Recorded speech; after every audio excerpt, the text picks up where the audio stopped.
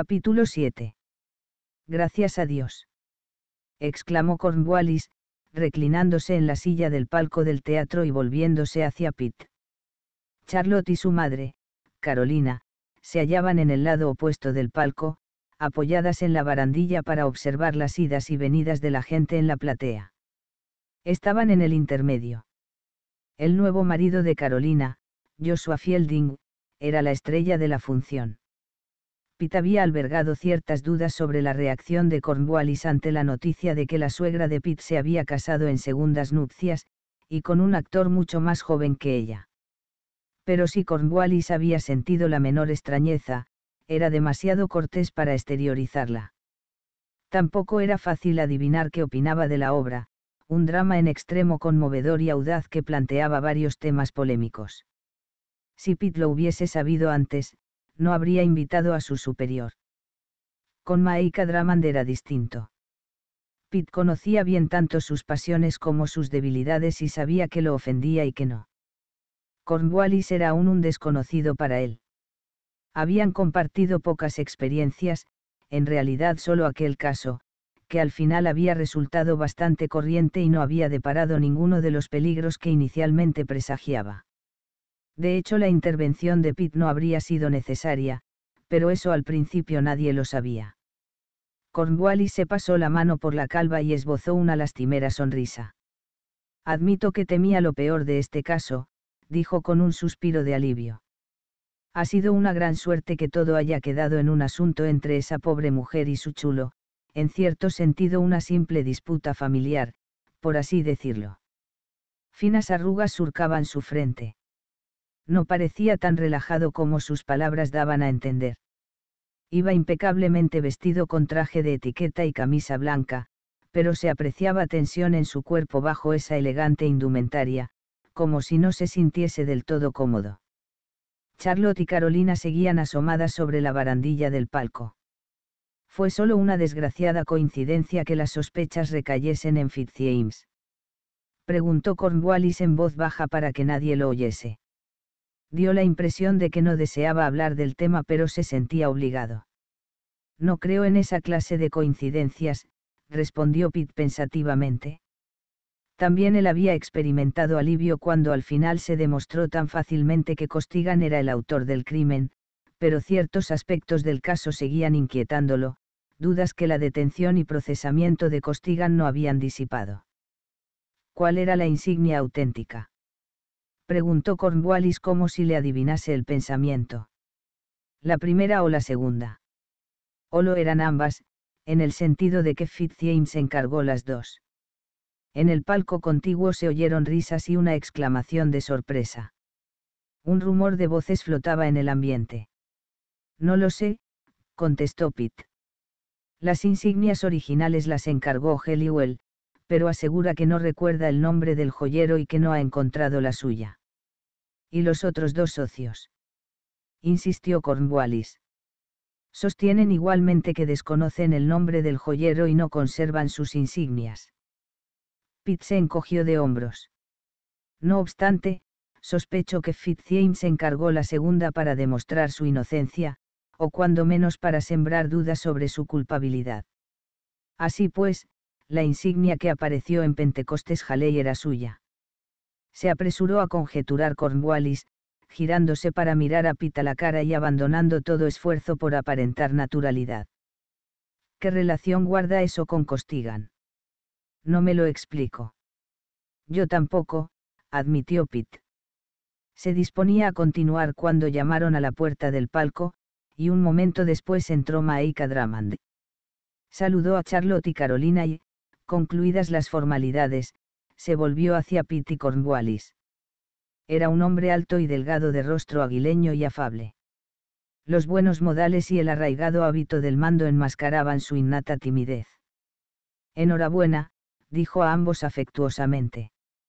Un caso con muchas probabilidades de causar graves trastornos resuelto de la manera más sencilla posible, y además manteniéndolo en su mayor parte oculto a la prensa, lo cual tiene aún más mérito. He oído decir que Fitzjames está muy satisfecho. Se echó a reír. Supongo que usar la palabra, agradecido, con un hombre como ese sería exagerado, pero lo recordará. En el futuro podría ser un buen aliado. Solo si nuestros enemigos son también los suyos, matizó Cornwallis con aspereza. Es de esa clase de hombres que recuerdan las ofensas y olvidan los servicios. Y no es que hayamos resuelto el caso con la intención de hacerle un servicio, añadió de inmediato. Si Pitt hubiese demostrado que su hijo era culpable, lo habría hecho detener sin la menor vacilación como a Costigan o cualquier otro. Maika Dramand sonrió. No lo dudo. Aún así, me complace que no haya sido necesario. Miró brevemente a Pitt y luego de nuevo a Cornwallis. Nada puede hacerse si una tragedia cae sobre una familia prominente, pero afrontar esas situaciones es siempre una tarea ingrata. Pitt recordó la tragedia que había afligido a Eleanor Bayham, la segunda esposa de Drummond.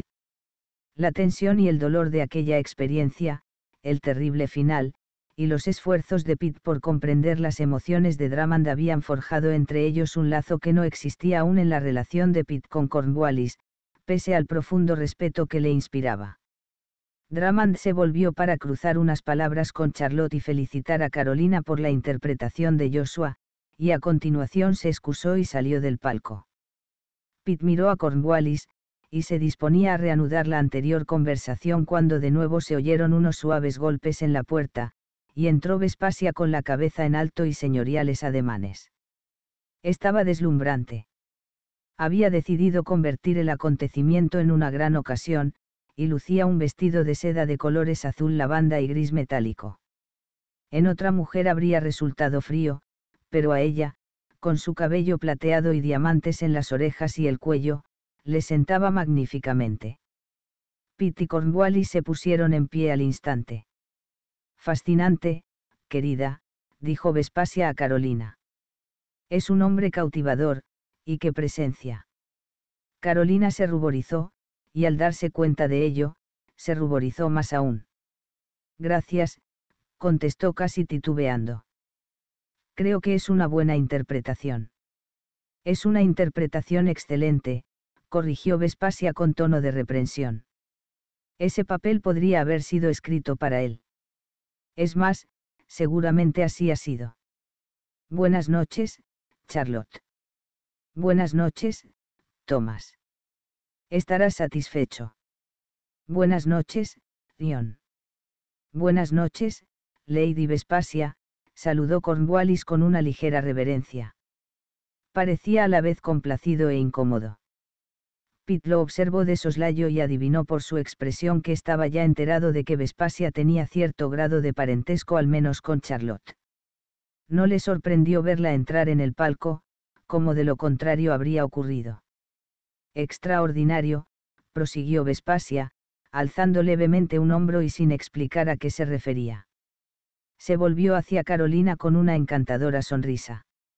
Me alegro de haber venido no vayas a pensar ni por asomo que estoy aquí porque la única alternativa era la ópera, que hoy ofrecía algo wagneriano y opresivamente solemne relacionado con los dioses y el destino.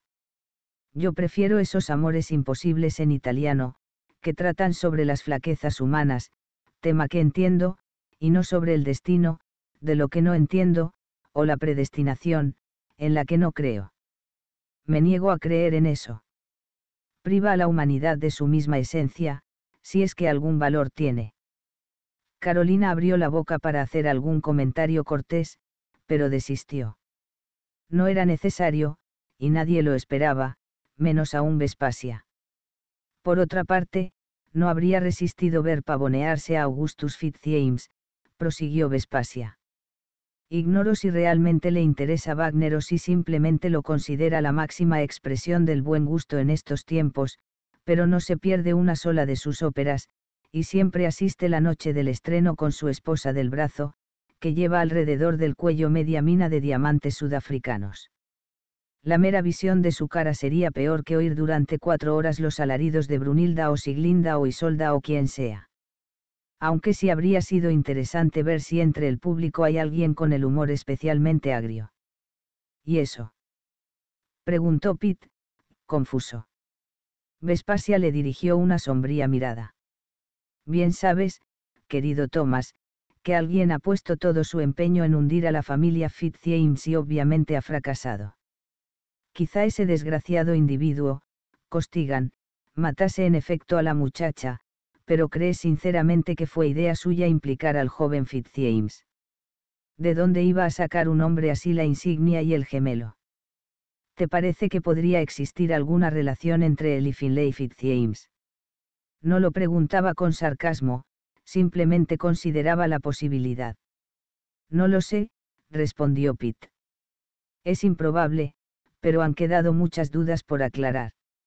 Mañana interrogaré de nuevo a Costigan. Por lo que de momento sabemos, da la impresión de Finlay Fitzjames no ha tenido nada que ver con el crimen, ni directa ni indirectamente. ¿Por qué? Pues, estaban allí su insignia y su gemelo. Preguntó Charlotte con curiosidad. ¿Piensas que los robó Ada? No lo sé, repitió Pitt.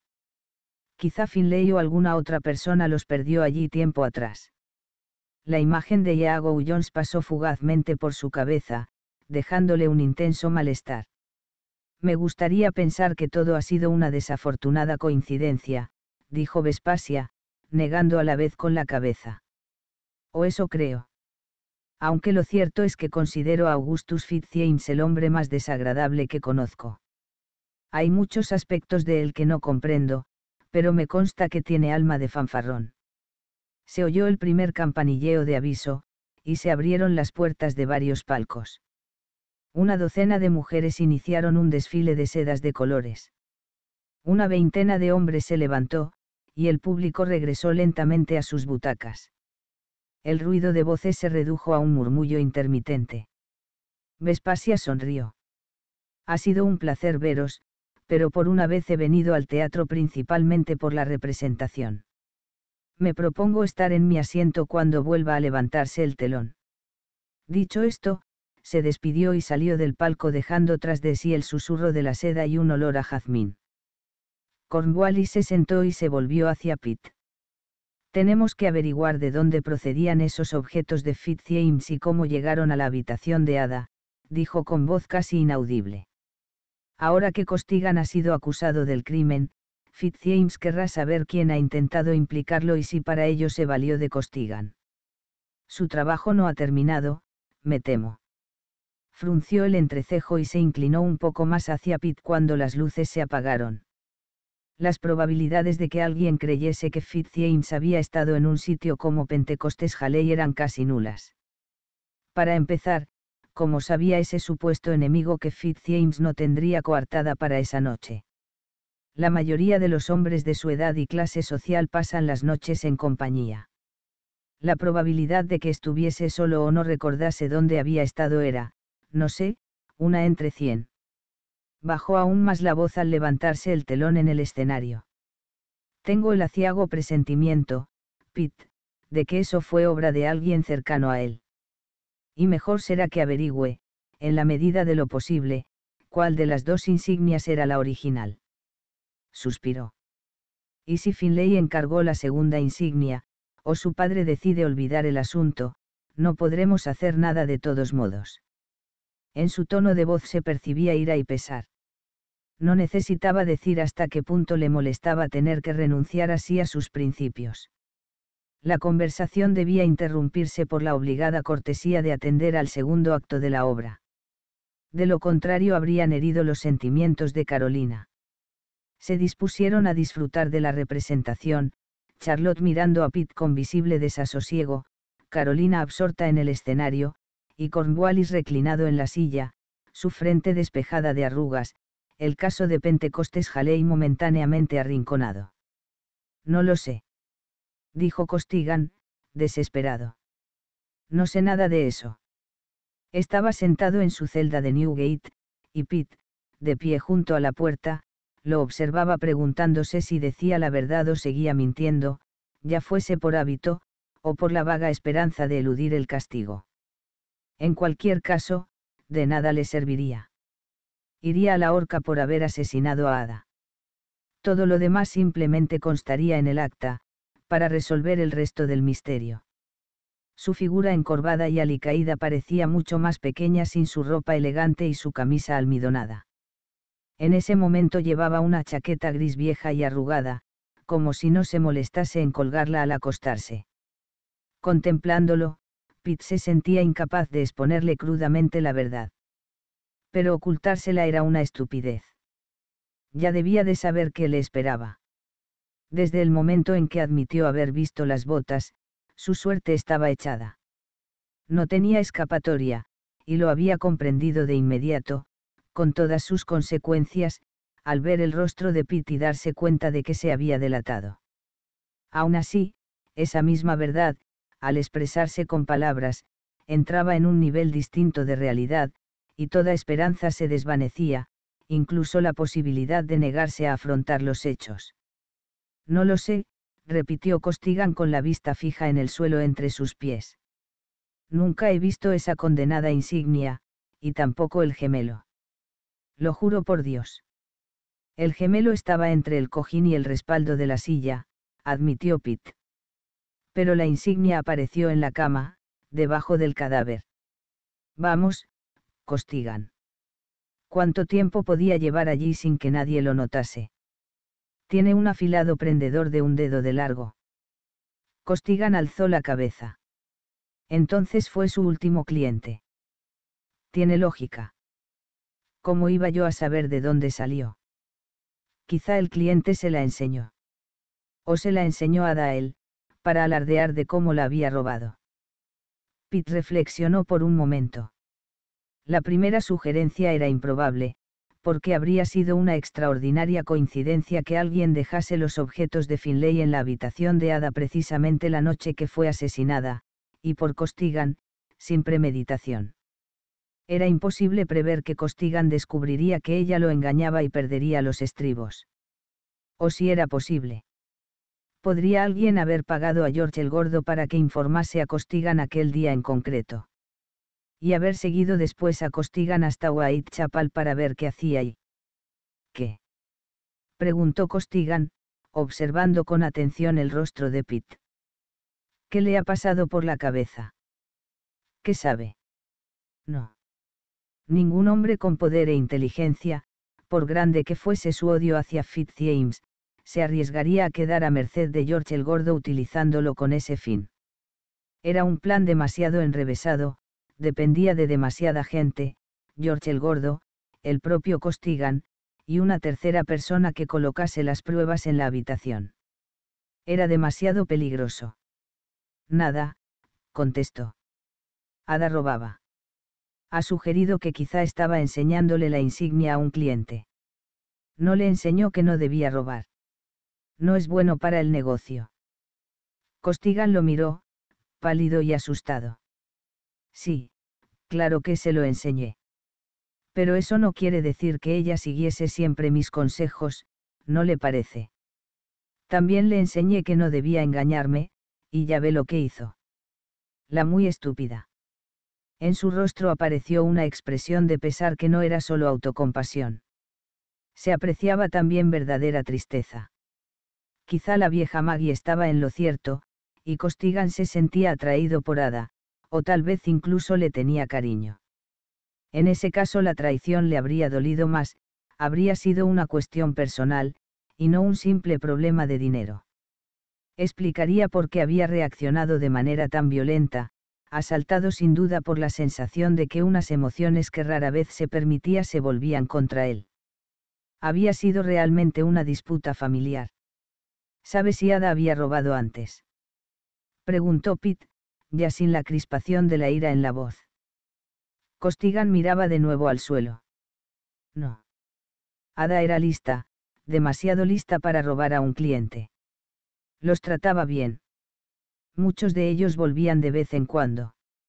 Era una chica divertida. Los hacía reír. Tenía clase. Las lágrimas anegaron sus ojos y cayeron por sus mejillas. Era buena en lo suyo, la muy estúpida. Me gustaba. No debería haberme engañado. Me portaba bien con ella. ¿Por qué me obligó a hacer una cosa así? Ahora estamos los dos acabados. Pete sentía lástima.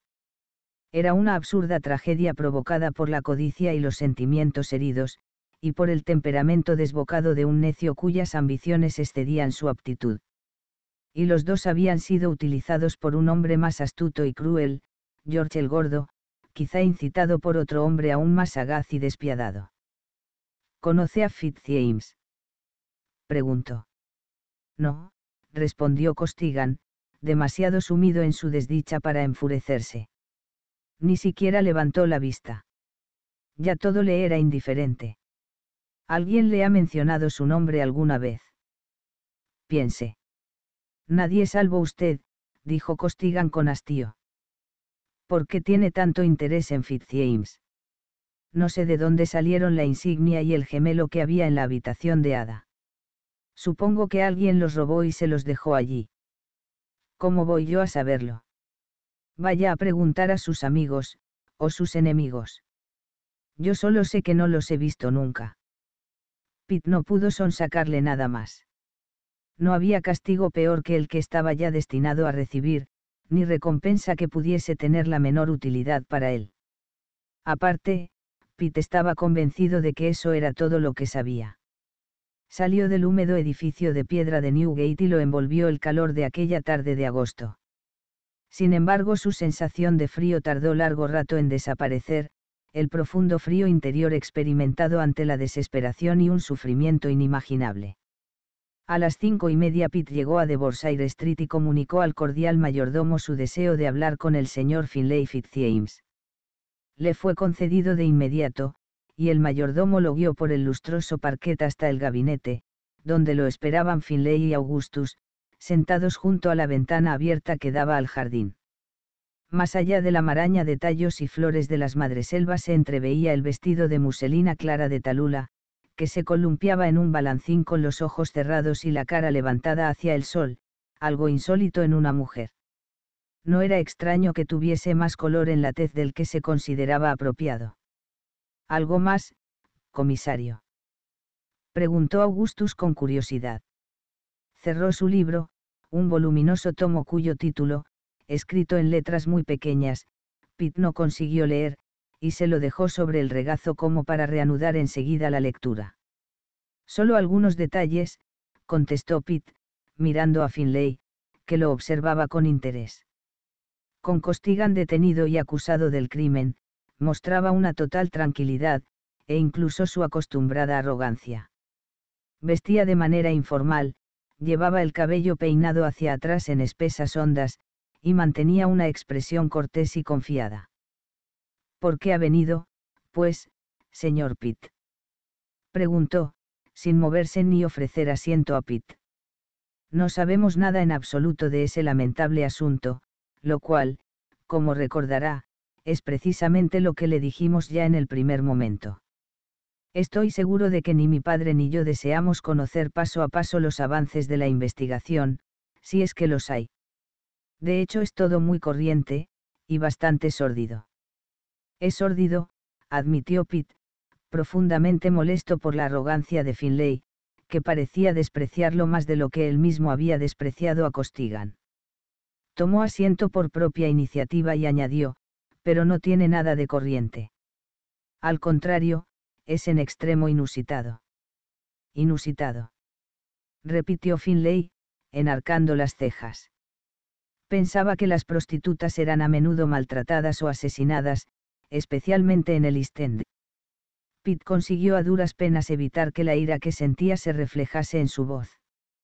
La indiferencia ante la muerte lo indignaba, la muerte de cualquiera, de Ada, de Costigan, de cualquiera. Esa clase de motivos es bastante común, señor Fitzjames. Aunque procuró hablar con un tono neutro, un dejo de sarcasmo se filtró en su voz. Pero resulta asombroso encontrar en el escenario de un crimen de esas características efectos personales de un hombre como usted, cuando no existe conexión alguna con la víctima o el delito. Pues bien, comisario, como usted sabe, yo no tengo conexión alguna con ese hecho. Finlay sonreía con expresión radiante. La mató su chulo creía que eso estaba ya fuera de toda duda. Y si ha venido a preguntarme cómo fue a parar allí una insignia parecida a la mía, no lo sabía al principio y sigo sin saberlo ahora. Pit apretó los dientes. ¿Y no le preocupa? Preguntó con la vista fija en su atractivo rostro y su ufana mirada de desdén. La insignia estaba en la cama, con el prendedor abierto. No podía llevar allí mucho tiempo, media hora a lo sumo. Si insinúa que Finlay estuvo allí media hora antes del asesinato, lo interrumpió Augustus con frialdad, no solo está equivocado, comisario, sino que además es un impertinente, y empieza a abusar de su autoridad y de nuestra buena voluntad. Nada más lejos de mi mente, repuso Pitt. Quizá Finlay desconocía el motivo de su visita, pero seguramente Augustus lo había adivinado ya. ¿Por qué? Pues, fingía enojo e ignorancia. Pitt no esperaba su agradecimiento, pero tampoco aquellos remilgos. No tengo razones para dudar de la palabra de su hijo respecto a sus actividades de aquel día. Y es fácil comprender las causas de la errónea identificación inicial. Augustus no estaba interesado en aquello, y tampoco dispuesto a contraer obligaciones con un inferior que al fin y al cabo no había hecho más que cumplir con su deber. Si tiene algo importante que decir, comisario, dígalo ya. Si desea que le dé las gracias, reconozco que ha resuelto el asunto con la mayor discreción y le estoy agradecido por ello. Confío en que no espere nada más que eso. La insinuación era en extremo ofensiva. No esperaba ni siquiera eso, replicó Pitt. Cumplo con mi deber por mi propia conciencia, no por nadie más. En ningún momento se ha tratado de un favor personal pero por la misma razón me siento obligado a descubrir quién dejó los objetos de su hijo en el lugar del crimen, cabe suponer que con la intención de como mínimo, implicarlo en un escándalo y dañar su reputación, y en el peor de los casos enviarlo a la horca. Pronunció esta última palabra con toda claridad e incluso con regodeo. Esperaba que desease usted conocer la respuesta aún más fervientemente que yo. Augustus entornó los ojos. Era obvio que no preveía una contestación así, y por tanto su reacción no estaba preparada. Y si la insignia del Club Fuego del Infierno que apareció en el bolsillo de su chaqueta, prosiguió Pitt, volviéndose hacia Finlay, era la original, alguien se tomó muchas molestias para conseguir incriminarlo. Eso plantea la duda no solo de por qué encargaron una segunda insignia con su nombre, sino también de cómo fueron capaces de realizar una copia casi idéntica a la primera. Ni siquiera un joyero las distinguiría salvo por una ligera diferencia en la letra usada para el nombre grabado al dorso. Finlay perdió la compostura. Palideció y el aplomo desapareció de su mirada, que de pronto delataba un claro nerviosismo. Volvió la cabeza lentamente hacia su padre. Por un momento Augustus se sintió también desconcertado no sabía qué responder. Su rencor hacia Pitt por haberlo inquietado se reflejaba en su boca, en sus apretados labios. Finlay tomó aire para hablar, miró alternativamente a Pitt y a su padre, y cambió de idea. ¿Encargó usted mismo la segunda insignia? Preguntó Pitt. Sería comprensible dadas las circunstancias y no requeriría ninguna explicación ante la justicia. En no, respondió Finlay tartamudeando, y tragó saliva, ahora visiblemente abrumado. No, no la encargué yo. Un reloj de pie adosado a la pared del fondo dio un cuarto de hora. Talula seguía meciéndose en el jardín. La encargué yo, comisario, afirmó Augustus por fin, en cuanto a la primera insignia, supongo que se perdió o fue robada hace años, como mi hijo declaró y lo mismo debió de ocurrir con el gemelo. Nadie en la casa ha visto ninguno de esos objetos desde hace cinco años por lo menos. Cabe suponer que los tenía la misma persona.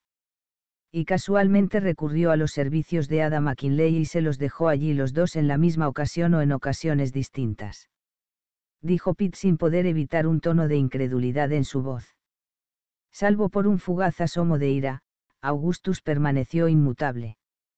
Eso parece, contestó con frialdad. Pitt se volvió hacia Finlay. Eso, pues, reduce considerablemente las posibilidades, discurrió Pitt. No puede haber muchas personas que tuviesen oportunidad de encontrar por azar, o robarle, dos objetos tan personales y después los olvidasen en Pentecostés Halley la noche del asesinato de Ada McKinley. El gemelo podía estar allí desde hacía tiempo, señaló Augustus con el rostro tenso por la cólera. Usted mismo dijo que no se hallaba a la vista.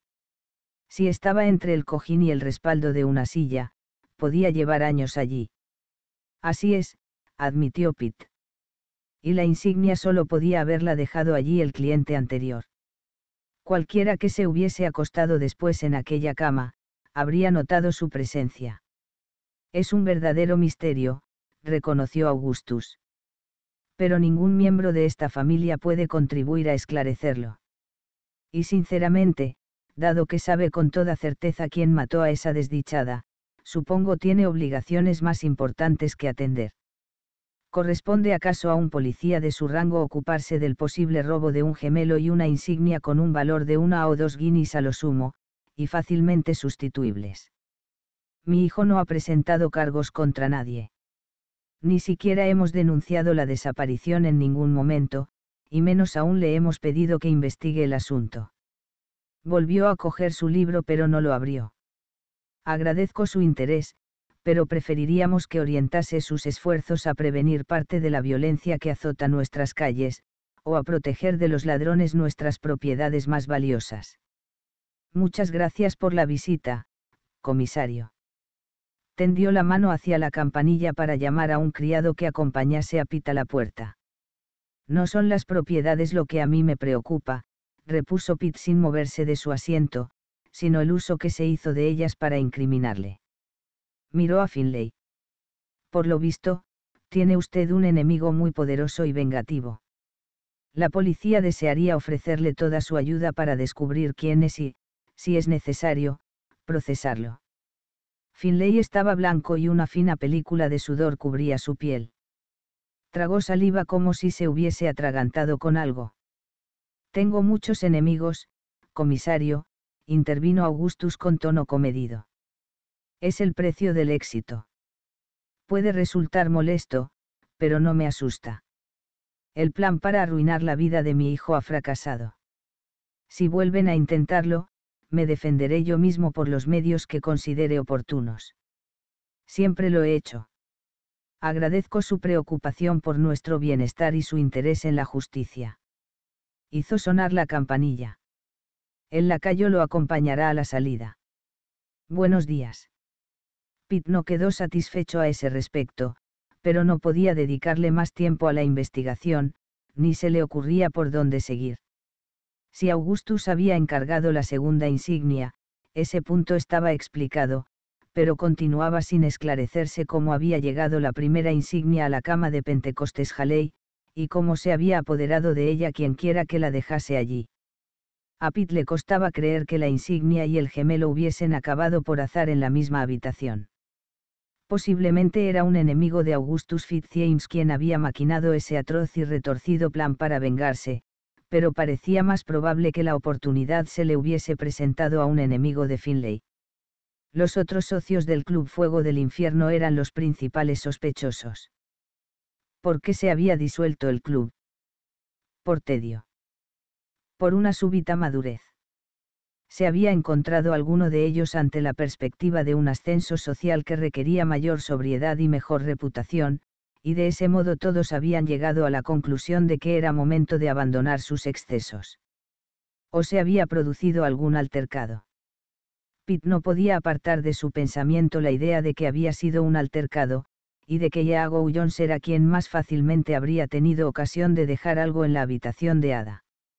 Sin embargo recordaba aún con toda nitidez el rostro de Iago en su primer interrogatorio, y su expresión de horror al conocer que la insignia hallada en la cama pertenecía a Finlay. ¿Sabía Finlay acaso quién había intentado incriminarlo, y también por qué? Cabía la posibilidad de que ahora planease su propia venganza, tal vez con la ayuda de su padre. ¿Por qué no se lo decía a Pitt y dejaba que la policía se encargase del asunto? Una demanda por robo o incluso por el mero hecho de dejar efectos personales de otro hombre en la habitación de una prostituta bastarían para arruinar la vida a Iago Jones. Y también sin duda a Heliwell. Sus respetables suegros se escandalizarían por una cosa así. Dejaría de existir para la buena sociedad. Sería un tormento interminable y en extremo doloroso. La víctima lo padecería minuto a minuto, tanto por la expectativa de lo que estaba por venir como por el recuerdo del pasado. ¿Qué castigo podía haber más cruel y eficaz? Si Augustus no lo ponía en práctica, debía de existir alguna razón. Quizá el deseo de mantener a alguien bajo amenaza permanentemente. Exigir en su momento un favor a cambio, algo de tal envergadura que merecía la pena renunciar al placer presente. ¿O acaso la venganza podía repercutir negativamente en su familia? Era la elegante y frívola Talula vulnerable por algún motivo. Pitt no concibió siquiera la posibilidad de que Augustus perdonase la ofensa. Terminó el mes de agosto con un calor sofocante y empezó septiembre. Estaba a punto de iniciarse el juicio contra Albert Costigan. Una tarde, cuando faltaban dos días para el comienzo, Visitó de nuevo Whitechapel para hablar con Ewart y el médico forense, Lennox. No se reunieron en la comisaría, sino en una taberna de Swan Street, y cenaron empanada de pichones acompañada con sidra y pancake de postre. Charlaron de temas agradables. Lennox, que además de practicar la medicina legal tenía una consulta, les contó una divertida anécdota sobre uno de sus pacientes, de una calle situada un poco más al oeste, que había comprado una bañera e invitaba a todos los vecinos a contemplarla. Ewart estaba eufórico porque su primogénito había entrado en la universidad y superado con éxito los exámenes del primer curso. A Pitt le sorprendió que en Whitechapel hubiese podido adquirir conocimientos suficientes para cursar después estudios superiores, pero se lo calló.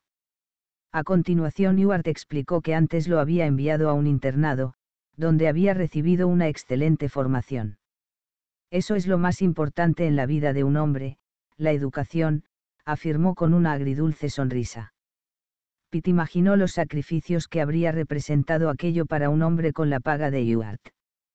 También su esposa debía de haber renunciado a muchas cosas. De pronto cambió su imagen de Ewart, y sintió admiración por él. Seguramente había ahorrado durante toda su vida. Pero se abstuvo de hacer comentarios. Habría sido una indiscreción. Sonrió a Ewart, y éste desvió la mirada, como si se avergonzase no mencionaron siquiera el asesinato de Pentecostés Jaley hasta que salieron de la taberna y pasearon tranquilamente en dirección al río y las sombras que proyectaba el enorme edificio de la Torre de Londres. Los días eran más cortos. La temperatura era aún suave, pero anochecía mucho antes y se percibía ya la inminencia del otoño, en las flores marchitas, en el polvo acumulado en el suelo tras un largo verano sin intensas lluvias se detuvieron en el montículo de hierba situado bajo la torre y contemplaron el río. El velo de humo y hollín había quedado atrás. La luz se reflejaba sobre la superficie del agua con un resplandor tenue y dorado, haciéndose más brumoso a lo lejos y suavizando los contornos de la otra orilla. La torre de Londres se alzaba sobre ellos. Río abajo nada obstruía el camino hasta mar abierto. Hará referencia a la insignia y el gemelo preguntó Pita Ewart. El tema era ineludible. Tenían que subir a declarar al estrado dos días después.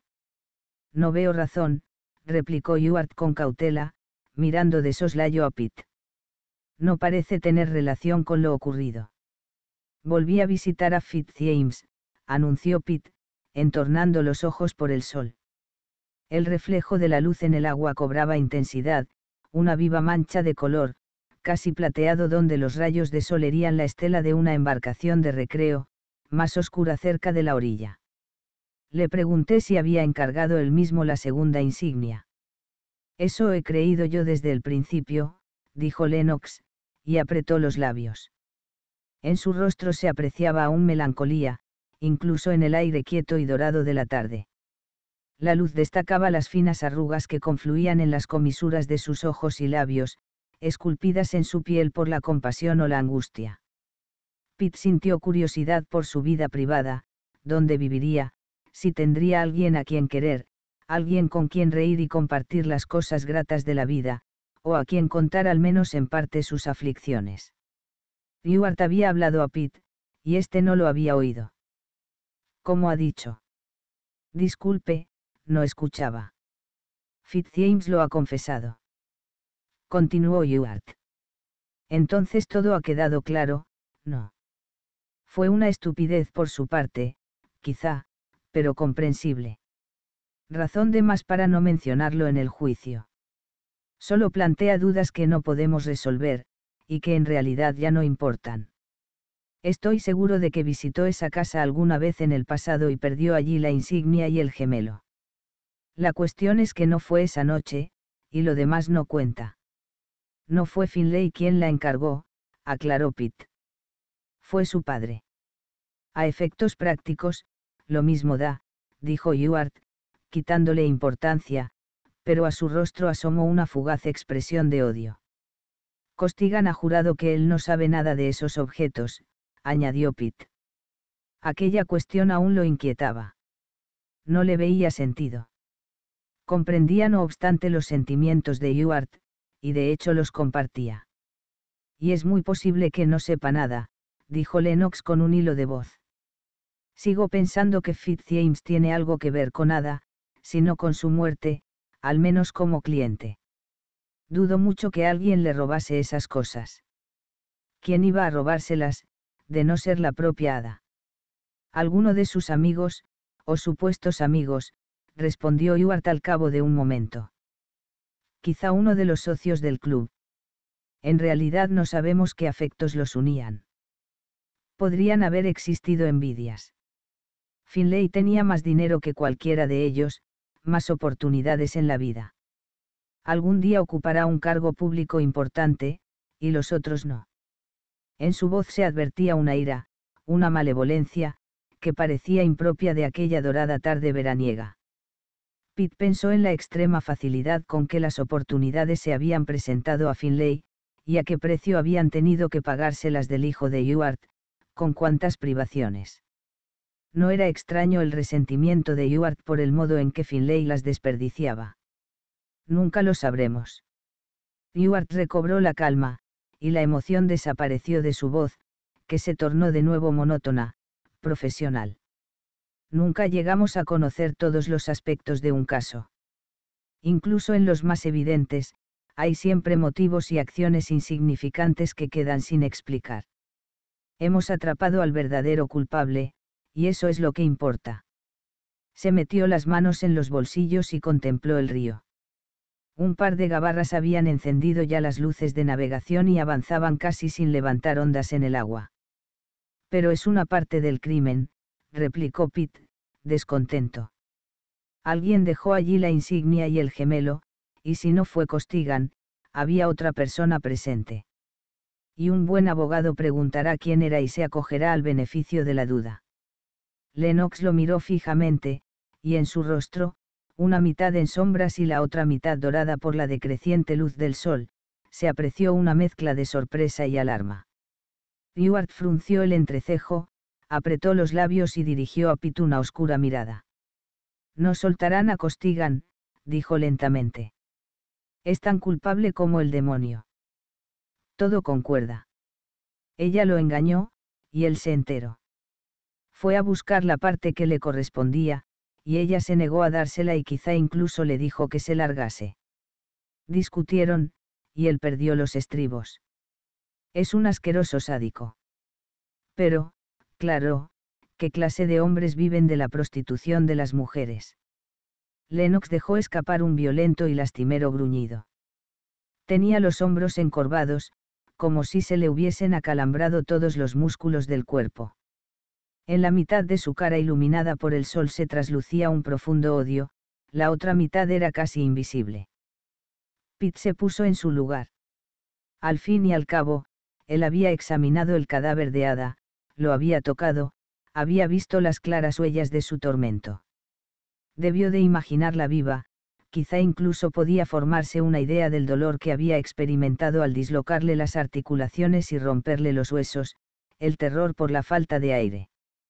Contemplando las vivas emociones reflejada en el rostro de Lennox, Pitt sintió que su propia compasión por Costigan se desvanecía. Lo que pienso en realidad, dijo Pitt con un suspiro, es que Fitzjames sabe quién intentó incriminarlo, o cree que lo sabe, y se tomará la venganza por su mano. Si nosotros no lo hemos averiguado, ¿cómo iban a saberlo ellos? Adujo Ewart con un gesto de indiferencia. De pronto soltó una carcajada llena de sorprendente rencor. Y si consigue su propósito, y luego se descubre y tiene que pagar por ello, no seré yo quien lo sienta.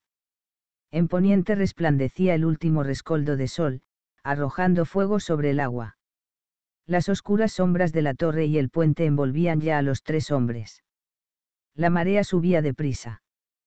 Pero el aire era aún templado y la gente seguía paseando por las orillas del Támesis, unos solos, otros en pareja y cogidos del brazo. De algún lugar llegaron unas risas. Ewart se encogió de hombros. Si es así, no podemos impedírselo, señor, el tratamiento de, señor, lo distanciaba de Pitt, zanjando en cierto modo el tema. Si lo saben, dudo mucho que se hayan equivocado de hombre, y hasta diría que merece el castigo. Tratar de enviar a la horca a alguien por un crimen que no ha cometido es algo repugnante. Tenía una expresión dura y aspecto cansado, y la luz crepuscular acentuaba sus arrugas. En todo caso, señor, si cree que puede evitar que Augustus Fitzjames aplique su propia forma de justicia a sus enemigos, discúlpeme pero vive usted en otro mundo. Si se comete un crimen y nos enteramos, a nosotros nos corresponde esclarecerlo pero una venganza personal entre caballeros no nos incumbe. Pitt guardó silencio.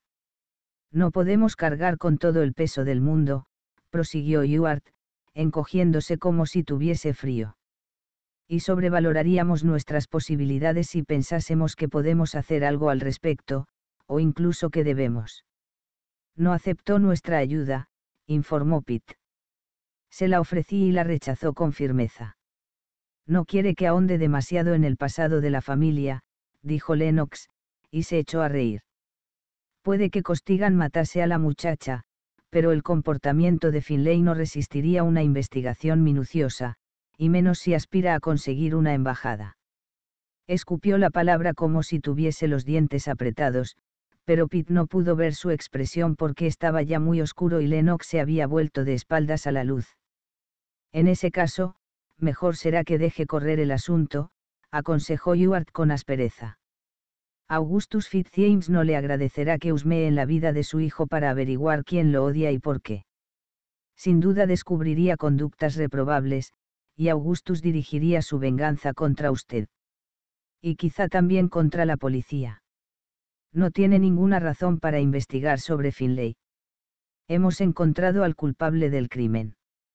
Ahora, señor, en interés de todos, vale más que lo dejemos como está. Lennox ahogó un quejido, como si acabase de tropezar con una piedra, pero permanecía inmóvil. Ewart estaba en lo cierto. No existía causa legal alguna para seguir investigando, y Augustus Fitzjames había rechazado de manera inequívoca toda ayuda policial. A menos que Pitt dedujese la solución a partir de la información que ya poseía, el enigma quedaría sin respuesta. Nos veremos, pues, en el juzgado pasado mañana, dijo con resignación. Vuelven ustedes en esa dirección. Señaló hacia la escalera de la reina. No, no, yo me voy a casa, contestó Ewart. Gracias, señor. Buenas noches. Yo sí lo acompaño, dijo Lennox. Ambos caminaron sobre la hierba en amigable silencio hacia la escalera y el agua y luego ascendieron de nuevo a Great Tower Hill. Era casi de noche. Prestaron declaración con toda la exactitud posible, e intentaron en vano despojar de emoción sus palabras. Lennox en particular estaba pálido, tenía los labios secos, y hablaba con voz aguda a causa de la tensión que atenazaba su garganta. Ewart se mostró más realista, pero su aparente compostura no consiguió ocultar una sensación de triunfo y alivio, ni un acendrado aborrecimiento a la brutalidad, la codicia y la estupidez que impregnaba todos los aspectos del caso. La sala no estaba muy concurrida. No era un juicio especialmente interesante. El nombre de Albert Costigan se conocía solo en las inmediaciones de Whitechapel Road. Ada McKinley era simplemente una desdichada que había corrido los riesgos de su oficio y encontrado una muerte que nadie le habría deseado, sin embargo su final tampoco sorprendía a nadie, y solo unos pocos lamentaban su pérdida. El primer día Pitt vio a Rosa Burke entre el público, y también a Nan Sullivan, sorprendentemente atractiva con su vestido negro. No vio a Agnes. Si había asistido, le pasó inadvertida entre la concurrencia. Al parecer, tampoco estaba la vieja Maggie. Quizá, como ella había dicho, nunca abandonaba la casa. No fue ningún miembro de la familia Fitzjames, ni de hecho Pitt lo esperaba. Por lo que a ellos se refería, el asunto terminó en cuanto Finlay quedó libre de sospecha. Tirlstone y Heliwell habían rehuido desde el principio cualquier implicación. Si se hallaba allí, en cambio, Iago Jones, y la intensidad de su asombroso rostro bastaba para convertirlo en una presencia extraordinaria, pese al traje desvaído y la ausencia de alzacuello, crucifijo o cualquier otro distintivo sacerdotal. Tenía las mejillas hundidas, y sus marcadas ojeras hacían pensar que no dormía bien desde hacía semanas. Escuchaba absorto a todos los testigos. Tal era su atención que habría podido pensarse que a él, y no al jurado, le correspondía pronunciar el veredicto.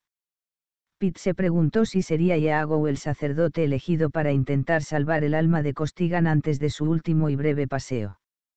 Sería él quien tratase de obtener la confesión del reo en las horas previas a la ejecución, quien lo acompañase en esos aterradores pasos finales hasta el patíbulo a las ocho de la mañana. Era una misión que Pitt no le habría deseado a nadie.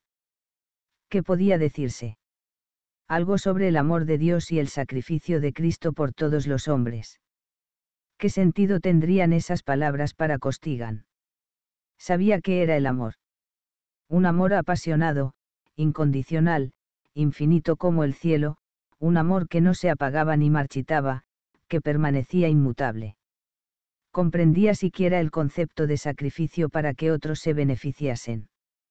Le hablaría Iago en un idioma que Costigan nunca había oído, de una idea tan remota para él como el fuego que ardía en las estrellas. Quizá consistía simplemente en hablarle con serenidad, en mirarlo a los ojos sin desprecio ni censura, como otro hombre consciente de su terror y comprensivo con él. Mientras Pitt contemplaba en la sala la inexorable acción de la justicia, percibió una impiedad que también a él lo asustó.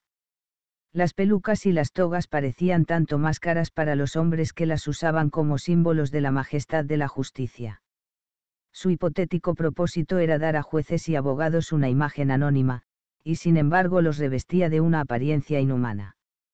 Era poco lo que el abogado de Costigan podía aducir en su defensa. Era joven, pero realizó un notable esfuerzo por apuntar circunstancias atenuantes, entre ellas que la víctima era una mujer codiciosa y ladina incluso para las pautas de conducta aceptadas entre las de su mismo oficio.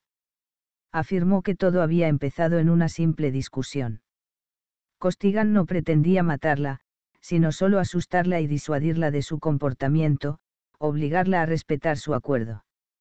Al ver que ella estaba inconsciente, el pánico se adueñó de él, y le echó agua en un vano intento por reanimarla, pues al principio no se dio cuenta de que la había matado. Y los huesos rotos o dislocados. La crueldad y la perversión de un cliente anterior. Nadie lo creyó. El veredicto no estuvo en duda en ningún momento. Pitt lo adivinó en los rostros de los miembros del jurado. Costigan también debía de saberlo. El juez lo escuchó, se arregló el birrete negro y lo sentenció a muerte. Pitt abandonó la sala sin la menor sensación de triunfo, y sí de alivio por el hecho de que hubiese concluido. Nunca conocería todos los detalles del crimen, nunca sabría quién había dejado la insignia y el gemelo de Finlay Fitzjames en la habitación de Pentecostes Halley, ni por qué un sinfín de mentiras había rodeado a esos dos objetos en todo momento. Nunca averiguaría qué recuerdos obsesionaban a Iago Jones. Transcurridas las tres semanas establecidas por la ley, Alberti Costigan fue ahorcado. Los periódicos se limitaron a publicar la noticia sin mayores comentarios. El domingo posterior a la ejecución Pitt fue al parque con Charlotte y los niños. Gemima lucía su mejor vestido, Daniel llevaba un elegante traje nuevo blanco y azul marino. Estaban a mediados de octubre, y las hojas de los árboles empezaban a cambiar de color. Los castaños, los primeros en florecer en primavera, las tenían ya totalmente doradas. El suave sol de principios de otoño titilaba entre ellas. En las hayas se formaban abanicos de bronce entre el verde. No tardarían en llegar las primeras heladas, el rastrillado de las hojas caídas, y el olor a humo de madera de las hogueras destinadas a quemar los desechos de los árboles. En el campo los escaramujos adquirirían un tono escarlata, y las moras se pondrían de color carmesí. Ya no sería necesario cortar el césped. Pete y Charlotte paseaban lentamente, como otras muchas parejas que disfrutaban de los últimos días cálidos del año. Los niños correteaban alrededor, riendo y persiguiéndose sin razón alguna, simplemente porque le sobraba energía y era divertido. Daniel encontró un palo y se lo lanzó a un cachorro que brincaba junto a ellos, al parecer extraviado por su dueño. El perro corrió a buscarlo y regresó triunfalmente con él. Gemima cogió el palo y decidió probar suerte, lanzándolo con todas sus fuerzas. A lo lejos un organillo tocaba una melodía popular. Un vendedor de periódicos dejó su carga y se sentó en la hierba a comerse un sándwich que acababa de comprar en un puesto ambulante cerca de allí. Un anciano fumaba en pipa con los ojos cerrados. Dos criadas en su día libre charlaban y reían. Un hombre con aspecto de contable yacía bajo un árbol leyendo una revista sensacionalista. Charlotte cogió a Pete del brazo y caminó más cerca de él. Pete aminoró el paso. Unos minutos más tarde Pete reconoció a lo lejos la figura erguida y marcial de John Cornwallis, que avanzaba enérgicamente por la hierba entre los paseantes. Cuando se hallaba a unas veinte yardas de ellos, Charlotte vio la expresión de su rostro y se detuvo en seco, volviéndose hacia Pete con manifiesta inquietud. Pete sintió un escalofrío, pero ignoraba el motivo de su temor. Cornwallis se acercó a ellos. Disculpe, señora Pitt, dijo a Charlotte, y luego miró a Pitt con el rostro tenso y pálido. Lamentablemente debo interrumpir su paseo dominical. El comentario era obviamente una indicación para que Charlotte se excusase y los dejase a solas, retirándose a una distancia discreta. Charlotte, en lugar de eso, se agarró aún con más firmeza al brazo de Pitt. ¿Se trata de algún secreto de Estado? Preguntó Pitt. Dios santo, ojalá lo fuese. Exclamó Cornwallis con vehemencia. Mucho me temo que mañana lo sabrá todo Londres. ¿Sabrá qué? Susurró Charlotte. Cornwallis vaciló, mirando a Pitt con semblante preocupado. Deseaba proteger a Charlotte. No estaba acostumbrado al trato con mujeres. Pitt supuso que las conocía solo a distancia. Solo sabía lo que había aprendido de los convencionalismos. ¿Sabrá qué? repitió Pitt. Ha sido asesinada otra prostituta, anunció Cornwallis con voz ronca. Exactamente igual que la primera, en todos los detalles. Pitt quedó atónito. Era como si de pronto hubiese perdido el equilibrio y el césped, los árboles y el cielo se fundiesen y girasen alrededor. En una casa de vecindad de Mirle Street, continuó Cornwallis. En Whitechapel. Creo que será mejor que vaya usted allí inmediatamente. Ewart se encuentra en el lugar del crimen. Yo le buscaré un coche a la señora Pitt y la acompañaré a su casa. Estaba blanco como el papel. Lo siento. Capítulo 8. Pitt se hallaba en el umbral de la puerta de la habitación donde había sido encontrado el cadáver. Ewart, con el rostro ceniciento, estaba ya allí. En el pasillo resonaban los sollozos histéricos de una mujer, cada vez más largos y agudos, vivos aún en su voz el terror y la conmoción. Pitt miró a Ewart a los ojos, y advirtió en ellos el horror que él mismo sentía, y una súbita admisión de culpabilidad desvió la mirada. En la cama yacía una mujer joven, menuda, casi como una niña. Tenía el cabello desparramado sobre la almohada, un brazo extendido sobre la cabeza, la muñeca atada a la cabecera con una media. Una liga con una cinta azul le rodeaba el brazo. La falda levantada de su vestido amarillo y naranja dejaba a la vista los muslos. Llevaba las piernas desnudas. Como en el caso de Ada McKinley, una media le ceñía la garganta. Tenía la cara amoratada e hinchada. Y como en el caso de Ada, la mitad superior del cuerpo y esa parte de la cama estaban empapadas de agua. Con el estómago revuelto, presintiendo lo que encontraría, bajó la vista al suelo. Las botas, negras y relucientes, se hallaban abrochadas entre sí. Alzó los ojos, y su mirada se cruzó con la de Yuart. Fuera los sollozos empezaban a atenuarse a medida que el miedo daba paso al dolor.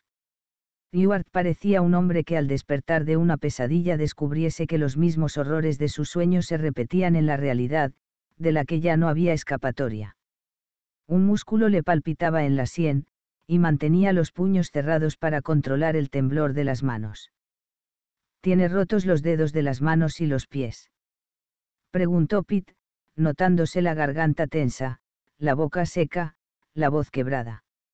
Ewart tragó saliva sin atreverse a hablar, asintió con la cabeza de manera casi imperceptible. ¿Alguna, otra prueba? Dijo Pitt. Ewart respiró hondo, su mirada fija en la de Pitt, reflejando plena conciencia de lo que los dos temían. Aún, aún no he mirado. Le temblaba la voz. He pedido que fuesen a buscarlo a usted de inmediato. En cuanto Lennox me ha informado de que el crimen era idéntico, me, me he ido. Volvió a tomar aire. ¿Eh? He salido. Tenía náuseas. Si hay algo aquí, prefiero que sea usted quien lo encuentre, y no yo, o al menos no solo. Clavó de nuevo la mirada en la de Pitt. El sudor le brillaba en la frente y sobre el labio superior. Solo he echado un vistazo. No he visto nada especial. Pero no he realizado un registro a fondo, minucioso, no he mirado tras los cojines de las sillas, ni debajo de la cama. Preguntas sin formular flotaban en el aire entre ellos, la culpabilidad y el miedo de haber cometido un error atroz e irreparable, de que en realidad Costigan no hubiese matado a Ada y el verdadero culpable hubiese actuado otra vez, allí, en aquella habitación. Sería Finlay Fitzjames. O Iago Jones. O alguien en quien ni siquiera habían pensado, alguien que se escondía en la oscuridad de las calles, esperando la ocasión de asestar un nuevo golpe, como el maníaco que dos años atrás se hacía llamar Jack el Destripador. Pitt volvió la cabeza y contempló a la muchacha tendida en la cama. Tenía el cabello oscuro y tupido, con rizos naturales, los huesos pequeños, casi delicados, la piel muy blanca, como el marfil en los hombros que el generoso escote dejaba al descubierto, lechosa en los muslos. Debía de ser muy joven, de 17 o 18 años. ¿Quién era? Preguntó Pitt, sorprendido por el temblor de su propia voz. Nora Gaff, contestó Ewart a sus espaldas. Todavía no sé gran cosa de ella. No he podido sacar nada en claro de las otras mujeres de la casa. Están todas histéricas. Lennox intenta calmarlas, el pobre diablo pero supongo que para eso están los médicos. Se encontraba en esta misma calle, a media milla de aquí. Había pasado toda la tarde con un paciente. Se sorbió por la nariz. Al menos ha llegado a tiempo de ayudar a las otras, si es que sirve de algo. Oían aún los sollozos procedentes de otra de las habitaciones, pero más apagados, sin la aguda nota de histeria de minutos antes. Era mejor dejar que Lennox siguiera atendiéndolas, poca utilidad tenía interrogar a unas mujeres demasiado horrorizadas para hablar con una mínima coherencia. Vale más, pues, que primero registremos la habitación, propuso Pitt con profundo hastío. Detestaba esa tarea, y si proporcionaba alguna pista útil, probablemente no sería de su agrado. En realidad temía lo que pudiese encontrar lo único indudable era que Costigan no podía ser el culpable. Volviéndose hacia Ewart, dijo, yo empezaré por la cama. Usted mire en el armario y el baúl, atento a cualquier cosa fuera de lo común, lo que sea, cartas, papeles, objetos que pudieran no pertenecerle, prestados o robados. Cualquier cosa cara. Ewart no se movió. Por un momento Pitt se preguntó si el horror lo había paralizado. Tenía la piel desprovista de color, semejante a la cera, como si estuviese ya muerto. Ewart, comience por el baúl, insistió Pitt con delicadeza, pensando que al menos así estaría de espaldas al cadáver. No, ya, ya me encargo yo de la cama, repuso Ewart, eludiendo su mirada. Es, mi trabajo. Estoy, bien. Tenía la voz empañada por un torbellino de emociones que parecían desgarrarlo, y entre ellas, especialmente palpable, una candente ira. Comience por el baúl, repitió Pitt. Yo me ocuparé de la cama y las sillas. Ewart siguió inmóvil. Daba la impresión de que desease hablar y fuese incapaz de encontrar las palabras, o quizá de tomar la decisión de decir lo que tenía que decir. Parecía un hombre desparado. Estaban de pie en medio de la silenciosa habitación, separados el uno del otro apenas un par de pasos, con el cadáver de la muchacha casi al alcance de la mano. El aire estaba viciado. La grisácea luz de la ventana revelaba las zonas desgastadas de la alfombra. En la calle un vendedor de ropa usada pregonaba su mercancía. ¿Sabe algo sobre la muerte de Ada McKinley que no me ha dicho? Preguntó Pita su pesar. No, contestó Ewart, abriendo más los ojos. Pit lo creyó. Fuera cual fuese el motivo de su miedo, no guardaba relación con esa pregunta, su sorpresa no era fingida. Teme que Costigan fuese inocente. Usted no. Preguntó Ewart. Sí, claro que sí. ¿Quién la mató, pues? Finlay Fitzjames. Ewart se estremeció. No, se apresuró a contestar, demasiado pronto, obviamente sin pararse a pensar. Pitt se dio media vuelta y empezó a registrar la cama. Lennox había examinado ya el cuerpo, así que no importaba que lo moviese. Aun consciente de que era una actitud irracional, Pitt tuvo la necesidad instintiva de tratarlo con delicadeza, como si aquella envoltura carnal fuese aún un ser humano, capaz de reconocer la compasión o la dignidad. En el lado opuesto encontró un pañuelo bajo la almohada, blanco como las sábanas, y en un primer momento pensó que era una punta de la funda doblada. Pero al tirar salió por completo.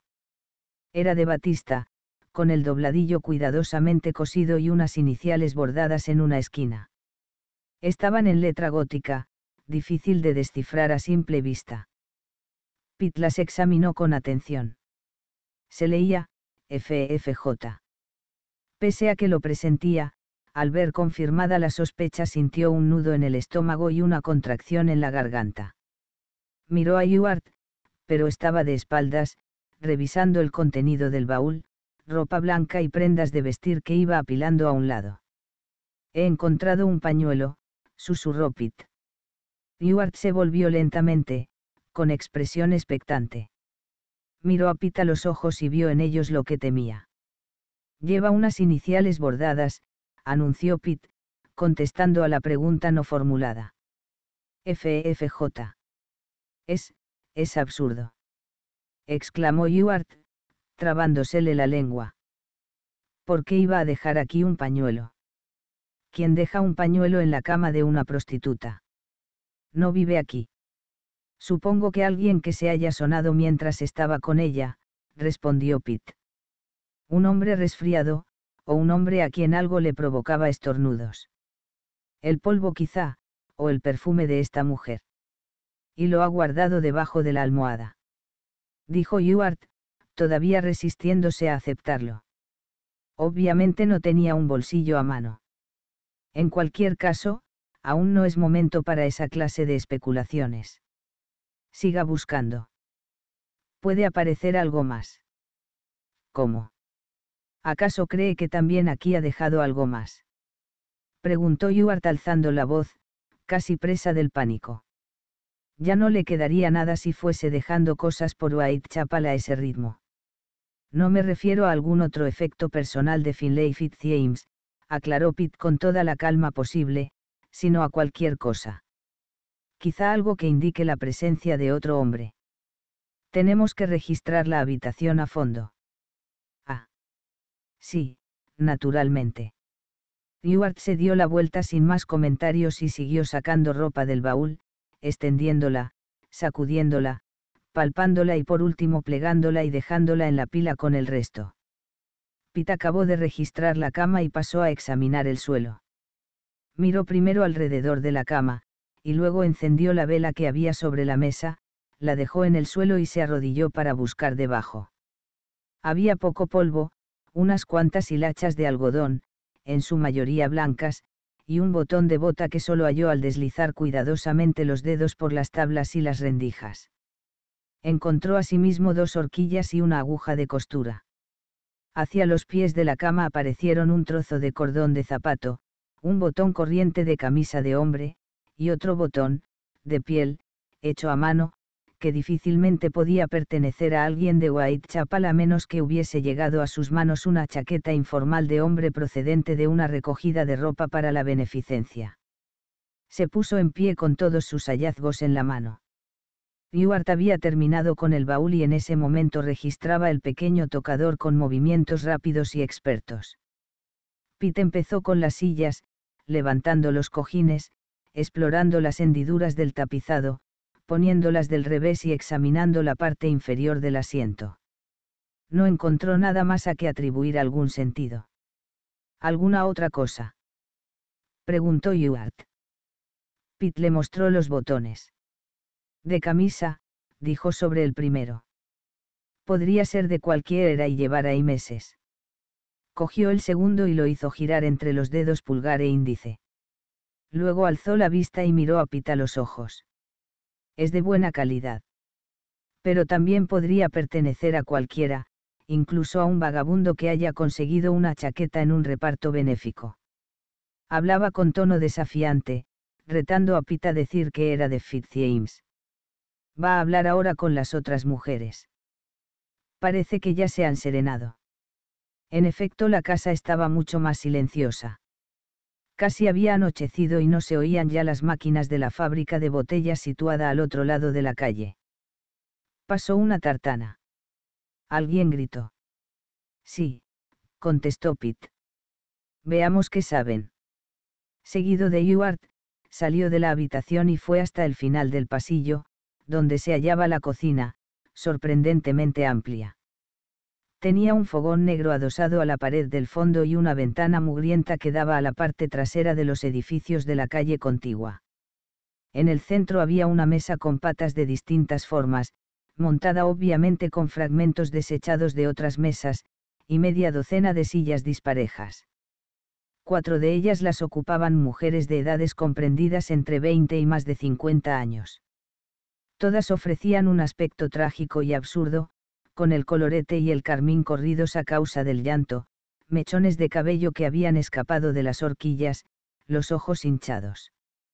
Y a la vez, al resquebrajarse la máscara propia de su oficio, parecían más jóvenes, humanas e individuales. Lennox estaba de pie detrás de una de las mujeres, con una mano apoyada en su hombro, y una taza de té en la otra mano, que le tendía a ella se le veía pálido y cansado, y las profundas arrugas que partían de las comisuras de sus labios hacían resaltar su nariz. Lanzó a Pitt una mirada de advertencia. Buenas noches, comisario, dijo con voz ronca. Si desea interrogar a estas mujeres, están ya en condiciones de contestarle. Basta con que omita ciertos detalles y tenga un poco de paciencia. Cuando se está aterrorizado, no es fácil encontrar las palabras ni recordar. Pita sintió con la cabeza y se volvió hacia Ewart. ¿Podría usted probar en el vecindario? Pregunte si alguien ha notado algo fuera de lo común, si recuerdan un rostro, si alguien ha entrado o salido a eso de. Dirigió a Lennox una mirada interrogativa. Entre las cuatro y las cinco, respondió Lennox, y sonrió tristemente burlándose de sí mismo. No es una brillante deducción médica, comisario, sino una observación de las testigos. Perla ha oído la voz de Nora en el pasillo alrededor de las cuatro. Por lo visto, acababa de levantarse y llamaba a Eddie para pedirle prestado un viso. Pete miró a la mujer que Lennox señalaba. Perle estaba pálida y tenía un cabello rubio de extraordinaria belleza, fino como la lana de vidrio y reluciente como la seda a la luz de las velas. Idi era corpulenta y morena, de piel aceitunada y hermosos ojos castaños. Y le ha prestado el viso. Dijo Pete. Idia sintió con la cabeza. Tenía que cogérselo con alfileres porque medía la mitad que yo, pero se lo ha quedado de todos modos, aclaró. Se sorbió la nariz y a duras penas pudo contener el llanto. ¿Y cómo sabe qué ha ocurrido antes de las cinco? Preguntó Pita Lennox. Lennox se volvió hacia otra mujer, esta de cabello oscuro, ojos juntos y preciosa boca. Su cenicienta palidez destacaba el colorete de las mejillas. Llevaba las horquillas medio sueltas y el pelo despeinado a fuerza de mesárselo. Mabel puede contestarle a eso. Mi primer cliente acababa de marcharse, explicó Mabel con un hilo de voz. He pasado por delante de la puerta de Nora, y me he asomado a echar un vistazo no sé por qué he imaginado que estaba sola. Por el silencio, supongo. Arrugó la frente, como si ese detalle fuese importante para ella. La he visto echada en la cama con la mano atada a la cabecera. He pensando que quizá había recibido a un cliente con esa clase de gustos, y al irse la había dejado así. Incluso le he hablado. Se sorbió la nariz y tragó saliva con doloroso esfuerzo temblaba de manera tan incontrolable que los dedos se le deslizaban involuntariamente sobre la mesa. Lennox se situó detrás de ella y le apoyó las manos en los hombros, atrayéndola hacia sí como para insuflarle su propia fuerza. Fue un gesto de extraordinaria delicadeza. Mabel podría haber sido una vieja amiga, y no una mujer de la calle que acababa de conocer. Ese suave contacto la serenó, como un rayo de cordura en medio del caos. Y entonces le he visto la cara, susurró. Y he comprendido lo que había pasado. El mismo que mató a Ada McKinley la había matado a ella. Supongo que he chillado. Al cabo de un momento estábamos todas allí, gritando y pidiendo auxilio. Comprendo. Gracias. Pete se volvió de nuevo hacia Ewart. Averigüe a quiénes se ha visto entrar o salir de este edificio entre las cuatro y las cinco, y procure precisar al máximo las horas. Consiga descripciones de todos ellos y compárelas con los clientes de cada una de estas mujeres. Y repito, de todos ellos. Da igual que sean vecinos, chulos o el farolero. De todos sin excepción. De acuerdo, señor. Ewart se marchó, y Pitt se concentró en las cuatro mujeres. La última, Kate, seguía sollozando, apretándose un pañuelo húmedo contra la boca. Lennox se acercó al fogón, llenó otra taza de té y se la llevó. Ella cogió torpemente la taza con sus crispados dedos. Pete se sentó en una destartalada silla junto a la mesa y empezó a interrogar a Pearl. Cuénteme todo lo que recuerde desde alrededor de las cuatro, cuando ha oído a Nora en el pasillo. Pearl lo miró y empezó con voz vacilante. He oído a Nora entrar en su habitación y llamar a Idi para que le dejase el viso, pero no he oído lo que ha dicho Idi. Estaba peinándome para la noche. Al terminar, he salido. He conseguido un cliente enseguida, uno de mis asiduos. ¿Quién era? ¿Cómo? ¿Quién era ese cliente? ¿Qué aspecto tiene? Dudó un momento, cruzando miradas con Idi y Mabel. Jim Mikhail, contestó finalmente. Viene casi todos los domingos. No siempre a verme a mí. A veces lo atiende otra de las chicas. ¿Y qué aspecto tiene? Alto, delgado. Nariz larga. Siempre está sorbiendo. ¿Había visitado alguna vez a Nora? Preguntó Pitt. Supongo. Pero él no le haría daño. ¿Por qué iba a hacerle una cosa así? Ni siquiera la conocía, salvo por. Se interrumpió. Pitt admitió que eso no era conocerla realmente. Siga. ¿Cuánto tiempo pasó con usted Jim Mikhail? Media hora. ¿Qué más? Luego he tomado un té con Margie en una taberna de la acera de enfrente. Margie viene a veces por aquí. Su marido siempre le está pegando. Ha estado ella en la casa entre las cuatro y las cinco. Es posible que haya entrado por la puerta de la calle y pasado frente a la habitación de Nora. Pearl negó con la cabeza. No. Ella salta la tapia y sube por la escalera del patio. Así su marido no la ve, y nadie la confunde con una de nosotras. Se echó a reír. Aunque más le valdría estar con nosotras. Si a mí alguien me diera las palizas que ella se lleva, le clavaría un cuchillo en las tripas. ¿Cuándo se ha ido? Preguntó Pitt, pasando por alto la alusión al cuchillo. Al oír los gritos de Mabel. Los otros ruidos no le importan, pero ha notado que esta vez era distinto. Todas nos hemos dado cuenta. Tragó saliva y se le contrajo la garganta.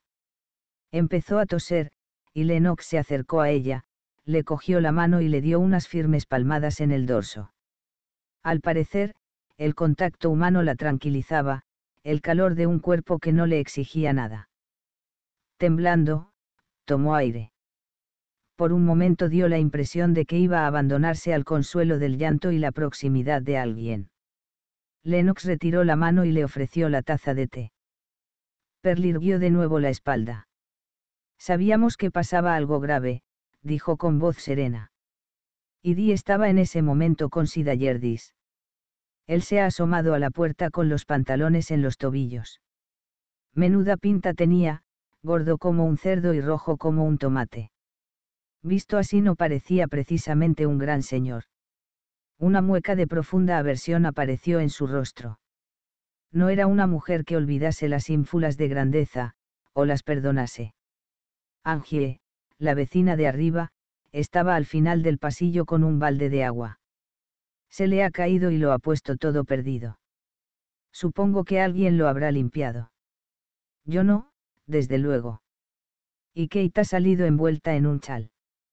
Imagino que su cliente seguía en la habitación. Idi ha entrado en la habitación de Nora y la ha visto allí tendida, y a Mabel a su lado, que todavía gritaba. Idi le ha dado una bofetada para hacerla callar, y luego ha salido y ha mandado a Kate a avisar a la policía. ¿Ha visto al último cliente de Nora? No. Estaba ocupada. ¿Dónde está su habitación? Al lado de la de Nora. ¿Ha oído algo? Que sí he oído algo. Lo he oído todo. He oído a Sid gruñendo y resollando como si estuviese escalando una montaña. He oído a dos gatas que se peleaban en el callejón. ¿Quiere decir gatas o mujeres? La interrumpió Pete. Ella le lanzó una mirada de indignación. Gatas. Esos bichos peludos que comen ratones y maullan a medianoche como todos los demonios del infierno. Por Dios. Es que no hay gatos en los barrios altos donde usted vive. ¿Cómo acaban con los ratones? O tampoco hay ratones. Si hay gatos. De hecho yo tengo dos. Se acordó con repentino placer de Angus y Archie, dormidos en su canasta junto al fogón de la cocina. Pero ellos no tenían que disputarse la comida o la leche. Algo más. He oído también a Sierl, la del piso de arriba, que gritaba a alguien desde su ventana, respondió Pearl. ¿Y qué chillidos? Parecía un cerdo en el matadero. Eran peores que los maullidos de las gatas. Alguien debe de haberla estafado y poco antes había oído a Mabel y su cliente, descoyuntándose los dos de risa.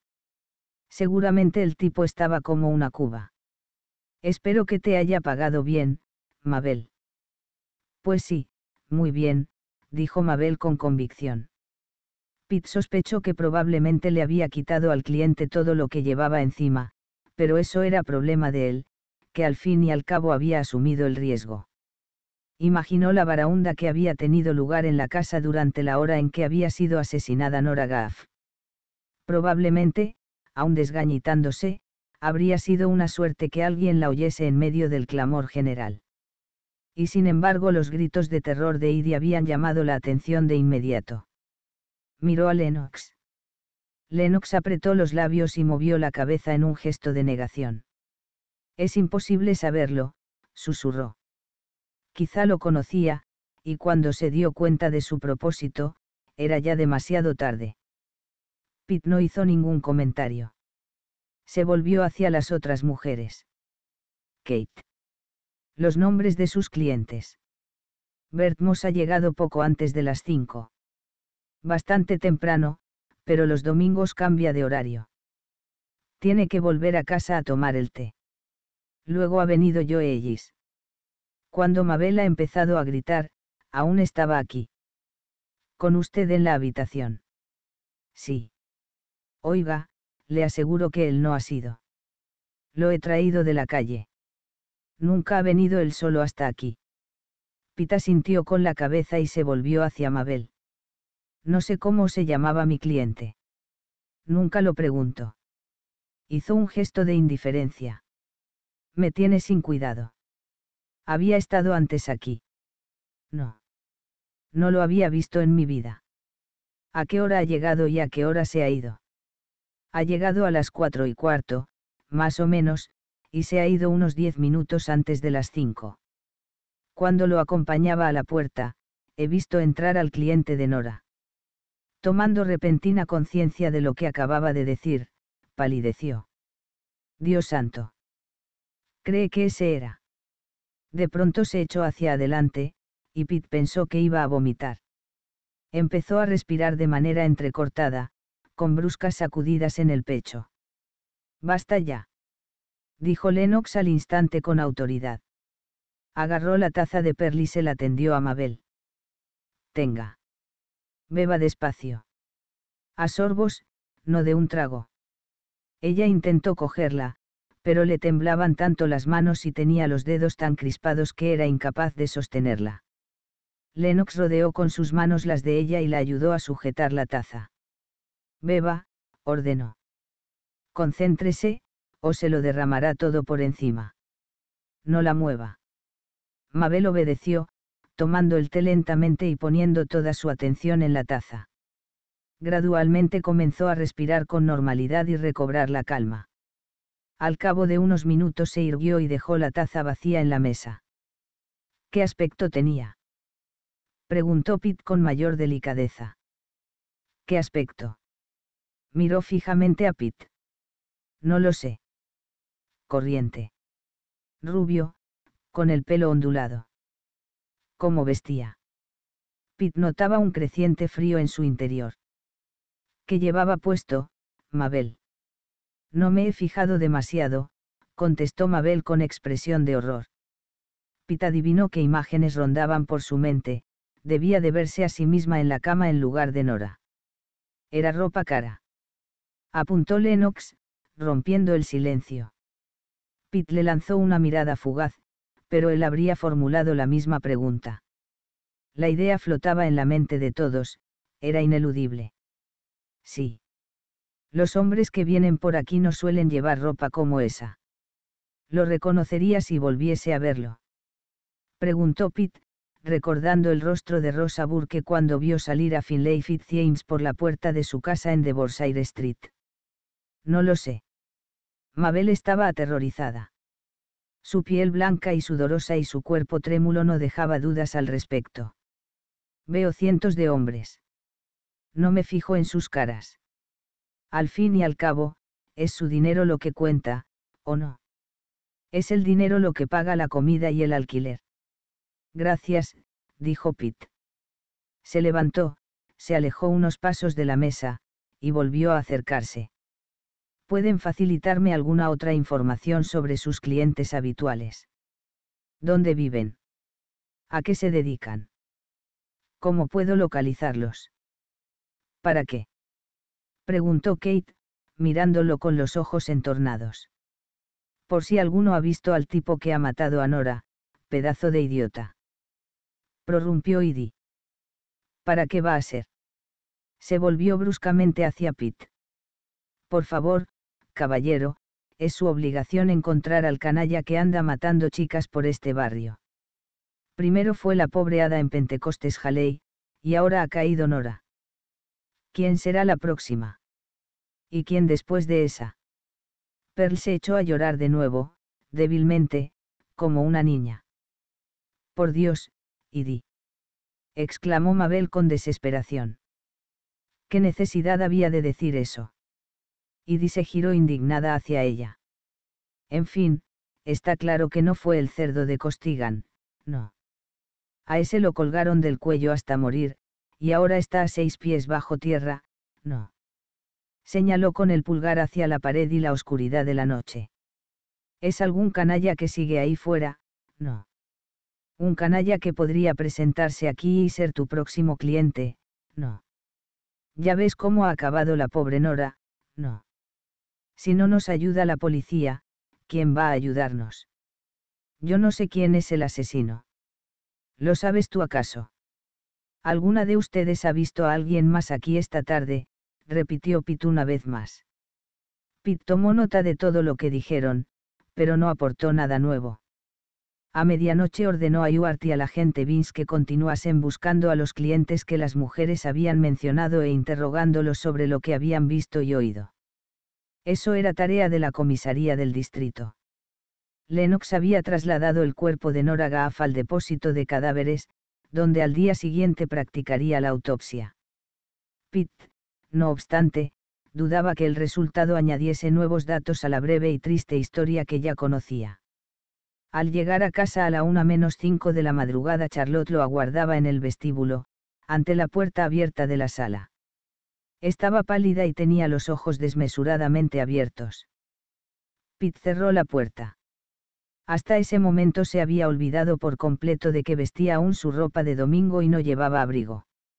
Esperaba volver a casa mucho antes. Tampoco había cenado. Era igual que el anterior. Preguntó con voz ronca. Exactamente igual, respondió Pitt, moviendo la cabeza en un gesto de asentimiento. Entró a la sala y se sentó en su sillón, pero inclinado, sin relajarse, con los codos apoyados en las rodillas. Charlotte lo siguió, cerró la puerta y fue a sentarse frente a él. No me contaste los pormenores del primer crimen, dijo en voz baja. Quizá deberías. Pitt sabía que Charlotte no le pedía esa información porque se creyese capaz de hallar respuestas que a él se le habían pasado por alto, sino porque quizá explicándolo él mismo viese las cosas más claras, como había ocurrido ya otras veces. Lo mejor que uno podía hacer para poner en orden sus ideas era hablar de ellas con alguien a quien no le importase admitir que no comprendía algún aspecto del problema.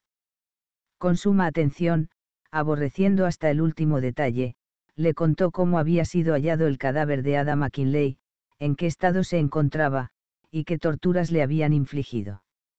Mientras hablaba, observó el rostro de Charlotte y vio dolor en él, pero ella no desvió la mirada. Y esta vez preguntó Charlotte. ¿Cómo se llamaba la mujer? Nora Gaff. Y todo coincidía exactamente. Sí. Los dedos rotos de manos y pies. El agua. La liga en el brazo, las botas abrochadas entre sí. Eso no puede ser una casualidad, comentó Charlotte. ¿Quién conocía todos esos detalles aparte del asesino? Ewart, Lennox, que es el forense, Cornwallis, y el agente que encontró el cadáver, contestó Pitt. Y Telmin. Nadie más. Los periódicos. No. Las mujeres que viven en la misma casa podrían haber hablado, señaló Charlotte. Es una reacción muy común, en especial cuando uno está asustado. A veces la angustia disminuye al compartirla. Ni siquiera ellas conocían todos los detalles, explicó Pitt, recordando lo que Rosa Burke en realidad había visto. No sabían que tenía los dedos fracturados. Tampoco Vince y Telmin lo sabían, de hecho. También ella estaba echada hacia adelante en el asiento, con las rodillas y las manos cerca de las de Pitt. Así pues, ha sido la misma persona, no. Dijo con delicadeza. No había el menor dejo de crítica en su voz, ni miedo en su mirada, solo aflicción. Sí, contestó Pitt, y se mordió el labio. Seguramente. Ninguno añadió que en tal caso Costigan no podía haber cometido el primer asesinato, pero la idea quedó flotando en el aire, con toda su carga de dolor y culpabilidad. Charlotte le cogió las manos. ¿Ha sido Finlay Fitzjames? Preguntó, escrutando su mirada. No lo sé, respondió Pitt con franqueza. He encontrado un pañuelo con sus iniciales bajo la almohada de Nora Gaff. No pon unas iniciales comunes. Pero eso no prueba que Finlay haya estado allí esta tarde. Tomó aire y lo dejó escapar en un suspiro. No obstante, ha sido visto uno de sus clientes. Un hombre rubio y bien vestido. En otras palabras, un caballero. Finlay Fitzjames es rubio. Sí. Tiene un cabello espléndido, ondulado y muy abundante. Y esta tarde la testigo, al describir al cliente de la víctima, ha destacado ese rasgo en particular. Tomás. La voz de Charlotte había cambiado. Pitt supo que se disponía a decirle algo que no le gustaría, algo que a ella le resultaba muy difícil revelar. ¿Qué? Emily tiene la absoluta convicción de que Finlay Fitzjames es inocente. Conoce a su hermana. Pete esperó. Lo vio la noche que Ada fue asesinada, dijo Charlotte, y alzó la vista, con la frente fruncida y los ojos muy abiertos. Emily vio a Finlay. Pete la miró con incredulidad. ¿Por qué no ha informado? No. No. Lo vio Talula, corrigió Charlotte no podía contarlo porque ya había mentido a su padre sobre su paradero de esa noche, ya había dicho que había ido a otra parte. Hablaba cada vez más deprisa. En realidad estuvo en un sitio no muy recomendable. Una fiesta donde la gente bebía en exceso, fumaba opio, tomaba cocaína y esas cosas. Se celebró en Chelsea, en Beaufort Street. No era un lugar decoroso para ella. A su padre le habría dado una apoplejía si llega a enterarse. Eso sí lo creo, dijo Pitt con convicción, pero Talula vio allí a Finlay. ¿Estás segura? Bueno, es Emily quien está segura. Pero Talula pensaba que nadie daría crédito a su palabra, siendo hermana de Finlay y habiendo asegurado ya que estaba en la fiesta de Lady Sbafam. Pero alguien más debió verlo exclamó Pitt con una extraña y casi aterradora sensación de júbilo. Quizá como mínimo no se había equivocado respecto a Finlay. ¿Quiénes más estaban presentes? He ahí el problema. Talula no conocía a nadie, salvo al joven que la acompañó, y en realidad tampoco a él lo conocía apenas. Estaba tan bebido que ni siquiera recordaba haber ido a esa fiesta. Sí, pero alguien debió ver a Talula insistió Pitt, cogiendo a Charlotte las manos sin darse cuenta. No sabe a quién preguntar. Esa clase de fiestas se, en fin, se celebran en casas particulares. Por lo visto, la gente deambula de habitación en habitación. Hay biombos para mayor intimidad, palmeras en macetas, gente medio ebria. Cualquiera podría entrar y salir sin que nadie se diese cuenta ni mostrase el menor interés. Ni siquiera el anfitrión sabía quiénes habían asistido. ¿Cómo te has enterado de todo eso? Preguntó Pitt con tono apremiante, intentando imaginar un ambiente como aquel. Te lo ha contado Emily.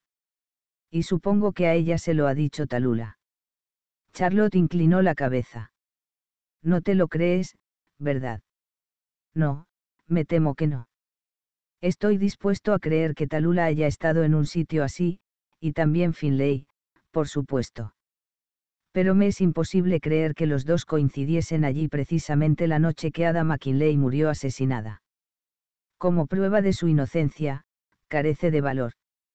Eso pensó Talula. Pero para Emily fue prueba suficiente.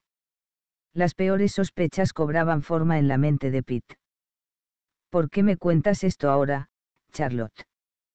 Quieres hacerme pensar que Finlay es sin duda inocente. Has dicho que fue prueba suficiente para Emily, pero no para ti. Yo no sé qué pensar, admitió Charlotte con franqueza. Bajó la vista por un instante y, palideciendo, volvió a mirar a Pita la cara. Se sentía desolada. Thomas, fue Emily quien encargó la segunda insignia del Club Fuego del Infierno, y Talula la colocó entre las cosas de Finlay para que la encontraseis. ¿Cómo? preguntó Pita voz en cuello. ¿Qué has dicho? Charlotte estaba lívida pero mantuvo firme la mirada. Habló en voz muy baja, casi un susurro. Emily encargó la segunda insignia para que Talula la dejase en el ropero de Finlay. Santo Dios prorrumpió Pitt. Y tú la ayudaste. Y luego me convenciste de que volviese a la casa a buscarla. ¿Cómo has podido engañarme de ese modo? Era eso lo que realmente le dolía, no el hecho de que hubiesen introducido pruebas falsas y enturbiado el caso, sino aquel engaño deliberado. Charlotte nunca había hecho algo semejante. Era una traición de quien jamás la habría esperado. Charlotte, horrorizada, miró a Pitt con los ojos fuera de las órbitas, como si acabase de abofetearla. Yo no sabía que Emily había hecho eso. Protestó. A Pitt le pesaba demasiado el cansancio para encolerizarse, y la conciencia de su propia culpabilidad respecto a Costigan, y la necesidad de Charlotte y la lealtad y el consuelo que pudiese proporcionarle, e incluso del calor de su presencia física. Charlotte esperaba su reacción, escrutando su rostro. No tenía miedo, pero su mirada reflejaba pesar y ansiedad. Comprendía el dolor de su marido. Le cogió la mano con ternura y firmeza. Pitt se inclinó y la besó una y otra vez, y ella respondió con la confianza y la generosidad que la caracterizaban. Pitt lanzó un suspiro.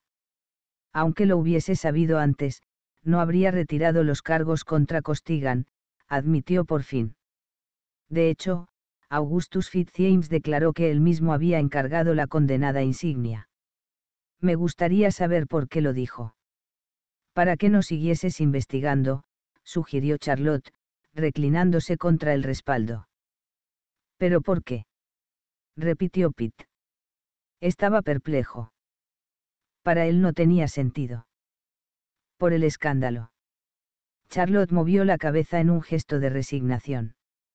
Resulta escandaloso recibir a la policía en casa, sea cual sea su objetivo. Supongo que mañana tendrás que volver a visitarlo.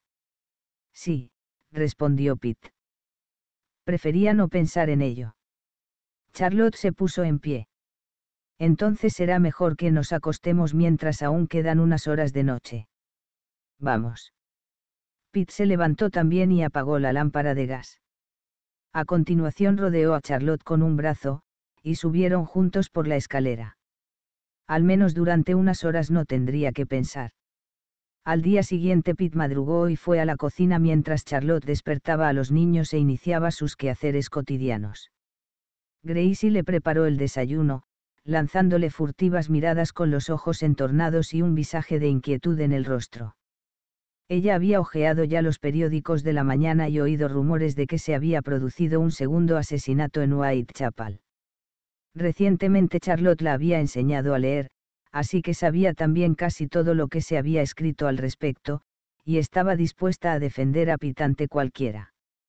Probablemente las ediciones vespertinas serían aún peores, pues para entonces habría más noticias que ofrecer, más detalles, más exactitud respecto a quien exigir responsabilidades. Iba de un lado a otro pisando con rabia, haciendo ruido con los platos, dejando silbar la tetera, por la indignación que le provocaban quienes culpaban a Pitt, y por el temor a que le complicasen aún más las cosas, y por la frustración de no saber qué hacer para ayudar. Ni siquiera sabía si debía o no mencionar el tema. Gracie, acabarás rompiendo algo, dijo Pitt con delicadeza. Lo siento, señor. Dejó la tetera con un violento golpe. Es que esto me saca de mis casillas. No es justo. ¿Qué han hecho ellos en este asunto? Nada. No sabrían ni por dónde empezar. El que ha escrito esas cosas es un estúpido, un irresponsable. Últimamente empleaba palabras más largas La lectura había producido grandes cambios en su vocabulario. Pitt sonrió pese a su profundo malestar. La lealtad de Gracie era peculiarmente alentadora. Esperaba poder estar a la altura del elevado concepto que tenía de él. Pero cuanto más pensaba en el tema, más seguro estaba de que había cometido un error irreparable con Costigan, de que le había pasado inadvertido algo, algo importante que si hubiese comprendido a tiempo habría evitado una ejecución injusta. Tomó el desayuno sin darse cuenta siquiera de que comía, y se levantó para marcharse cuando Charlotte y los niños entraban en la cocina. Gracie había escondido los periódicos. Aún así, por lo menos Gemima notó que ocurría algo. Miró alternativamente a sus padres y se sentó. No quiero desayunar, dijo de inmediato. Daniel se encaramó a su silla, cogió el vaso de leche que Gracie le había servido y bebió la mitad. A continuación se limpió el ruedo blanco de los labios con la mano y anunció que él tampoco quería tomar nada. Si vais a desayunar, se apresuró a contestar Charlotte.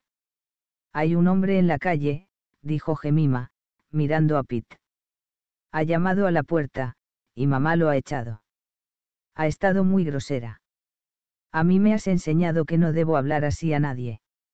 No ha dicho por favor, ni gracias. Pitt miró a Charlotte. Un periodista, aclaró Charlotte con una forzada sonrisa. Muy impertinente.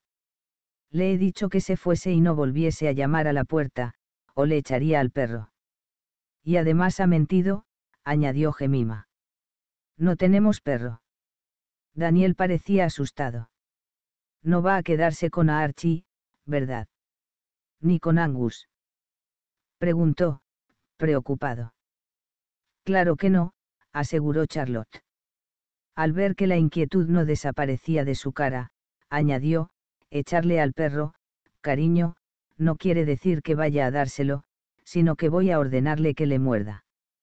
Daniel sonrió y alargó el brazo hacia la leche. Ah, bueno. Entonces a Archie podría arañarle, dijo con optimismo. Charlotte le quitó el vaso. Si te bebes ya toda la leche, no te comerás los cereales. Se olvidó de su anunciado ayuno, y cuando Gracie le entregó el tazón de cereales, lo aceptó con entusiasmo. Gemima estaba más preocupada. Percibía la tensión en el ambiente.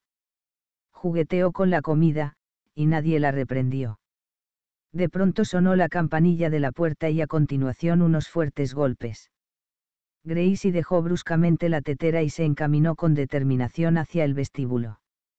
Charlotte miró a Pitt, que se puso en pie, dispuesto a ir tras ella. Alguna vez tendré que enfrentarme a ellos, dijo Pitt, deseando poder posponerlo hasta que tuviese alguna explicación que ofrecer, alguna respuesta o razón.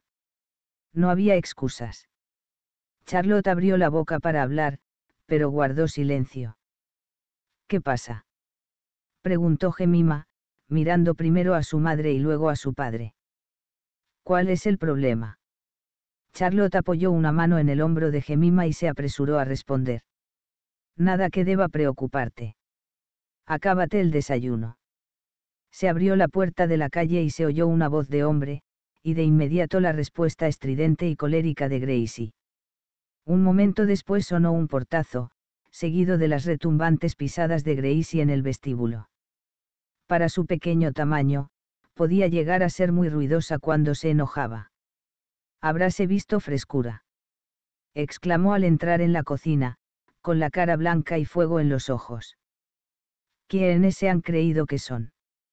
Escriben unas cuantas palabras y ya se creen los más listos de Londres. Sinvergüenzas. Abrió el grifo a pleno caudal, y el chorro cayó en una cuchara que había en el fregadero y le salpicó la pechera del vestido.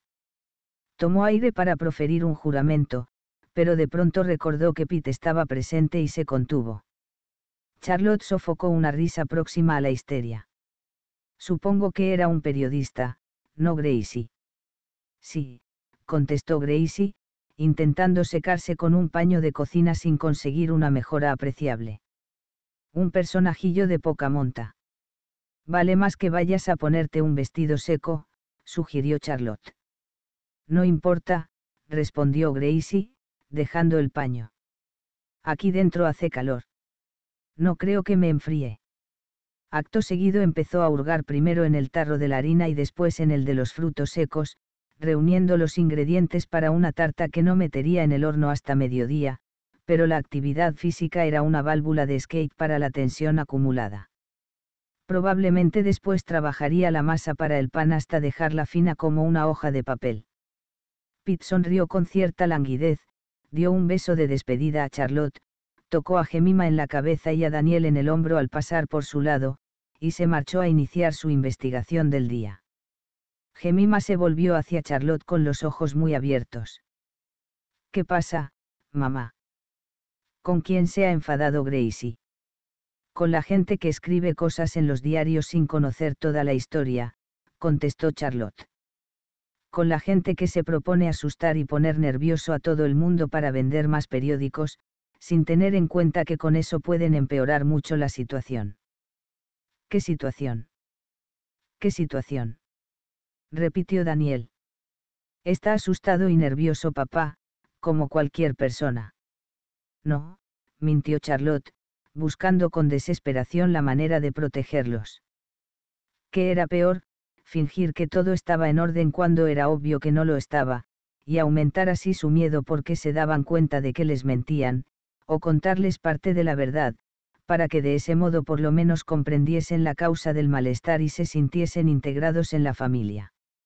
Se preocuparían y asustarían, pero no debido a indefinidos temores imaginarios o a la sensación de estar solos y no gozar de la confianza de sus padres.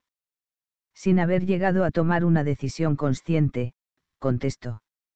Ha muerto otra mujer en Whitechapel, de la misma manera que la otra que murió hace un tiempo quizás se castigó a un hombre que no había hecho nada. La gente está muy disgustada por eso, y a veces cuando uno se enfada o tiene miedo, quiere echar la culpa a alguien. Así todo parece más fácil. Gemima estaba confusa. ¿Por qué parece más fácil? No lo sé. Pero recuerdas cuando tropezaste con la silla y te hiciste daño en un dedo del pie. Sí. Se me puso azul, amarillo y verde. ¿Recuerdas lo que sentiste? Me dolió. Dijiste que había sido culpa mía.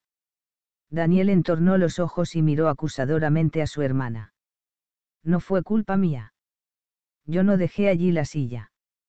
Tuviste tú la culpa, por no mirar por dónde ibas. Mentira. Protestó Gemima, indignada. ¿Lo ves? Terció Charlotte. Es más fácil enfadarse que admitir tu torpeza. En el rostro de Daniel apareció una radiante sonrisa de triunfo.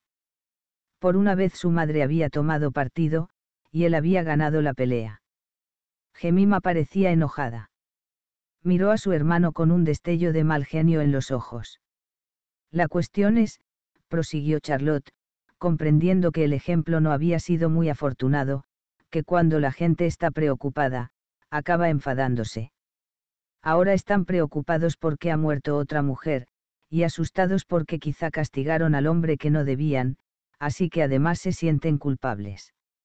Buscan a alguien con quien enfadarse, y papá parece la persona más indicada porque fue él quien pensó que el hombre que castigaron había matado a esa mujer. Y ahora creen que no fue él. Se equivocó papá preguntó Gemima con una profunda arruga entre las cejas finas y suaves. Aún no lo sabemos. Resulta difícil entenderlo. Pero es posible. Todos cometemos errores. Papá también. Preguntó Gemima con expresión seria. Claro. Se enfadarán mucho con él. Charlotte vaciló.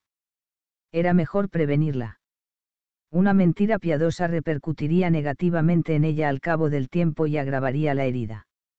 O estaba creándoles un temor innecesario, esperando demasiado de ellos. Deseaba protegerlos por encima de todo. Pero ¿en qué consistía la protección? ¿En la verdad o en la mentira? Mamá. Dijo Gemima. Su voz empezaba a delatar miedo. Daniel la observaba atentamente. Puede que se enfaden, contestó, mirándola a los ojos, pero estarán equivocados, porque papá ha hecho lo mejor que podía hacerse. Y si se cometió un error, era de todos, no solo suyo. Ah, dijo Gemima. Ya lo entiendo. Se volvió hacia su desayuno y siguió comiendo pensativamente. Daniel miró a su hermana y luego a su madre, respiró hondo y continuó también con su desayuno. Hoy os acompañaré yo al colegio, anunció Charlotte con decisión. Hace un día precioso, y me apetece pasear. Si había más periodistas esperando fuera, o en la calle oían alguna clase de comentarios, prefería que Gracie no se enzarzase en una batalla campal estando los niños delante. A ella misma le exigiría un notable esfuerzo no perder los estribos. Sin embargo, la situación no se puso realmente desagradable hasta que aparecieron las ediciones vespertinas. Alguien había filtrado a la prensa un escabroso relato del asesinato de Nora Gaff, con una pormenorizada descripción de los síntomas y los efectos de una asfixia por estrangulamiento. En esta ocasión las fracturas, las botas y el agua no se habían omitido. No faltaba un solo detalle, y naturalmente se establecía un claro paralelismo con el asesinato de Ada McKinley. Los artículos incluían grandes fotografías de Costigan con aspecto osco y amedrentado, solo que ahora su ceñuda expresión no se interpretaba como depravación, sino como terror ante el fallo de la falsa justicia, bajo cuyas ruedas perecía aplastado el hombre corriente. En todos ellos aparecían frecuentes menciones a Pitt, considerado el principal responsable del ahorcamiento de Costigan, denostándolo por ello como en ningún momento lo habían elogiado por la detención inicial. Charlotte salió a la calle y avanzó por la acera consciente de que los vecinos espiaban y murmuraban tras las cortinas.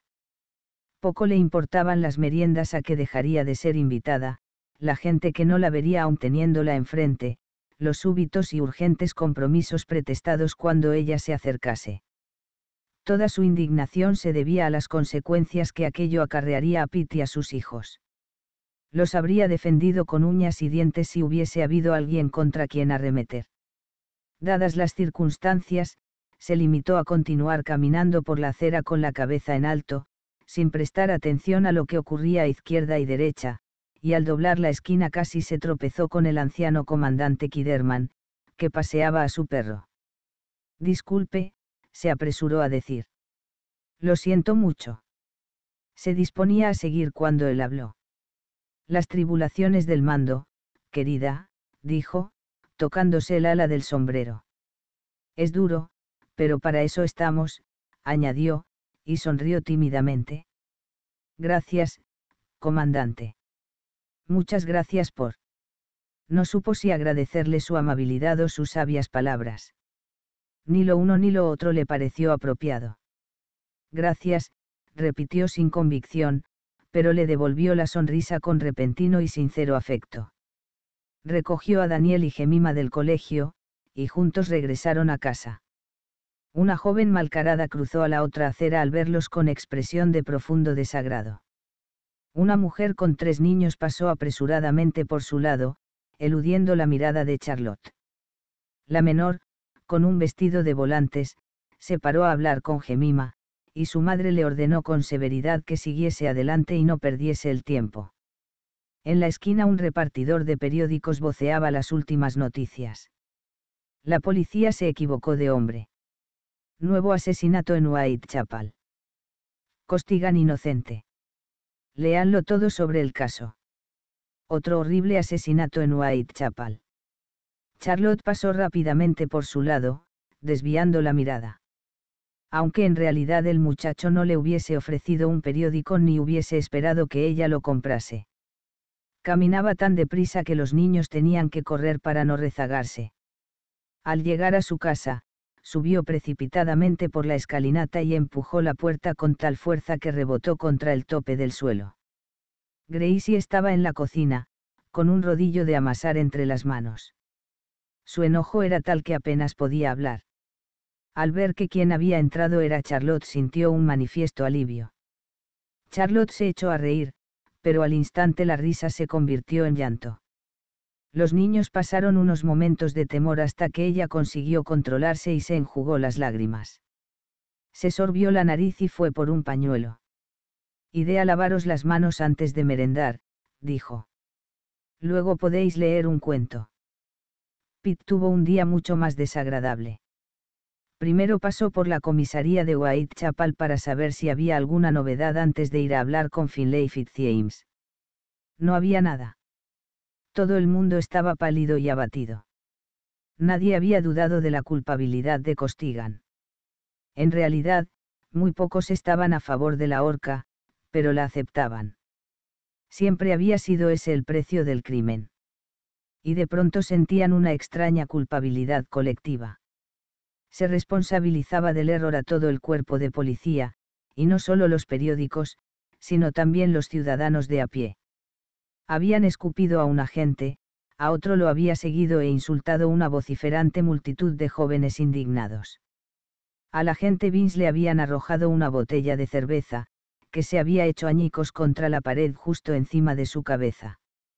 Aquella mañana, bajo la luz fría e intensa, estaban todos muy serios y muy confusos.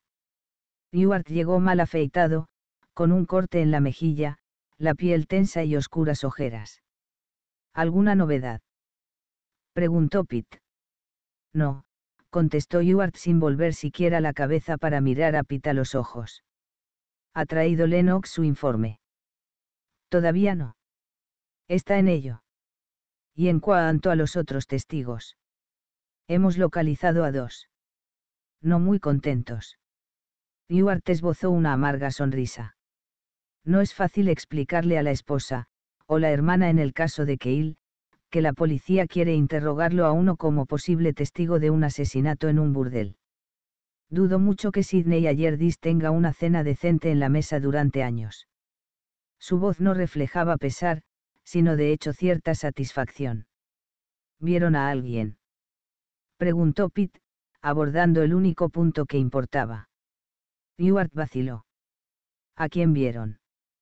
Insistió Pitt con tono apremiante, preguntándose qué ocultaba Ewart y temía revelarle. A Fitzjames. Ewart dejó escapar un suspiro. A un joven de pelo rubio y abundante, estatura media, y bien vestido, contestó, escrutando el rostro de Pitt. No tiene por qué ser él, añadió, y una expresión de enojo asomó fugazmente a su cara, enojo consigo mismo por haber expresado ese pensamiento. Desde luego Albert Costigan no era, replicó Pitt. ¿Vieron entrar o salir de la casa a alguna otra persona? No. O al menos no lo recuerdan. Solo a las mujeres que viven allí. Y los vecinos o gente de paso por la calle. Vendedores ambulantes o prostitutas. ¿Vio alguien algo? Nada que nos sirva, respondió Ewart, irritado. Interrogué a un carretero que estuvo cargando cerca de allí a esa hora. Solo vio gente en la calle. Nadie que entrase o saliese de la casa. Pregunté también a un par de prostitutas, Jane y Martín si ella Baker, que rondaban por la zona buscando clientela. Solo vieron a los hombres que se llevaron a sus habitaciones, y ninguno estuvo cerca de la casa. De hecho, ella ni siquiera pasó por Mirle Street.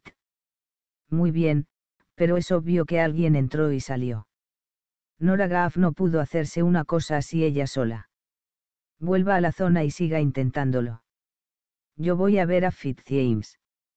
Imagino que estará esperándome abrió la puerta de la casa de Devorsaire Street el cordial mayordomo de siempre, pero esta vez con expresión muy grave, aunque sin llegar a ocultar por completo la natural simpatía de su rostro. Buenos días, señor Pitt, saludó, abriendo la puerta de par en par para dejarlo entrar. Un tiempo delicioso, ¿no le parece? Creo que octubre es mi mes preferido. Supongo que desea ver al señor Fitzjames. Está en el gabinete. Si es tan amable de seguirme. Sin aguardar su respuesta, se volvió y le mostró una vez más el camino. Pasaron ante un magnífico cuadro de una escena portuaria de la ciudad holandesa de Delft y llegaron al pasillo donde se hallaba el gabinete. Llamó a la puerta y entró de inmediato. El señor Pitt, señor, anunció, y se apartó para dejar paso a Pitt. Augustus se hallaba de pie ante la chimenea, pese a que el fuego no estaba encendido. Pitt nunca antes lo había visto de pie. En sus anteriores conversaciones nunca se había levantado. Tenía los hombros redondeados y el vientre ya un poco prominente, levaba un traje de excelente corte y el cuello de la camisa alto y almidonado. En su alargado rostro, dominado por la pronunciada nariz, se advertía una expresión hostil. Pase, ordenó. He supuesto que vendría, y lo he esperado. Y ahora va a decirme que ahorcaron a quien no debían, o va a afirmar que el crimen de ayer lo cometió un segundo lunático. No voy a afirmar nada, señor Fitzjames, repuso Pitt, a punto de perder los estribos. Pocas veces había deseado tan intensamente responder a las ofensas de alguien. Solo la absoluta convicción de que después le pesaría en la conciencia le permitió contenerse. Me sorprende que haya facilitado tanta información a la prensa, comentó Augustus con aspereza y una curiosa expresión de burla en los ojos. Habría imaginado que por su propio interés diría lo menos posible. Es usted más necio de lo que pensaba.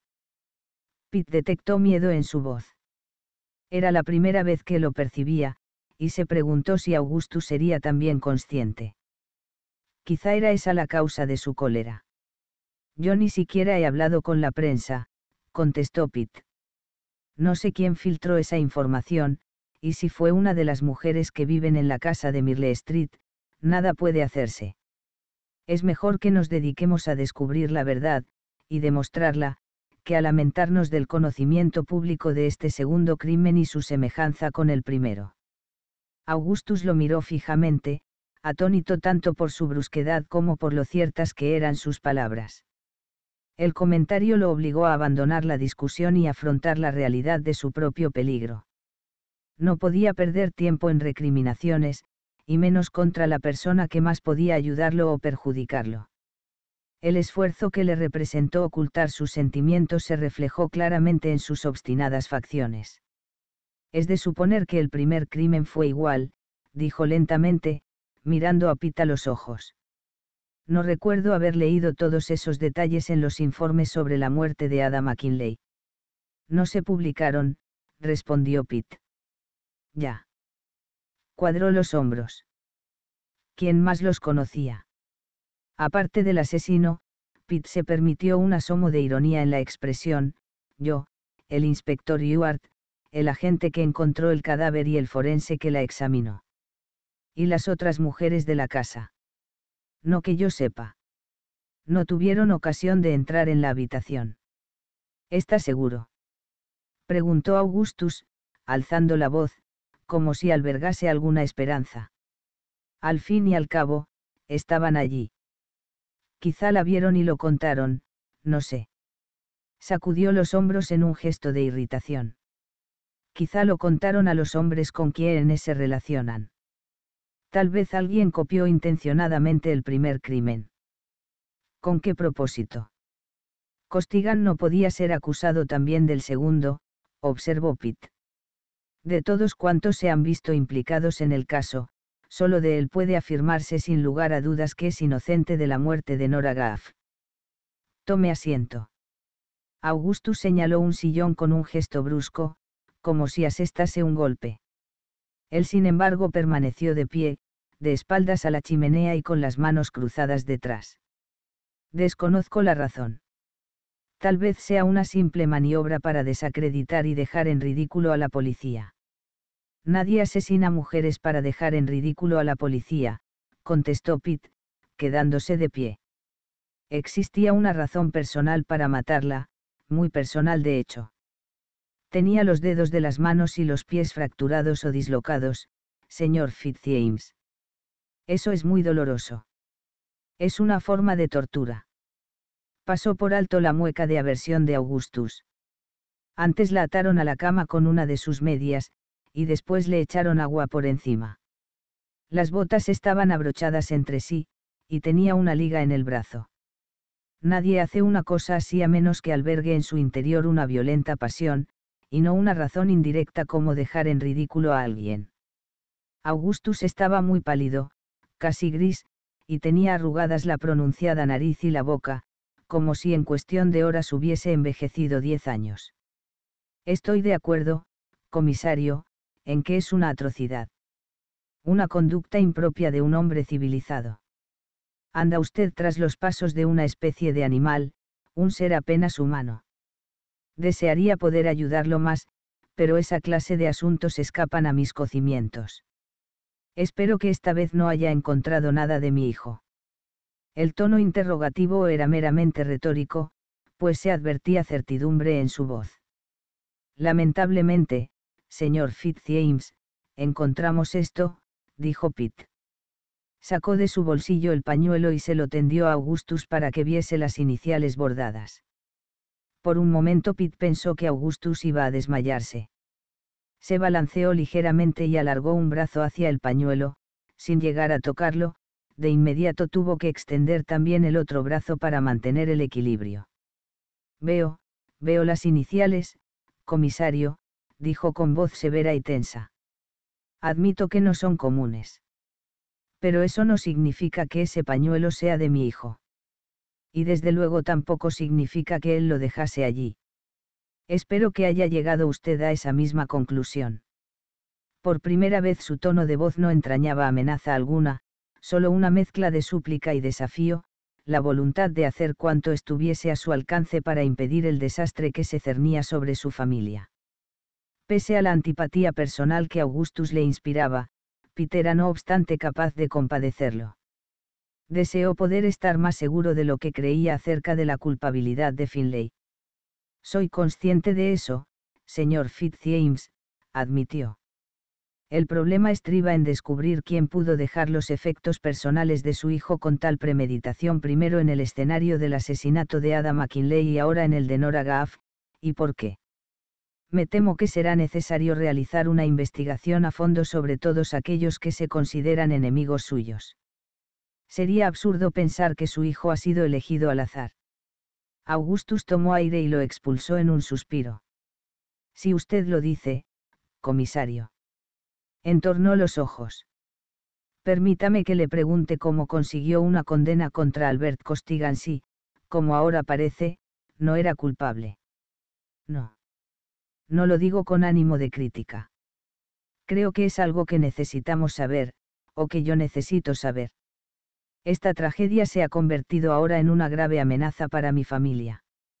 Eso me temo, convino Pitt sacó el botón del bolsillo y se lo mostró también a Augustus. Augustus lo cogió y lo examinó. Un botón muy corriente, dijo, y alzó de nuevo la vista para mirar a Pitt. Creo que yo no tengo ninguno igual, pero los he visto en una docena de hombres por lo menos. No demuestra nada, salvo que alguien con buen gusto estuvo allí. Su rostro se tensó. O para ser más exacto, con buen gusto en el vestir. También hay testigos, continuó Pitt, asestando el golpe final. El último cliente de la víctima era un joven de estatura media, cabello rubio y abundante, y bien vestido. Augustus no se molestó en señalar que muchos jóvenes coincidían con esa descripción. Comprendo. Como es lógico, ya he preguntado a mi hijo dónde estuvo ayer tarde. Supongo de todos modos que querrá oírlo usted mismo de él si no le importa. Augustus hizo sonar la campanilla. Cuando apareció el mayordomo, lo envió por Finlay.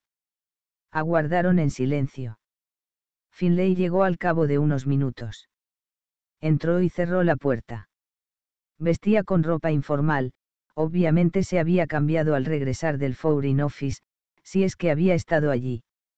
Se le notaba asustado, y el color se distribuía por su piel de manera irregular, como si hubiese bebido la noche anterior y padeciese aún los efectos. Miró primero a su padre y después a Pitt. Buenos días, señor Fitzjames, saludó Pitt con calma.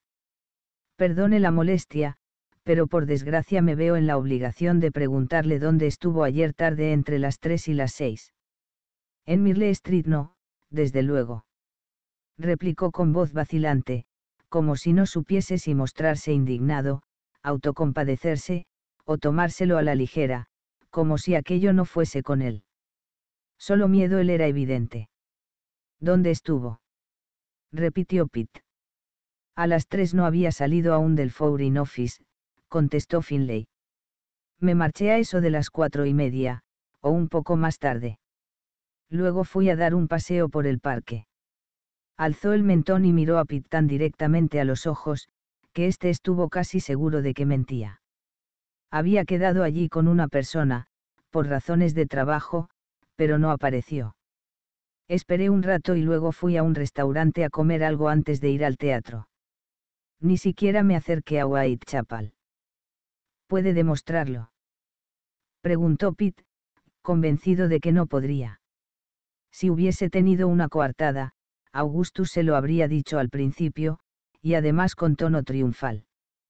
Podría haberse librado de Pitt inmediatamente, sin necesidad de solicitar su ayuda. El miedo que había percibido en su voz era la respuesta. No, creo que no.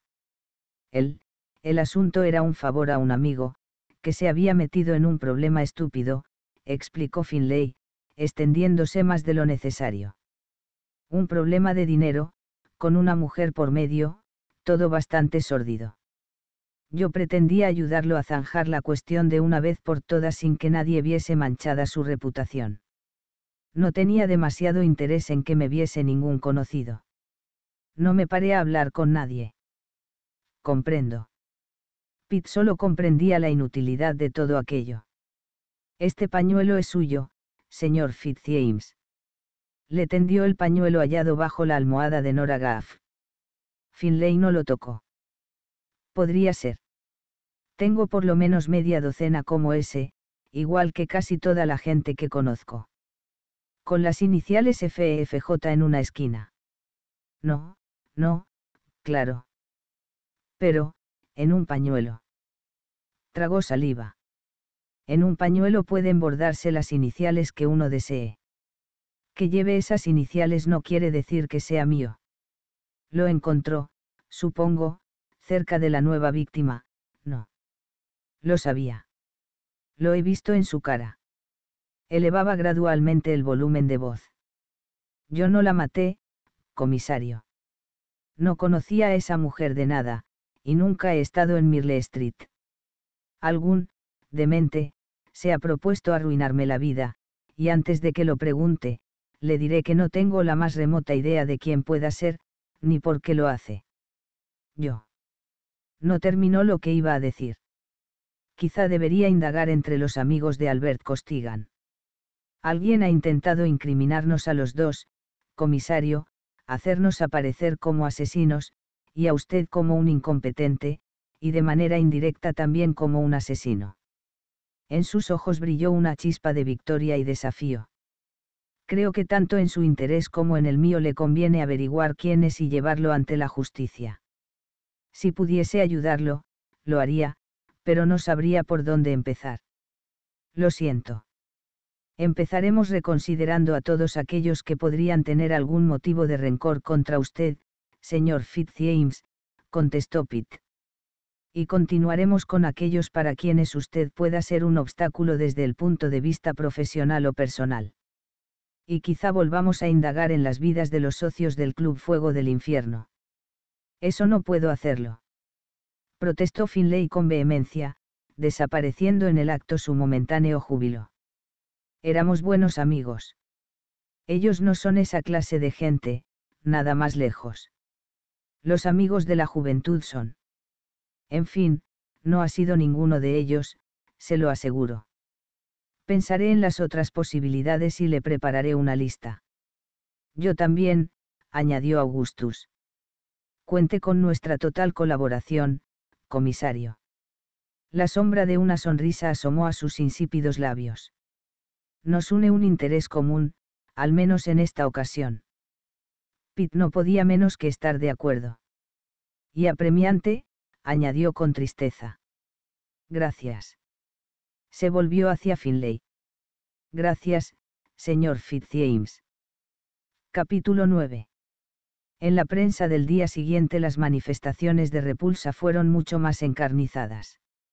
No solo los periódicos menos serios publicaron titulares sensacionalistas, sino que incluso The Times puso en entredicho la imparcialidad del proceso contra Costigan, y de paso la eficacia de la policía y hasta su honradez Más adelante en el mismo periódico otro artículo volvía a analizar las pruebas presentadas en el juicio, llegando a la conclusión de que parte de ellas eran moralmente sospechosas, basadas más en el deseo de inculpar a Costigan que en la realidad. Toda la investigación, insinuaban, podía haberse efectuado, más que con genuina preocupación por la justicia, con el objetivo de encontrar pronto a un culpable, y ahorrar así a la policía, y a cuantos la respaldaban en beneficio de su reputación política, el bochorno de su propia ineptitud. Costigan había sido la víctima de estos intereses tan indignos de admiración. Varios periódicos menos serios llegaban a afirmar que los policías al frente del caso habían sido amenazados o sobornados para que actuasen de la manera más expeditiva posible. Comparaban a Pitt con el desventurado inspector Avalin, que había sido incapaz de resolver la anterior serie de asesinatos en Whitechapel, y con Warren, el por entonces jefe de policía, obligado a jubilarse anticipadamente por ese mismo fracaso. Publicaban varias cartas donde se pedía que se concediese a Costigan la absolución a título póstumo, y se indemnizase generosamente a sus parientes, en caso de encontrar a alguno, por su injusta muerte. Pitt volvió a doblarlos después de leerlos.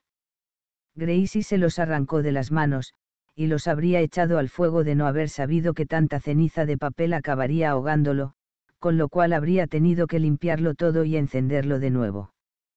Charlotte guardaba silencio. Sabía que Peter era de sobra consciente de todo lo que podía decirse sobre aquello, que no era mucho. Sabía asimismo que había actuado honestamente, pero si hubiese insistido en eso en aquellos momentos, habría dado la impresión de que en el fondo lo ponía en duda. Su mayor preocupación era proteger a Daniel y Gemima no podía hacer nada por evitar a Pitt su sufrimiento, salvo compartirlo con él y a la vez no exteriorizarlo demasiado. Dudó si enviar a los niños al colegio, o dejarlos en casa al menos por un día. Si no iban, no oirían comentarios, ni padecerían el acoso o las preguntas de otros niños o la gente de la calle. Ella no podía quedarse a su lado todo el día para defenderlos o explicarles qué quería decir la gente, porque estaban enojados y cuál era su error. Incluso podía llevarlos a casa de su madre durante una temporada. Allí estarían a salvo, amparados por el anonimato. Una o dos semanas sin colegio no supondrían un grave retraso. Se pondrían al día en cuanto aquel odioso asunto terminase, y la verdad saliese a la luz. Pero ¿y si no llegaba a descubrirse? ¿Y si ocurría lo mismo que con el destripador, y el misterio quedaba sin resolver. Era una posibilidad. Peter era muy sagaz. Nunca desistía. Pero no resolvía todos sus casos. Nunca había fracasado con un asesinato, pero había investigado robos, estafas, incendios provocados, en los que no se habían recuperado los bienes ni se había practicado detención alguna. No obstante, si llevaba a los niños a casa de Carolina, estaría enseñándoles que cuando las cosas se ponían difíciles o les daban miedo, lo mejor era huir y esconderse. El origen de ese miedo podía desaparecer entre tanto, y no haber luego necesidad de afrontarlo. Pero si finalmente había que afrontarlo de todos modos, resultaba doblemente duro. No solo se había demostrado a los demás la propia cobardía, sino que uno mismo llegaba a creer que era un cobarde. Es hora de ir al colegio, se oyó decir a sí misma aún antes de saber que había tomado una determinación. Alzó la vista y vio que Pitt la observaba. Su semblante era inescrutable. Ignoraba si aprobaba o no su decisión. Os acompañaré yo. Vamos. Pitt pasó el día en Whitechapel, y fue uno de los peores de su vida. Volvió a interrogar a todas las mujeres de la casa de Mirle Street en un esfuerzo por averiguar algo más sobre Nora Gaff. ¿Se conocían acaso ella y Ada? ¿Se había peleado con alguien? ¿Había existido alguna relación entre ella y Costigan? ¿Había prestado o pedido dinero? ¿Había dado motivos a alguien para matarla? Su chulo era un individuo corpulento de cabello negro y rizado, aspecto paternal y mal carácter. Pero varios testigos fidedignos podían corroborar su coartada además parecía sinceramente afligido por la muerte de Nora. Era su mejor chica, le proporcionaba una parte sustancial de sus ingresos, y no causaba problemas. A última hora de la mañana, cuando pasaba por Commercial Road East, se tropezó con una alarmante muchedumbre de hombres y mujeres congregada frente a una de las mayores tabernas de la zona. Uno de ellos empezó a gritar. Una ovación para Bert Costigan. Tres hurras por Albert Costigan. Hurra por Costigan. Prorrumpió otro, y de inmediato cundió el ejemplo y se oyó un coro de aclamaciones. Murió por culpa de los ricos que vienen aquí a servirse de nuestras mujeres. Declaró otro individuo a voz en cuello. Y a asesinarlas. Añadió alguien, y sus palabras fueron acogidas con entusiastas vítores. Era inocente exclamó una mujer de pelo claro. Lo colgaron sin razón. Lo colgaron por ser pobre. Rectificó un hombre grueso con vehemencia y un visaje de cólera. Habría que colgarlos a ellos. Vamos. Vamos. El tabernero salió a la puerta con un trapo en la mano y el delantal torcido. Aquí no queremos problemas. Marchaos a casa con los vuestros. No digáis disparates. Una joven mellada se abrió paso a empujones hasta la primera fila. ¿Quién dice aquí disparates, eh? A Bert Costigan lo colgaron por algo que no había hecho. Eso no va contigo, eh. La gente bebe y te paga su buen dinero, y luego a ti te trae sin cuidado que cuelguen a uno por culpa de algún ricacho hijo de mala madre que viene aquí de su elegante casa del West End y asesina a nuestras mujeres. ¿Eso te parece bien? No. Yo no he dicho eso, protestó el tabernero. Pero a esas alturas todo eran gritos y empujones, y un muchacho fue derribado de un golpe.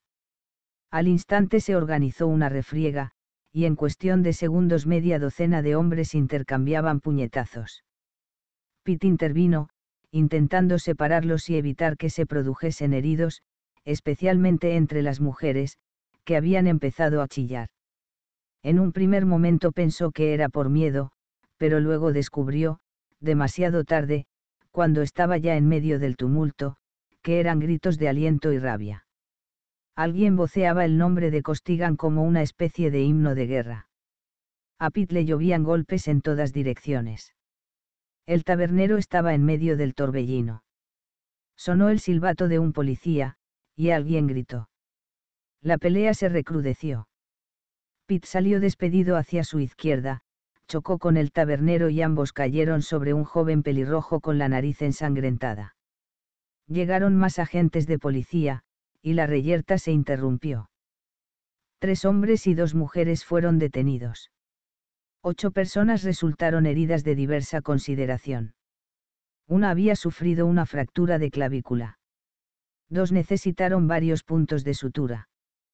Pitt acabó con múltiples magulladuras, y con el cuello de la camisa arrancado, el codo de la chaqueta roto, y cubierto de polvo y manchas de sangre.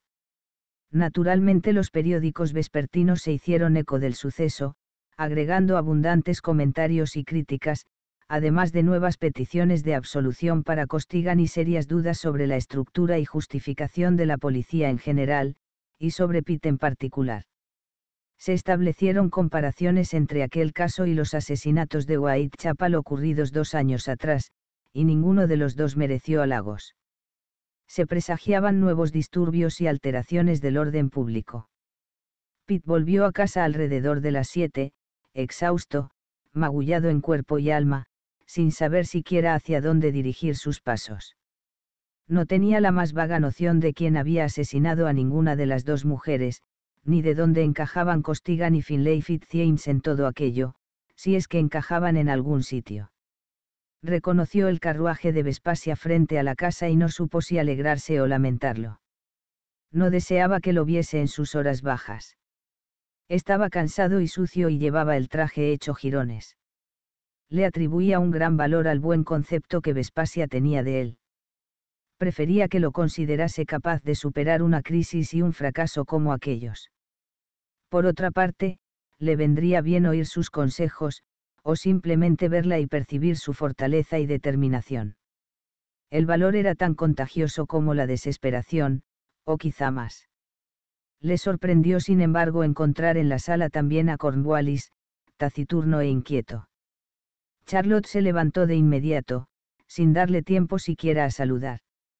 Debes de estar cansado y muerto de hambre, dijo, yendo derecha hacia él. Arriba hay agua caliente, y la cena estará lista dentro de media hora. La tía Vespasia y el señor Cornwallis nos acompañarán.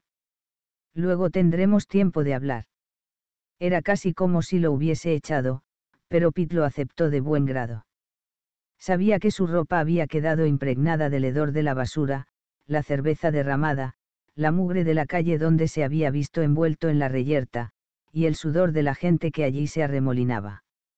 Incluso el miedo y la ira parecían haberse incrustado en él. Bajó al cabo de treinta minutos, todavía exhausto y entumecido, con la cara salpicada de moretones, pero limpio y dispuesto a afrontar la inevitable conversación. Empezó en cuanto se sirvió el primer plato. Ninguno de ellos deseaba andarse con remilgos. En relación con este asunto, hay dos frentes que debemos abordar, dijo Cornwallis, inclinándose ligeramente sobre la mesa. Debemos hacer todo lo posible por descubrir y demostrar quién mató a la segunda mujer y debemos dejar claro que la detención de Costigan se basó en pruebas sólidas, obtenidas de manera legítima, y que el juicio se llevó a cabo con toda imparcialidad. Apretó los labios. No sé cómo es posible acreditar que no ocultamos pruebas que implicasen a otra persona. Bajó la voz y clavó la mirada en las flores del jarrón azul que adornaba el centro de la mesa. Temo que hayamos cometido.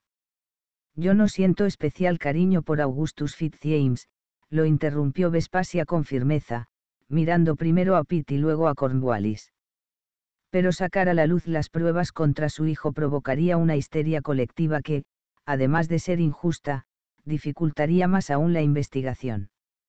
Y dejando de lado mi opinión personal sobre él, y desde luego también su moralidad, no deseo que se le castigue por algo que no ha hecho. Tristemente añadió, aun cuando nadie lo castigue por lo que sí ha hecho. Cornwallis la observó con expresión seria, sopesando sus palabras, y luego se volvió hacia Pitt. ¿En qué medida está implicado Finlay Fitzjames en este segundo crimen? Primero dígame lo que sabe y después dem su opinión. Comenzó a comerse lentamente su pequeña ración de pescado. Tan atento esperaba la respuesta de Pitt que era imposible adivinar si sabía qué contenía su plato. Pitt explicó que había encontrado exactamente en la habitación de Nora Gaff, y a que había dedicado Finlay la tarde del domingo, según su propia versión. Una vez retirados los platos, se sirvió empanada de carne y riñones con verduras. Gracie iba y venía en diligente silencio, pero sabía quién era Cornwallis y lo observaba con recelo, como si temiese que de un momento a otro fuese a convertirse en una amenaza para su querida familia. Cornwallis no parecía consciente de las frecuentes miradas que le lanzaba, volviendo hacia él su cara menuda y despierta. Seguía absorto en las explicaciones de Pitt. ¿Y su opinión? Preguntó Cornwallis en cuanto Pitt terminó. Pitt reflexionó. Sabía que Cornwallis atribuiría gran valor a sus palabras, y posiblemente basaría en ellas sus acciones y su parecer. Yo estaba convencido de la culpabilidad de Costigan, contestó al cabo de un momento. No quedó demostrada más allá de toda duda, pero él confesó. Sin embargo, no llegué a entender por qué había actuado de una manera tan brutal con Ada. Esa parte la negó hasta el final. Recordó el rostro de Costigan y se le revolvió el estómago. Era un individuo despreciable, pusilánime y depravado, pero no percibí en él la vena sádica que lo habría impulsado a romperle los dedos. Ella se quedaba una parte de las ganancias a sus espaldas, dijo Cornwallis con recelo. Él consideraba a Ada de su propiedad, así que debió de ver el engaño como una especie de traición. Los hombres débiles pueden llegar a ser muy crueles. Contrajo el rostro. He conocido casos así en la Marina. Ciertos hombres, en cuanto poseen un poco de poder, cometen toda clase de abusos con sus inferiores. Sí, Costigan era propenso a los abusos, desde luego, admitió Pitt. Pero la liga y las botas.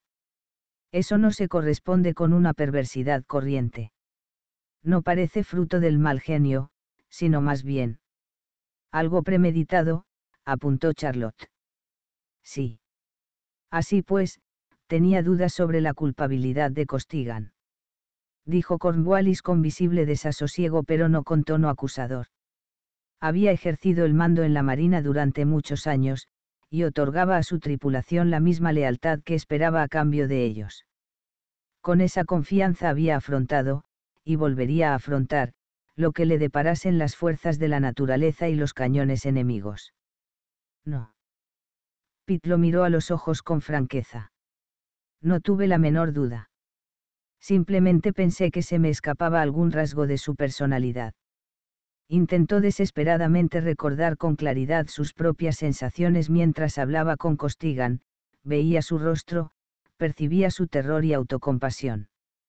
¿Hasta qué punto había actuado honradamente? ¿En qué medida se había dejado influir por el alivio y la determinación de resolver el caso para poder escapar de la temible perspectiva de tener que procesar al hijo de Augustus Fitzjames? Con la vista fija en Cornwallis, añadió, Costigan no negó que la hubiese matado. La comida permanecía casi intacta en los platos. Gracie estaba de pie junto a la puerta de la cocina con un paño limpio en la mano para sostener los platos calientes, pero escuchaba con la misma atención que todos los demás. Si negó, en cambio, que la hubiese torturado, prosiguió Pitt con esfuerzo. Por más que insistí, negó cualquier conocimiento de Fitzjames, la insignia y el gemelo. ¿Le creíste? Preguntó Vespasia. Pitt pensó por un largo rato antes de responder. El comedor quedó en silencio. Nadie se movió. Supongo que sí, dijo Pitt por fin.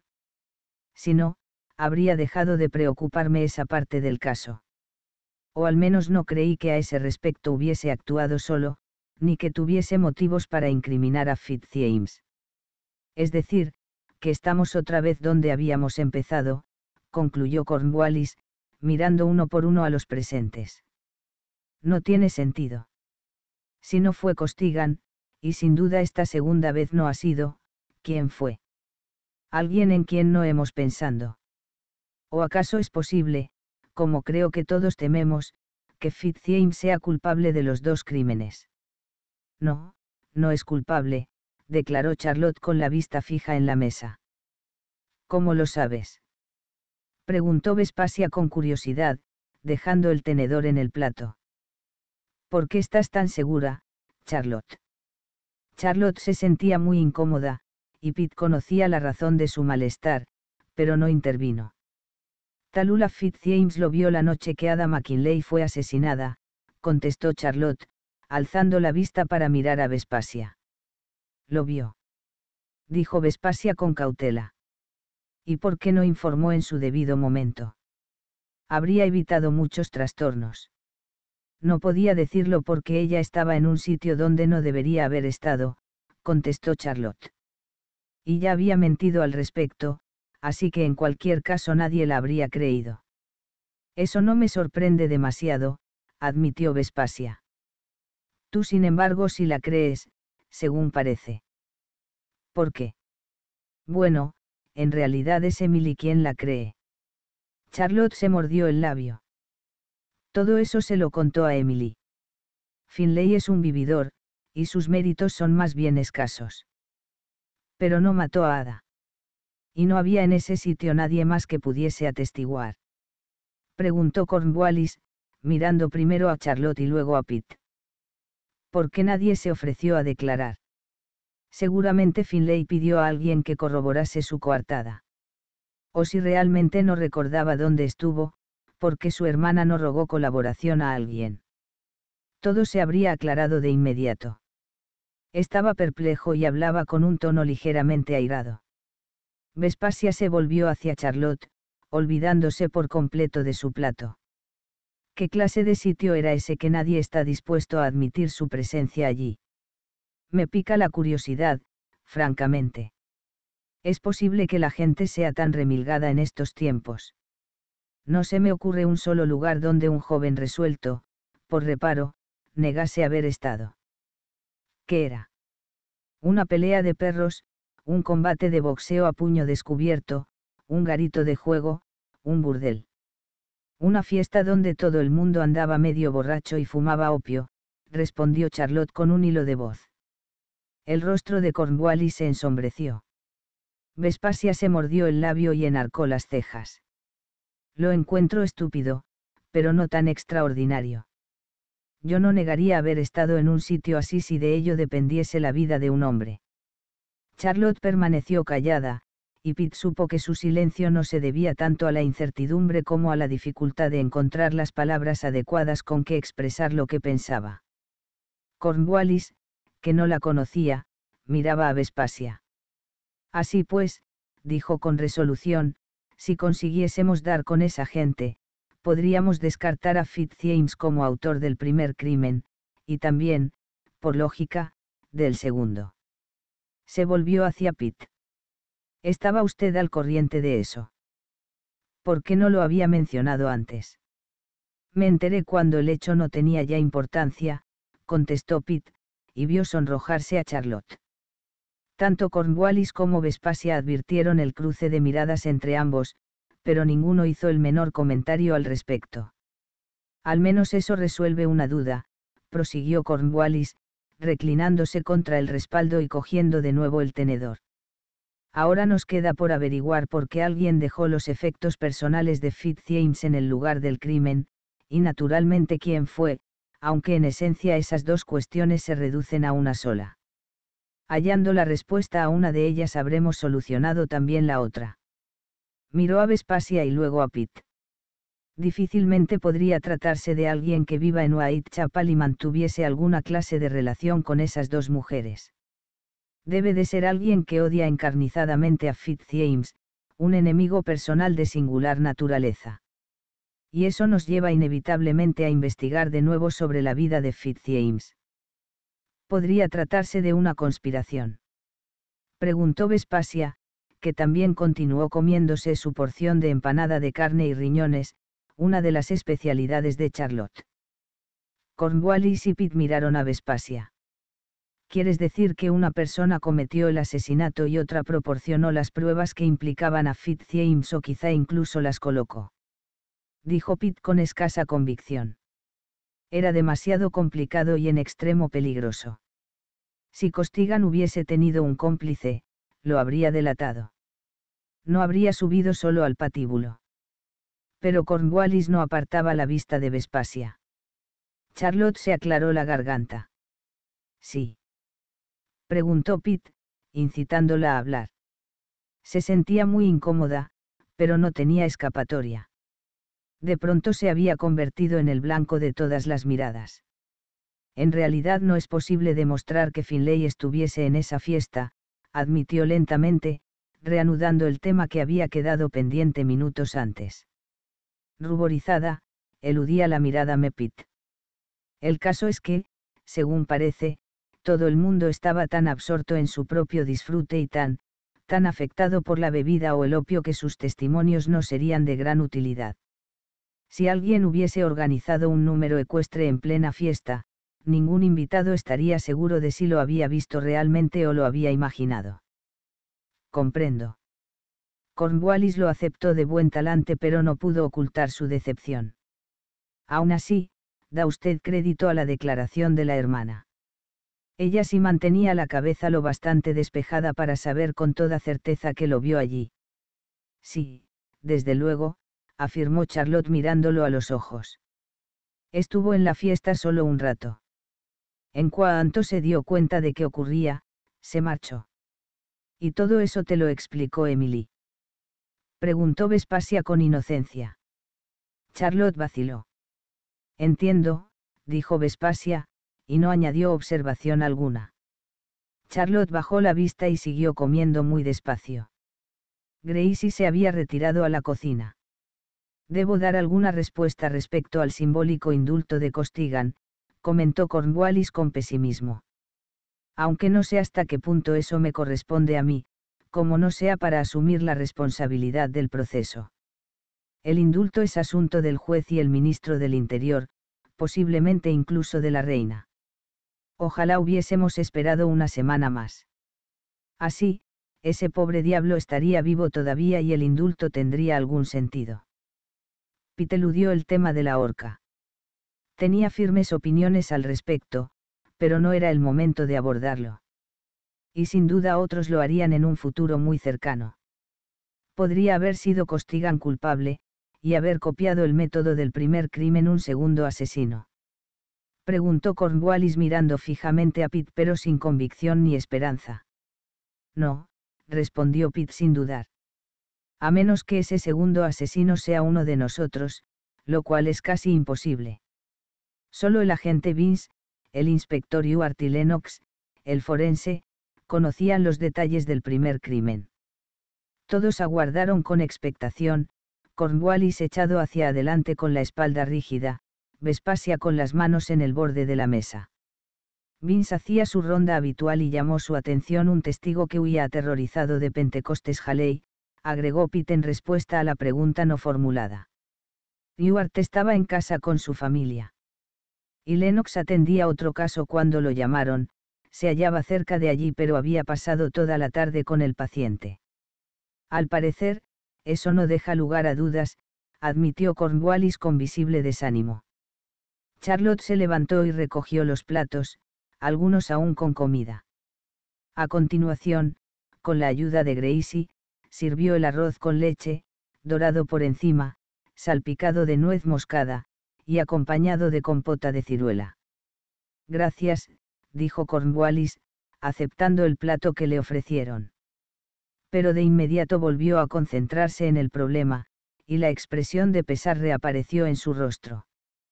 Por lo visto, lo único que podemos hacer es mantenernos firmes, no dar excusas, y no acusar a nadie hasta que tengamos pruebas concluyentes.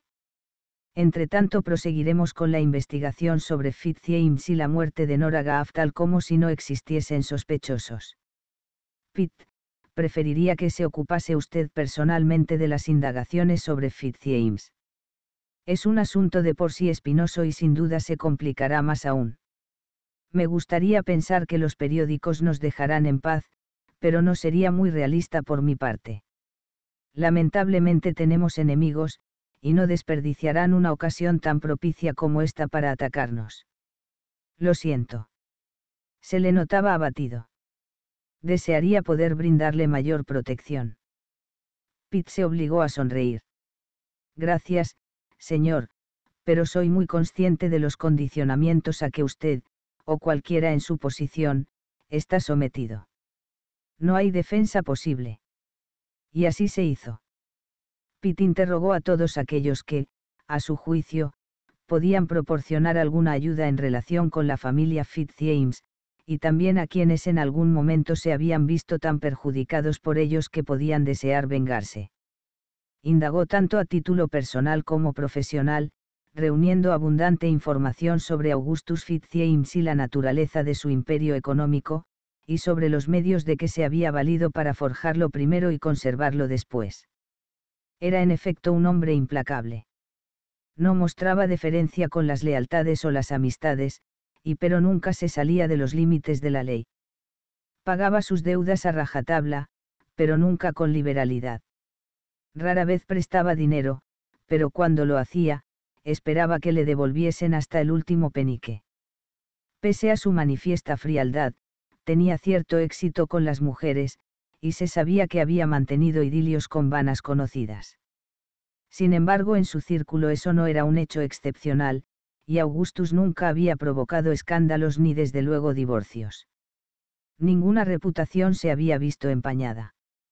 Como Cornwallis había presagiado, la prensa arremetió con mayor virulencia.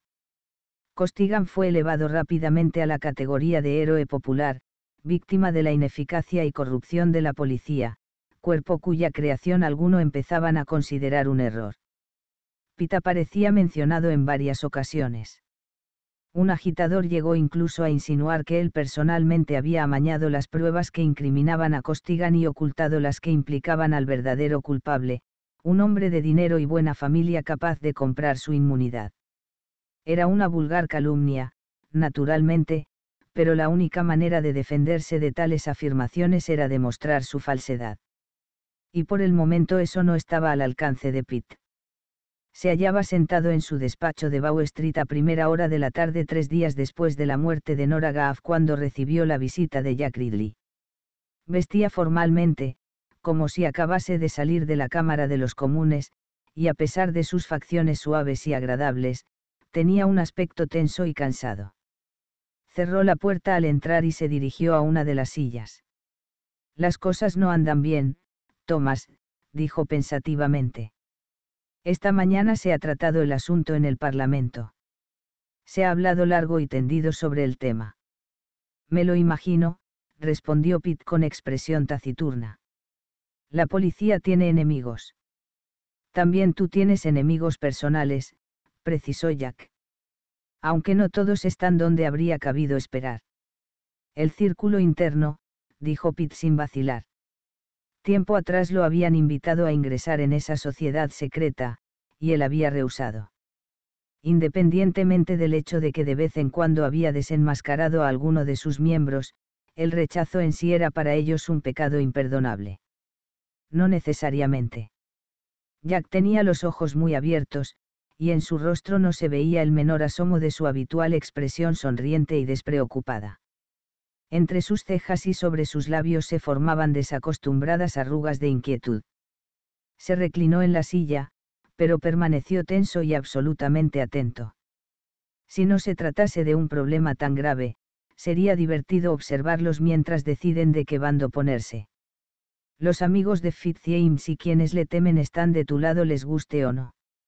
Y quienes, por una u otra razón, no desean ver el caos que originaría un error policial o judicial de esta índole no saben a quién responsabilizar, así que la mayoría guarda silencio.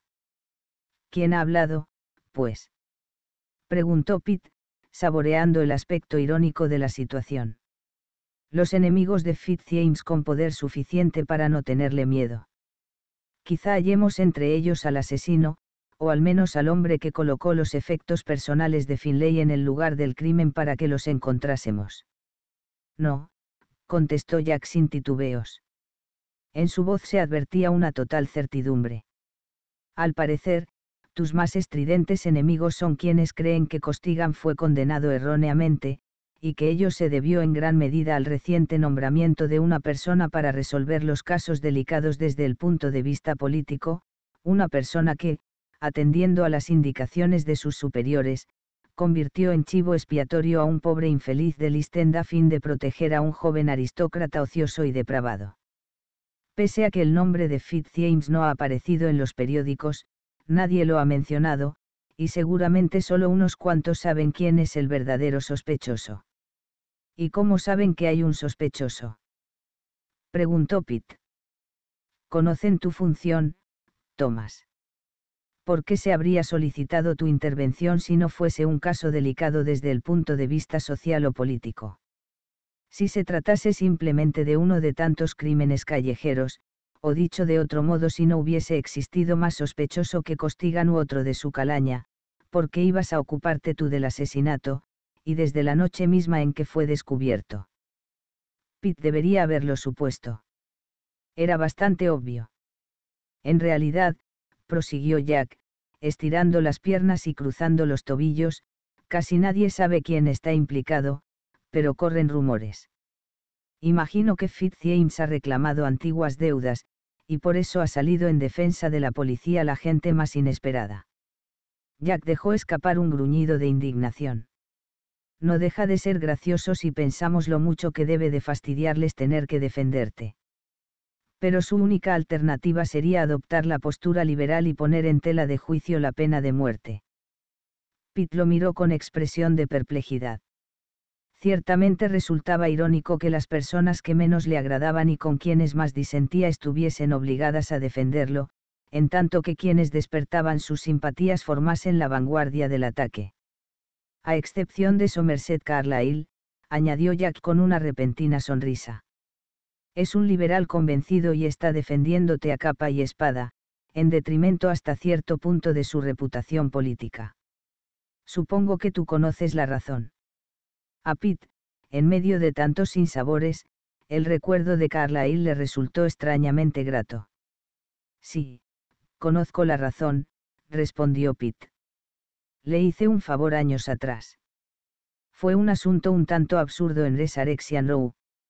Él actuaba por una cuestión de conciencia, pero dudo que alguien más lo hubiese visto de ese modo.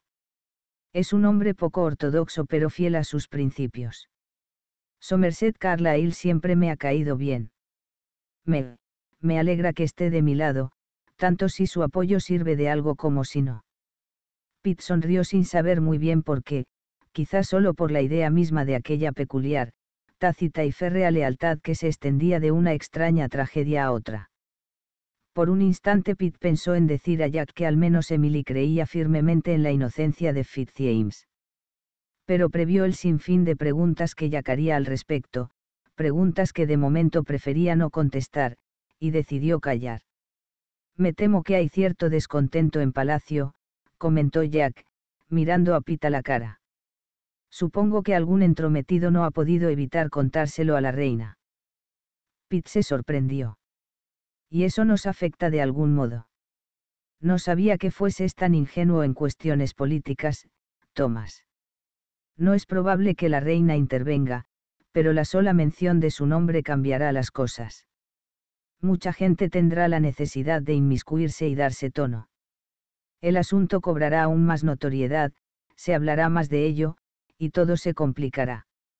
Y sin duda servirá de acicate a los columnistas de los periódicos, por si no estuviesen ya bastante exaltados. Yo no he percibido el mismo terror que se produjo hace dos años, dijo Pitt con cautela. Parece más bien, indignación. Así es, convino Jack.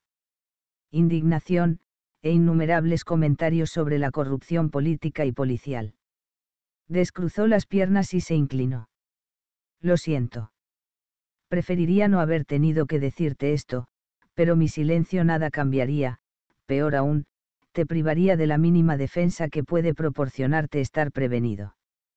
Miró a Pita los ojos, de pronto ligeramente turbado. Y por si te sirve de algo, añadiré que no creo que hayas cometido una equivocación de tales proporciones, y de sobra sé que tu honradez está fuera de toda duda. Todos nos engañamos un poco, vemos lo que queremos o esperamos ver, pero tú menos que nadie y me consta que nunca te has aprovechado del infortunio de otro hombre. Y antes de que Pete encontrase palabras para responder, Jack se puso en pie, esbozó un torpe gesto de despedida y se marchó. Aquella mañana Charlotte tomó la decisión de meter algo de ropa en una maleta y llevar a Daniel y Gemima con su abuela, no a modo de huida sino porque pretendía tomar cartas en el asunto. Si Emily tenía trato social con Talula Fitzjames y gozaba de su confianza hasta el punto de conocer sus más íntimos secretos, ese era indudablemente el camino para ayudar a Pitt.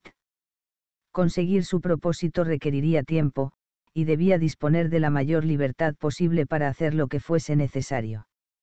No podría andar preocupándose por el bienestar de sus hijos. Carolina la recibió con una afectuosa bienvenida pero no pudo ocultar su nerviosismo. Toda la casa resultaba a la vez familiar y extrañamente distinta desde su boda con Joshua Fielding, como un viejo amigo que de pronto adopta una indumentaria y unos gestos ajenos. También ella había cambiado. Había abandonado, con gusto, las convenciones que habían regido su vida desde la infancia, pero otras nuevas las habían sustituido. Los adornos entre los que Charlotte había crecido ya no estaban. La sensación de solidez, de precisa organización mantenida por circunspectos criados, había desaparecido. Charlotte lo lamentaba a la vez que sonreía al ver la dicha de su madre. El antiguo orden inspiraba cierta segundad. Era conocido y estaba plagado de recuerdos, en su mayoría felices. En los respaldos de los sillones no había ya antimacasares. De niña le causaban risa, pero formaban parte de la continuidad, de la inmutabilidad que hacía confortable aquella casa.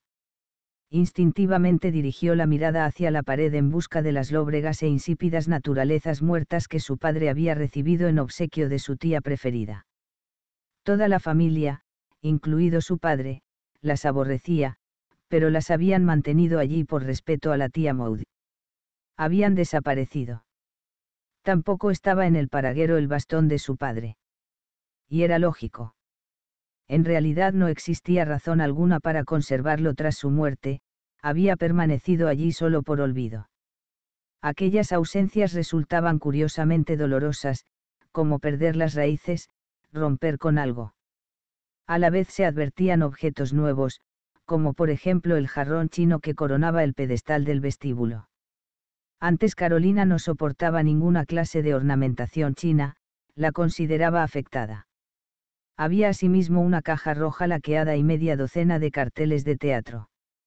En el poste de arranque de la escalera colgaba descuidadamente un chal de seda de vivos colores. No había nada censurable en ninguno de aquellos detalles. Simplemente parecían fuera de lugar. ¿Cómo estás? preguntó Carolina, mirando a su hija con semblante preocupado. Abrazó a los niños y los envió a la cocina a tomar leche y tarta para poder hablar a solas con Charlotte. He leído los periódicos. Es horrible. Y muy injusto. Una mueca irónica asomó a su rostro. Aunque desde que estoy casada con un judío, soy mucho más consciente del efecto de las opiniones precipitadas y de lo absurdas que a veces son. Antes tenía muy en cuenta lo que la gente pudiese pensar. Ahora casi siempre me limito a obrar a mi antojo y ser la persona que deseo ser. En algunos momentos me parece maravilloso y en otros me aterroriza porque pienso que lo perderé todo. Charlotte contempló a su madre con expresión de asombro. Nunca había imaginado que fuese tan consciente de su vulnerabilidad ni que tuviese tan calculados los riesgos de sus acciones había dado por sentado que su amor por Joshua le impedía ver los sacrificios que aquel matrimonio podía representarle. Pero se había equivocado. Carolina tenía plena conciencia de ello. No había decidido a ciegas ni se había engañado en cuanto a los riesgos. Tal vez comprendería mucho mejor de lo que Charlotte creía su temor por Pitt. Nunca había considerado que ella y su madre se pareciesen en nada. Quizá también en eso se había equivocado pertenecían a distintas generaciones, con todo lo que eso representaba en cuanto a experiencias y valores, pero en el fondo tenían más cosas en común que diferencias. Todas las excusas que Charlotte había preparado se desvanecieron en el acto. Cuidarás a Daniel y Gemima por mí durante unos días, por favor. Rogó Charlotte, siguiendo a Carolina hasta el viejo y familiar salón. No me atrevo a dejarlos en casa. Gracie haría lo que fuese por ellos, pero se enfurece tanto con quienes critican a Thomas que podría enzarzarse en una pelea en plena calle, y más si asustan y ofenden a los niños. Además, no sería correcto esperar que ella los consolase si oyesen alguna atrocidad sobre su padre. ¿Tú dónde estarás? preguntó Carolina, dando a entender con la expresión de su rostro que por supuesto podía contar con ella tomó asiento y señaló otro sillón a Charlotte. Emily conoce a la hermana del hombre que, según las sospechas de Thomas, puede estar detrás de todo esto, empezó a explicar Charlotte, sentándose de medio lado sin prestar atención a su falda. O al menos lo están su familia y sus enemigos. Tengo que ayudarlo. No puedo quedarme en casa de brazos cruzados, compadeciéndome. Mamá, atacan a Thomas desde todos los flancos. Los periodistas y políticos liberales, precisamente quienes deberían estar de su lado porque él piensa como ellos, lo acusan de corrupción. Charlotte notaba que su voz aumentaba de volumen por momentos, pero su emoción era demasiado intensa para mantenerla bajo control. Sostienen que presentó cargos contra Costigan y forzó su condena para aplacar los temores de la gente, influida aún por los asesinatos de Whitechapel de hace dos años, y que le traía sin cuidado si era o no el verdadero culpable. Según ellos, debería haber hecho averiguaciones sobre los jóvenes de buena familia que acuden a las prostitutas en lugar de recurrir a las mujeres de su propia clase. Pero, dicen, a la clase dirigente y sus representantes poco les importa que ocurra a los pobres en tanto no provoque escándalos en sus propios círculos. Sí. Lo sé, la interrumpió Carolina. Lo sé, cariño. Ahora leo los periódicos. Estoy de acuerdo en que es un planteamiento estúpido y simplista, y muy injusto, pero ¿acaso no esperabas esa clase de comentarios? Yo. Charlotte se inclinó y apoyó la barbilla en las palmas de las manos.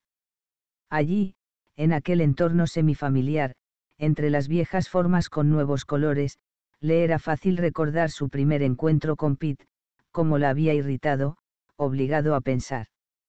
Ni siquiera en sus momentos de máxima indignación había sentido la menor antipatía por él. Pitt le había mostrado nuevos mundos, formas de dolor, alegría y realidad distintas de la seguridad implícita en los sueños que ella había albergado hasta entonces. Le resultaba intolerable verlo denigrado de aquel modo, presenciar cómo destruían lo que él con tanto esmero había construido, y precisamente quienes creían luchar por la justicia y la solidaridad, gente con las mejores intenciones pero profundamente equivocada. Tragó saliva para aliviar el dolor que le atenazaba la garganta, amenazando con ahogarla, y dijo, eso ahora no tiene importancia. No puedo hacer nada para impedirlo.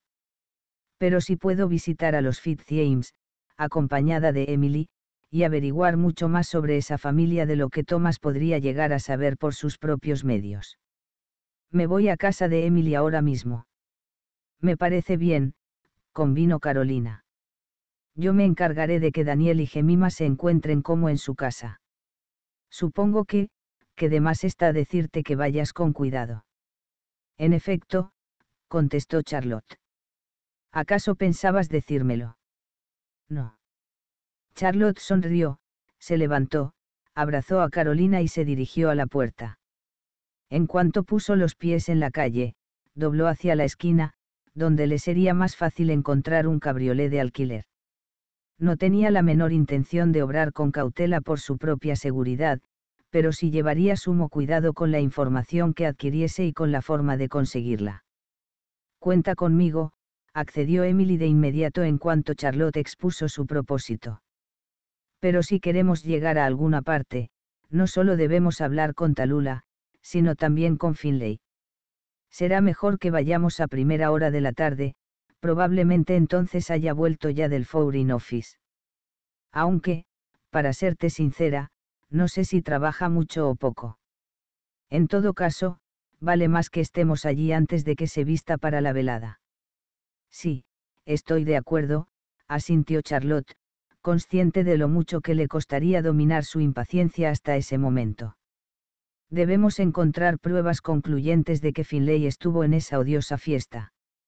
Si demostramos su inocencia en el primer crimen, quedará patente que Thomas no lo llevó a juicio porque sabía que era inocente y no porque fuese hijo de Augustus Fitzjames.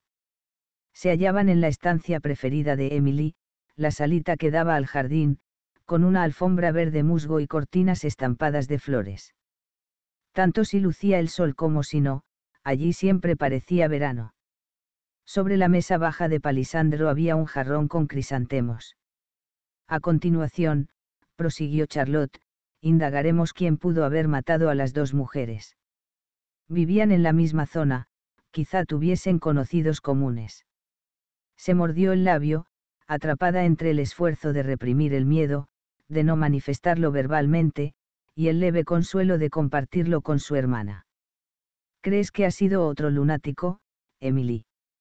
No, mientras pueda evitarlo, repuso Emily con una sombría sonrisa procuremos primero disipar las sospechas que pesan sobre Finlay. Y ahora vamos a almorzar. Entre tanto pensaremos cómo abordar el tema. Es mejor que estemos preparadas, y el hambre no sería de gran ayuda. Llegaron a Devorsaire Street a las cuatro y cuarto, y Talula las recibió en su tocador. Se alegró al ver a Emily, pero la desconcertó que se presentase acompañada de otra mujer, y además una desconocida. Mi hermana, Charlotte, la presentó Emily. He supuesto que no le importaría que la trajese. Es una mujer de recursos, y he pensando que podía ayudarnos con el dilema ante el que nos hallamos. Está ya al corriente de algunos de los detalles. Talula parecía un tanto perpleja. Obviamente la sorprendía que Emily hubiese hablado de su situación a otra persona. Emily pasó por alto su expresión y fue al grano con fingida inocencia. Ha llegado la hora de zanjar el asunto de una vez por todas. Movió la cabeza con aire comprensivo. Tendrá que admitir que asistió a esa abominable fiesta y vio a Finlay. Nadie me creerá. Protestó Talula con exasperación. Dirigió a Charlotte una mirada nerviosa y de inmediato se volvió de nuevo hacia Emily. Estaban las tres sentadas en pequeños sillones de tapicería floreada, pero Talula permanecía incómodamente encorvada en el borde del suyo. Ya hemos hablado de eso. Si hubiese existido la menor posibilidad, lo habría dicho al principio. ¿Acaso cree que habría consentido que Finlay pasase por todo esto si hubiese podido evitarlo? ¿Qué clase de persona piensa que soy? Le brillaban los ojos, como si los tuviese anegados en lágrimas, y mantenía los puños cerrados sobre el regazo. Charlotte se preguntó si era la opinión de Emily lo que le angustiaba o la de otra persona, quizá Iago Jones. Era tan poco lo que sabían de Talula, de Finlay, de las emociones que bullían bajo la superficie de las educadas relaciones entre personas que vivían en una misma casa, que parecían compartir tantos aspectos de la vida cotidiana, de su patrimonio familiar, de su posición en la sociedad, que se conocían de siempre y sin embargo apenas tenían noción de que preocupaba o dolía al otro. Emily pensaba cómo expresar su respuesta para no empeorar una situación de por sí delicada. Creo que teme usted por el bienestar de un hermano al que quiere, contestó por fin. ¿Cómo me ocurriría también a mí? Yo quiero a mi hermana, y haría cualquier cosa por salvarla de un castigo injusto.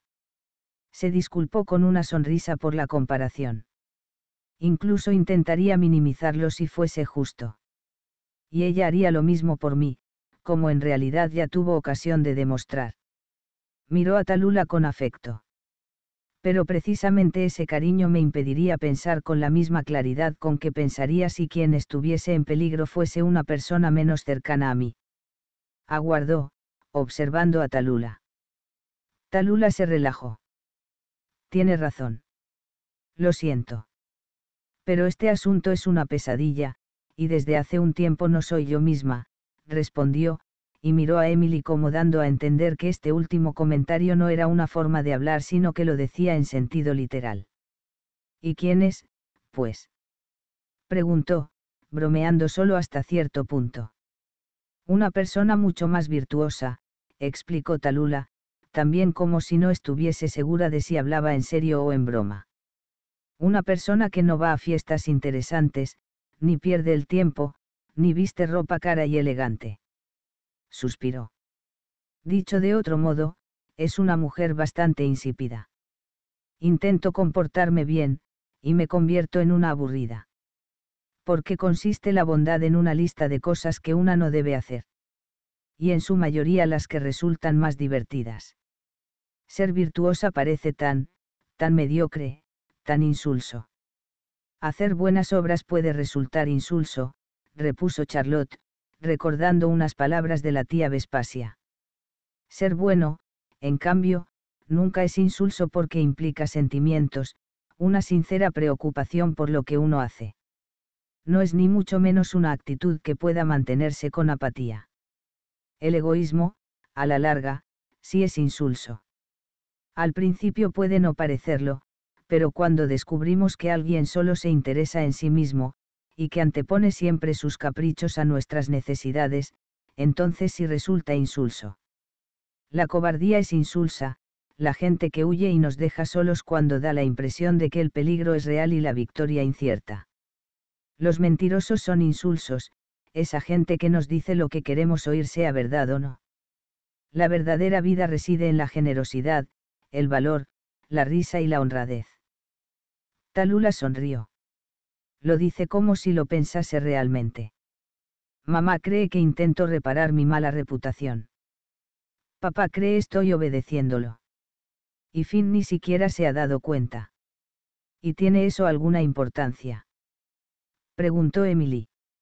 No, en realidad no, contestó Talula con un gesto de indiferencia. ¿Y hago qué piensa? Talula trató en vano de sonreír que es una pose, y bastante estúpida. Me desprecia aún más si cabe por mi afectación. En su semblante se mezclaban el pesar y la confusión. No se me ocurre ninguna manera de ser mejor salvo actuar como si lo fuese. Respiró hondo y se estremeció. A veces creo que a Iago uno le gustaría hiciera lo que hiciese. De pronto se encolerizó, recrudeciéndose en sus adentros el dolor del rechazo. Y además yo no quiero gustar a nadie. ¿Quién demonios quiere gustar? Eso es algo corriente y trivial. A mí me gusta el arroz con leche. ¿Por qué? preguntó de improviso Charlotte. Talula se volvió hacia ella. ¿Cómo dice? ¿Por qué le gusta el arroz con leche? aclaró Charlotte. Talula no pudo disimular su impaciencia. Porque tiene un sabor agradable. ¿Qué más da eso? Poco importa, no.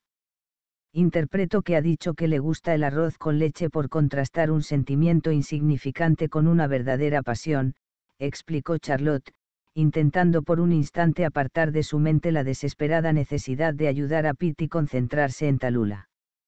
Pero lo que pretendo hacerle entender es que ese, gustar, en el que usted piensa es algo puramente subjetivo.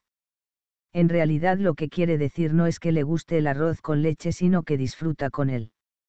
Le gustan las sensaciones que le produce. Talula la miró con cara de incomprensión. Solo sus arraigados buenos modales le impidieron responder con desdén.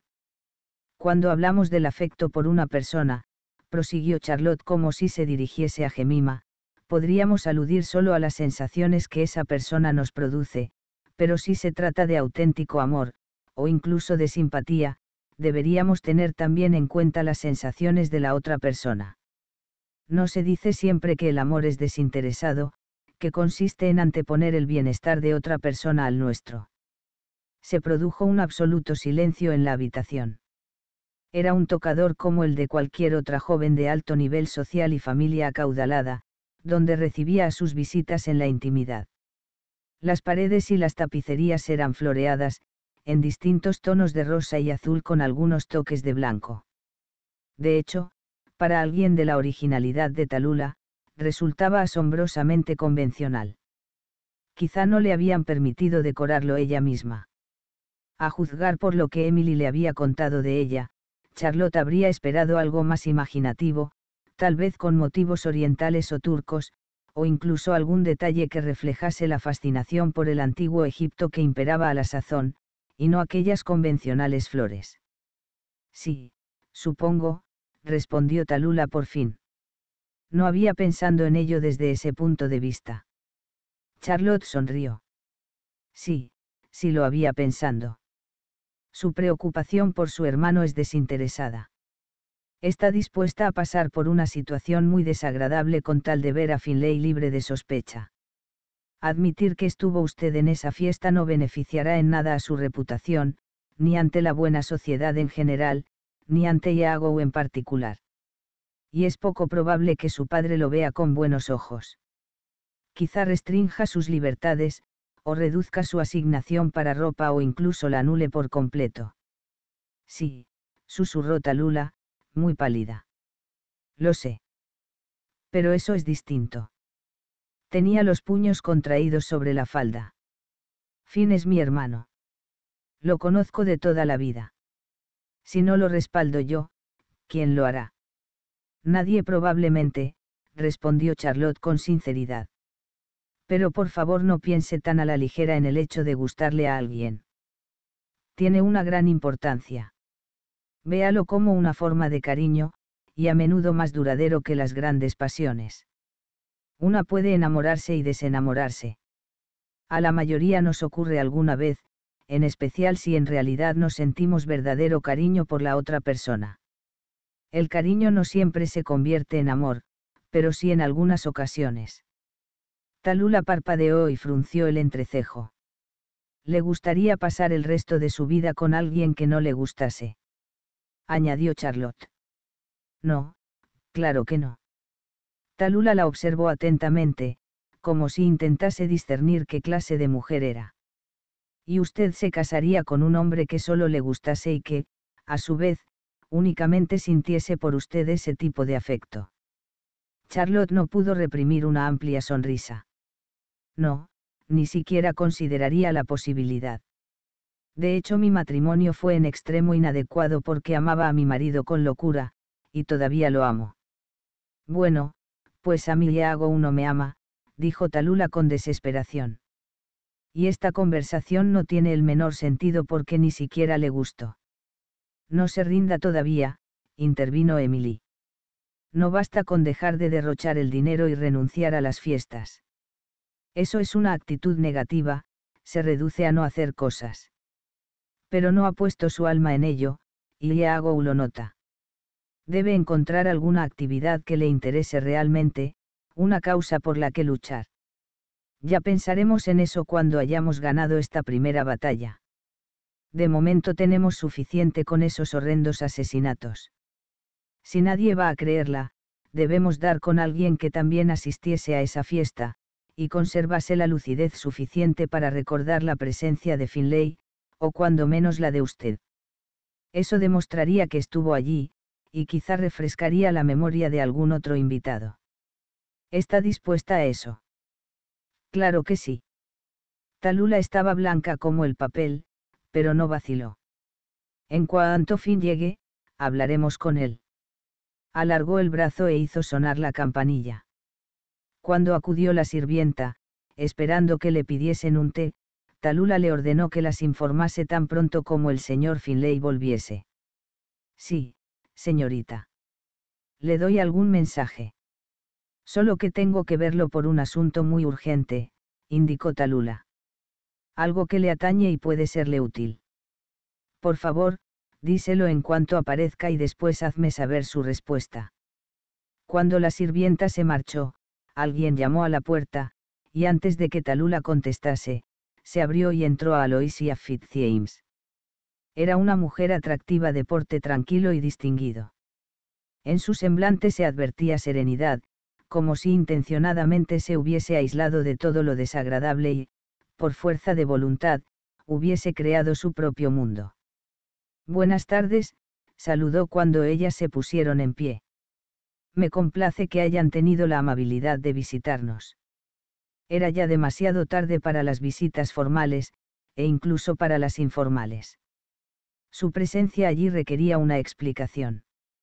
Mamá, dijo Talula, estas dos damas son la señora Radley y su hermana, la señora. No pudo evitar un titubeo, puesto que ignoraba el apellido de Charlotte. Pitt, apuntó Charlotte. Talula tardó solo un instante en establecer la relación. Lanzó una mirada a Emily y percibió consternación en su rostro. Se volvió hacia Charlotte y advirtió en ella la misma expresión. Una repentina cólera ardió en su interior, una sensación de traición que a duras penas consiguió controlar. A Aloisia no notó nada. Mucho gusto, señora Radley, señora Pitt, dijo con una sonrisa. Talula, querida, van a cenar aquí tus invitadas. Si es así, creo que deberíamos avisar ya a la cocinera. No, repuso Talula entre dientes. Tenían ya un compromiso que les impide quedarse. Lástima dijo a Aloisia, encogiéndose de hombros. Habría sido agradable mantener una interesante conversación durante la cena. Los hombres tienden a hablar de política la mayor parte del tiempo, ¿no creen? Sí, sin duda, asintió Emily. Mi marido es parlamentario, y no oigo hablar de otra cosa. Y sumando, señora Pitt. Quiso saber a Aloisia. Ya conocemos al marido de la señora Pitt, anunció Talula con inquina. Es policía. Se volvió hacia Charlotte. Imagino que oye hablar de los temas más diversos durante la cena, ladrones, pirómanos, prostitutas. Y asesinos, y políticos, completó Charlotte con una crispada sonrisa. A menudo por separado, pero no siempre. Aloisia estaba desconcertada, pero no perdió la compostura. Había sido capaz de mantener conversaciones tranquilas y agradables en situaciones mucho peores que aquella. Lamento mucho las muertes de esas dos mujeres, comentó, mirando primero a Emily y después a Charlotte. Quizás si se declarase ilegal la prostitución, no ocurrirían esas cosas. Talula la observó con expresión de asombro. Dudo que eso sirviese de algo, señora Fitzjames, respondió Charlotte con toda la delicadeza posible. No tiene mucho sentido promulgar una ley que no puede hacerse respetar. A Aloisia la miró con los ojos desmesuradamente abiertos. Yo diría que la ley debe de ser una cuestión de ideales, señora Pitt. No podemos considerarnos un pueblo civilizado o cristiano si solo aprobamos leyes sobre asuntos que nos creemos capaces de controlar. Todo delito debe ser ilegal, o de lo contrario la ley carecería de valor. Se lo he oído decir a mi marido en incontables ocasiones. Una acción se convierte en delito cuando se la declara ilegal, adujo Charlotte sin perder la paciencia. Existen muchas cosas consideradas faltas, tales como la mentira, el adulterio, la mala intención, la envidia, los ataques de mal genio, pero declararlas ilegales carecería de sentido práctico, porque no es posible vigilarlas, demostrarlas o castigar a la gente por ellas. Pero la prostitución es algo muy distinto, mi querida señora Pitt, replicó a Aloisia con convicción. Es absolutamente inmoral. Es la ruina de los hombres de bien, una traición a las esposas, a las familias. Es una conducta inconcebiblemente sórdida. Dudo que sepa usted de qué está hablando. Respiró hondo. Tampoco yo lo sé, por supuesto. No estoy haciendo apología de la prostitución, señora Fitzjames, repuso Charlotte, reprimiendo un intenso deseo de reír. Talula estaba tan furiosa que apenas podía contenerse. Solo digo que es imposible evitarla. Si nos propusiésemos seriamente erradicar la prostitución, deberíamos ocuparnos primero de sus causas, es decir, tanto de las mujeres que la practican como de los hombres que recurren a sus servicios. A Aloisia la miró con expresión de perplejidad. No sé a qué se refiere. Charlotte desistió. Quizá no sé explicarme. Le pido disculpas. A Aloisia les dirigió una encantadora sonrisa. Estoy segura de que no tiene importancia. Quizá deseen visitarnos algún otro día. Ha sido un placer conocerlas, señora Radley, señora Pitt. Dicho esto, hizo un comentario sobre el tiempo y se marchó. Talula lanzó una mirada de ira a Emily, olvidando intencionadamente la presencia de Charlotte. ¿Cómo ha sido capaz? preguntó con rabia. Supongo que tenía planeada nuestra relación desde el principio. Debe de haber encontrado muy amenas mis confidencias, aunque no especialmente instructivas. De repente se volvió hacia Charlotte. Aún se considera a su marido responsable del ahorcamiento de un inocente, no ha venido a esta casa para ayudarlo a colgar a quien usted cree que es el verdadero culpable. Emily abrió la boca para explicarse, pero Charlotte se le adelantó. Si ha dicho usted la verdad, y yo personalmente la creo, es obvio que su hermano no cometió esos asesinatos.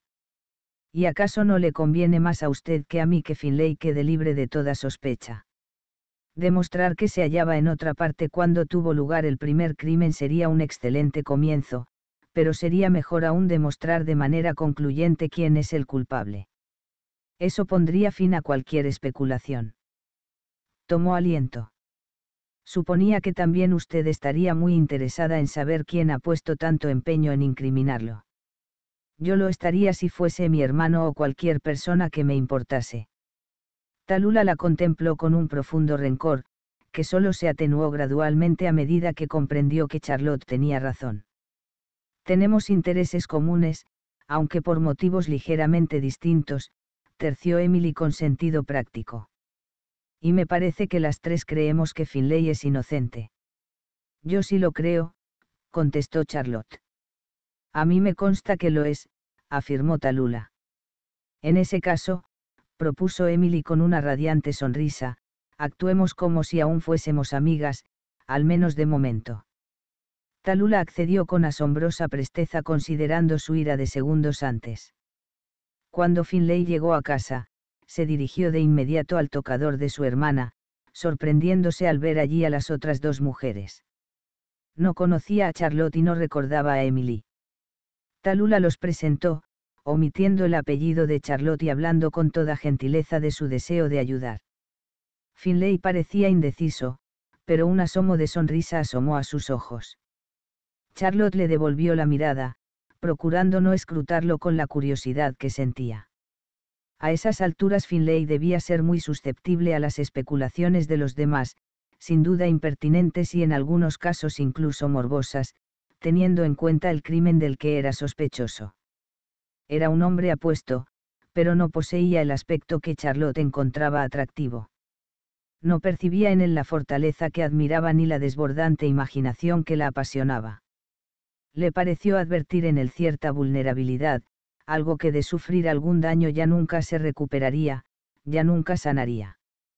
Finlay apartó la vista de Charlotte. Su nombre no le decía nada, y ella no despertó su interés. Gracias por tu confianza, dijo a Talula, apoyando su mano ligeramente en el hombro de ella. Era un gesto habitual, pero no exento de afecto, o quizá gratitud. Realmente te ves con valor de afrontar la reacción de papá si dices que estuviste en esa fiesta. Puede que sea difícil encontrar a alguien más dispuesto a admitirlo. Yo no recuerdo nada, salvo que no puse los pies en Pentecostes Halley. Después de esa noche lo primero que recuerdo es la espantosa jaqueca de la mañana siguiente. Podría ser que eso mismo ocurriese a casi todos los demás. Su rostro se ensombreció. Sería incapaz de jurar ante un tribunal quién más estuvo allí. Quizá otros invitados estuviesen más sobrios que tú, Fin, señaló Talula. Finlay rió sin ganas y se volvió hacia Emily. Bueno, puedo preparar una lista de conocidos que probablemente estuvieron allí. Puedo preguntarles si recuerdan haberme visto. ¿Acaso alguno se preste a admitirlo? Es a mí a quien convendría que hubiesen visto, precisó Talula. En ese caso los demás me creerán cuando diga que yo misma te vi allí. No tiene por qué hacerse público. Al menos. Miró a Charlotte. ¿O oh, sí? quiero decir que no tendría por qué saberlo toda la gente de nuestros círculos. O el Foreign Office, añadió Finlay. Aunque no sé si tiene demasiada importancia a estas alturas. Metió las manos en los bolsillos y se paseó de un lado a otro de la habitación.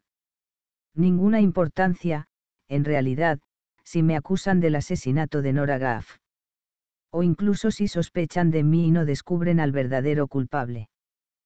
Parecía desesperado. En su mirada se apreciaba miedo y perplejidad, como si supiese que el desastre era inevitable pero no comprendiese aún cuál era su causa o cómo le había ocurrido a él. Alguien está firmemente decidido a incriminarlo, señor Fitzjames, dijo Charlotte con extrema seriedad. Se apropió de sus efectos personales y los dejó en los escenarios de los dos crímenes. Debe de ser alguien que lo odia con una vehemencia rayana en. O que odia a mi padre, la interrumpió Finlay. Me cuesta creer que alguien pueda odiarme tanto. Algunas personas me guardan cierto rencor, claro está. Y quizá unos cuantos me envidien por la riqueza de mi familia o por las oportunidades de que dispongo. Seguramente hay quienes consideran que no merezco mi posición, y mucho menos una embajada en el futuro. Miró a Charlotte y después a Emily pero no he violado a la esposa de nadie, no he dejado deudas pendientes, no he robado nada, ni, en fin, no he hecho nada de esa magnitud.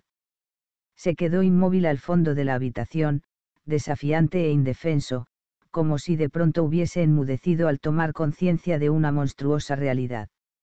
Sí, quizá a su padre, admitió Charlotte. Pero hay otra cuestión, señor Fitzjames quien quiera que sea posee mucha información sobre usted. Tenía su insignia original del Club Fuego del Infierno y su gemelo. Y no solo eso, sino que además sabía que sería incapaz de demostrar dónde había estado esa noche. De poco habrá servido intentar implicarlo si se hubiese hallado, por ejemplo, cenando en casa con su familia, o en compañía de unos amigos, o en la ópera, como habría sido muy probable. ¿Cómo se enteró esa persona de que no tenía coartada? Finlay la miró fijamente, y en su rostro se reflejó la repentina comprensión de algo horrible. Charlotte aguardó. Emily lo observó sin hablar. ¿Qué pasa? Preguntó Talula con voz alta y aguda. ¿Quién es, Fin? Finlay miró al frente, descompuesto, con miedo en los ojos. ¿Quién? repitió Talula, alzando aún más la voz. Iago, susurró Finlay, y tosió, resistiéndose a volver la cabeza hacia su hermana. Vi a Iago Jones aquella tarde, y mencioné que esa noche iría a una fiesta en Chelsea. Le dije dónde se celebraba. Comenté en broma que no era la clase de lugar a donde él iría, siendo ahora como es un hombre de tan elevada moralidad. Él. Eso es imposible. Prorrumpió Talula. Eso es una infamia, y una estupidez. Sabes de sobra que Iago nunca haría daño a nadie, y menos aún. Se interrumpió con lágrimas en los ojos y tan pálida que parecía a punto de desmayarse.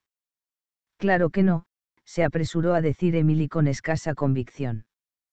Pero tal vez Iago, sin darle importancia, lo mencionó a alguna otra persona. ¿A quién? preguntó Talula, volviéndose hacia ella horrorizada. ¿Qué motivos podría tener Iago para contarle a alguien que Finlay iba esa noche a una francachela?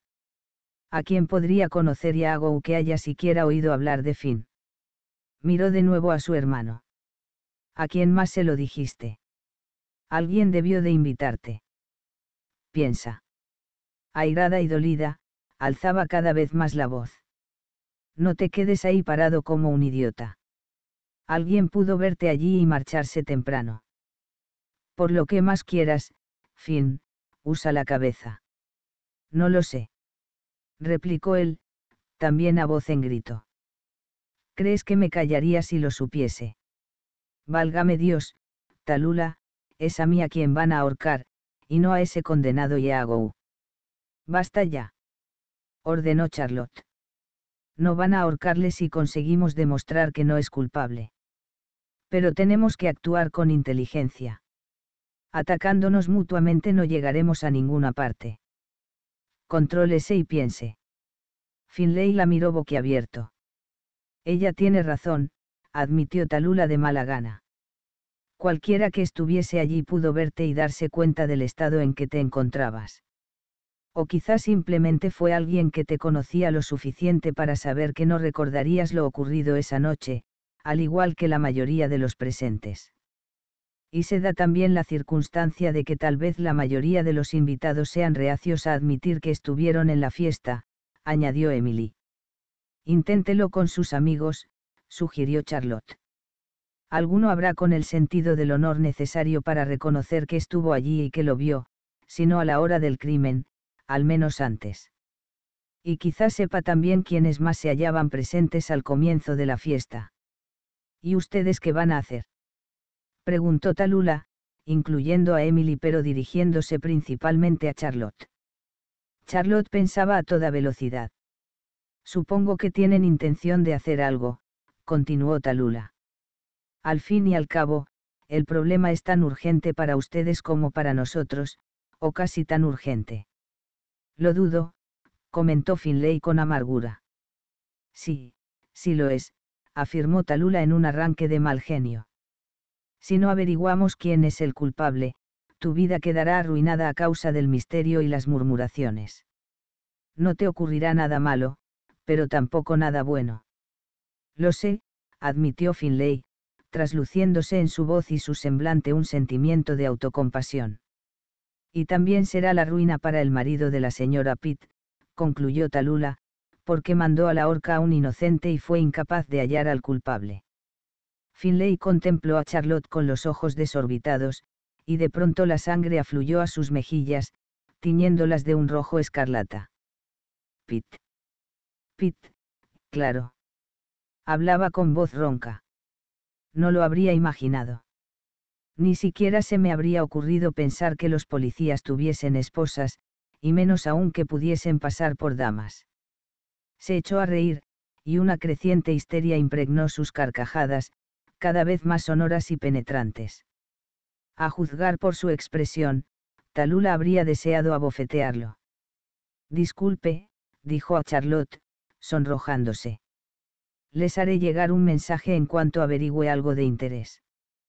También nosotras, prometió Emily no con demasiada sinceridad, y de inmediato ella y Charlotte salieron de la casa. Cuando estaban ya en el coche y se alejaban por Devorshire Street, Emily comentó. Finlay está asustado. Yo también lo estaría, replicó Charlotte con vehemencia, si tuviese un enemigo dispuesto a llegar a esos extremos para conseguir que me ahorcasen. Por un momento un temblor incontrolable recorrió su cuerpo, y percibió un intenso frío en su interior. Ha torturado y asesinado a dos mujeres solo para acabar con Finlay. Solo un demente puede odiar hasta ese punto. Emily se abrazó a sí misma. ¿Qué vamos a hacer a continuación? Preguntó en un susurro. No lo sé. Indagar si existía alguna conexión entre Ada McKinley y Nora Gaff, supongo. ¿Por qué las eligió el asesino? ¿Por qué ellas y no otras? Quizá no le importase quiénes fuesen las víctimas, aventuró Emily con tristeza. Quizá no haya ninguna razón. Podría haber sido cualquiera. Su pesar pareció aumentar aún más. ¿Y si las ha matado Yago Jones?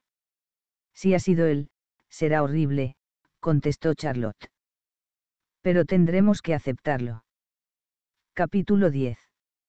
Emily regresó a casa resuelta a hacer lo que estuviese a su alcance para impedir la injusticia que se cernía sobre Finlay Fitzjames. Quizá era más por Talula que por él, pero había percibido su miedo y su total perplejidad. Emily habría jurado ante cualquier autoridad del mundo que Finlay no tenía la menor idea de cómo habían llegado sus efectos personales a la habitación de Ada McKinley ni de quién los había colocado allí. Solo una cosa era segura en aquel nefasto y caótico cuadro, la finalidad de aquello era hacerle pagar a él por el asesinato. Había un enemigo en algún lugar, oculto, un enemigo implacable cuyo odio rayaba en la locura. Pero ¿cuál era el motivo de ese odio? Finlay no parecía saberlo, y Emily estaba cada vez más convencida de que debía de ser un enemigo de su padre, no de él. A la mañana siguiente abordó a Jack durante el desayuno, empezando en cuanto él se sentó a la mesa. He pensando mucho en el actual caso de Thomas, anunció sin darle tiempo a Jack siquiera a coger la fuente del bacon. Creo que debemos ayudarlo en la medida de lo posible se sirvió una pequeña porción de huevos revueltos y una tostada. Finlay Fitzjames no es culpable, de eso estamos seguros. No, no lo estamos, repuso Jack con tono tajante. Podría ser culpable. Solo de Albert Costigan, ese pobre diablo, podemos decir con toda certeza que es inocente. Con súbito desánimo, Emily comprendió que había caído en su propia trampa. Naturalmente no le había contado nada a Jack de su visita a Beaufort Street.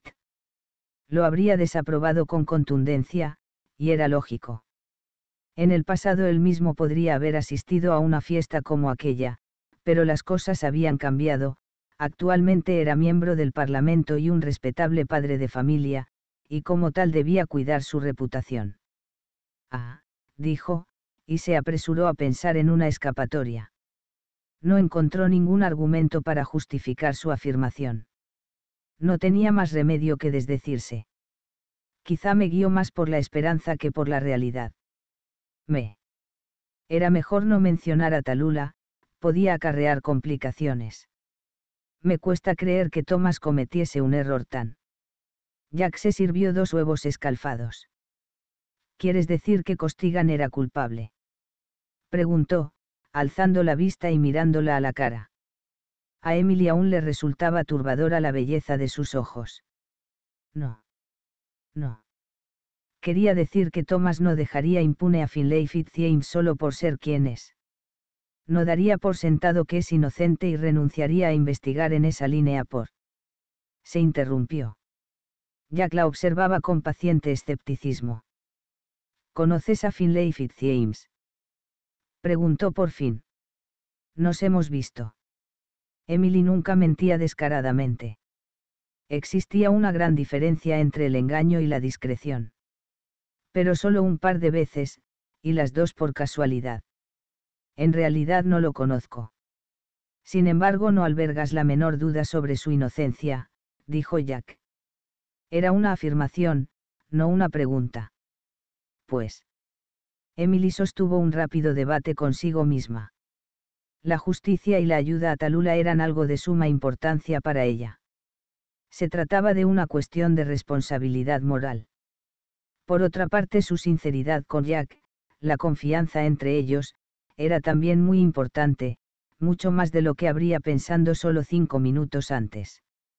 Finalmente añadió, conozco a su hermana. Y te ha dicho algo que te ha persuadido de su inocencia, dedujo Jack. Emily no esperaba tanta perspicacia en él. Sí, asintió cada vez menos segura de sí misma. ¿Qué? ¿Cómo? ¿Qué te ha dicho su hermana? aclaró Jack. Ah. Solo que lo vio en otra parte en el momento del crimen. Thomas ya está al corriente. No es exactamente una prueba. Eso es obvio, dijo Jack con una tensa sonrisa. Se llevó el tenedor a la boca con un trozo de bacon y huevo. Emily se relajó ligeramente, comió un poco y untó con mantequilla la tostada. Solo se oía el nítido roce del cuchillo contra el pan. ¿Dónde lo vio? prosiguió Jack. Emily desfalleció. En una fiesta. Eso no explica gran cosa. No me obligues a tirarte de la lengua, Emily. ¿Qué clase de fiesta? Una francachela, supongo, y ninguno de los asistentes recuerda haber estado, y mucho menos quien más había. Así es, dijo Emily, optando por una respuesta lacónica. Cada vez que añadía nueva información se metía en mayores problemas.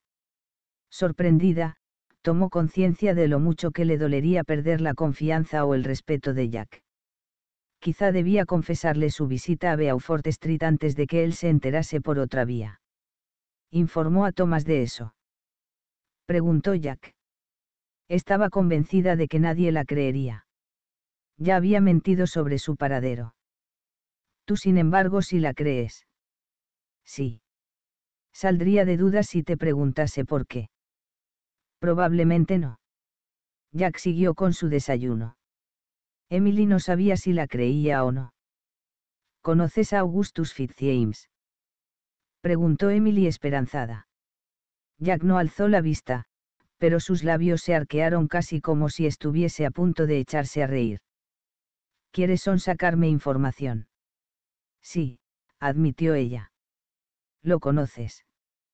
Un poco. Y no, no sé quién lo odia hasta el punto de cometer tales atrocidades para vengarse de él.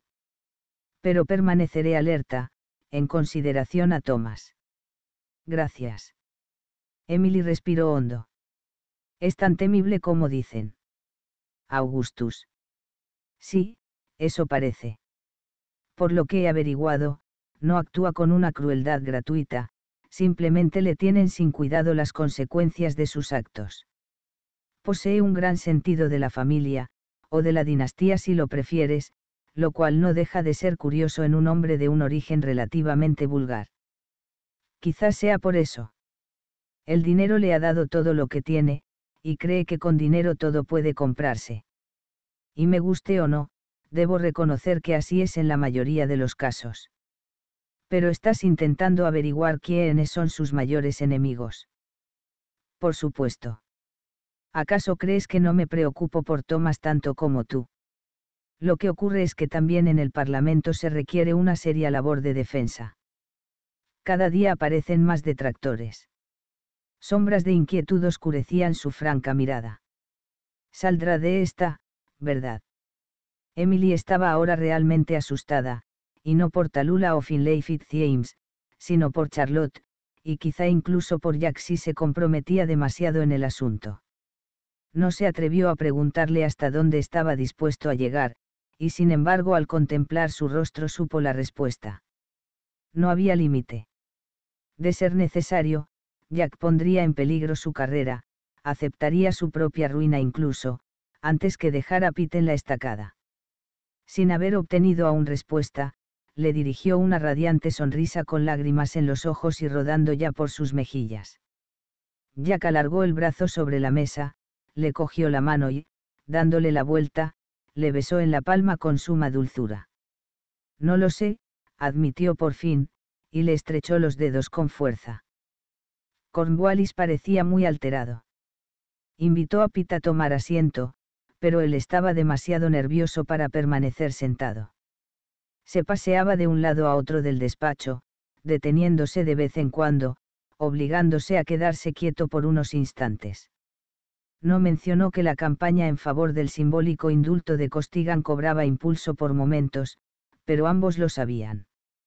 Tampoco dijo que el asunto había sido abordado en la Cámara de los Comunes, y que no solo se responsabilizaba a Pitt de aquella nefasta mancha en la justicia británica, sino también a él.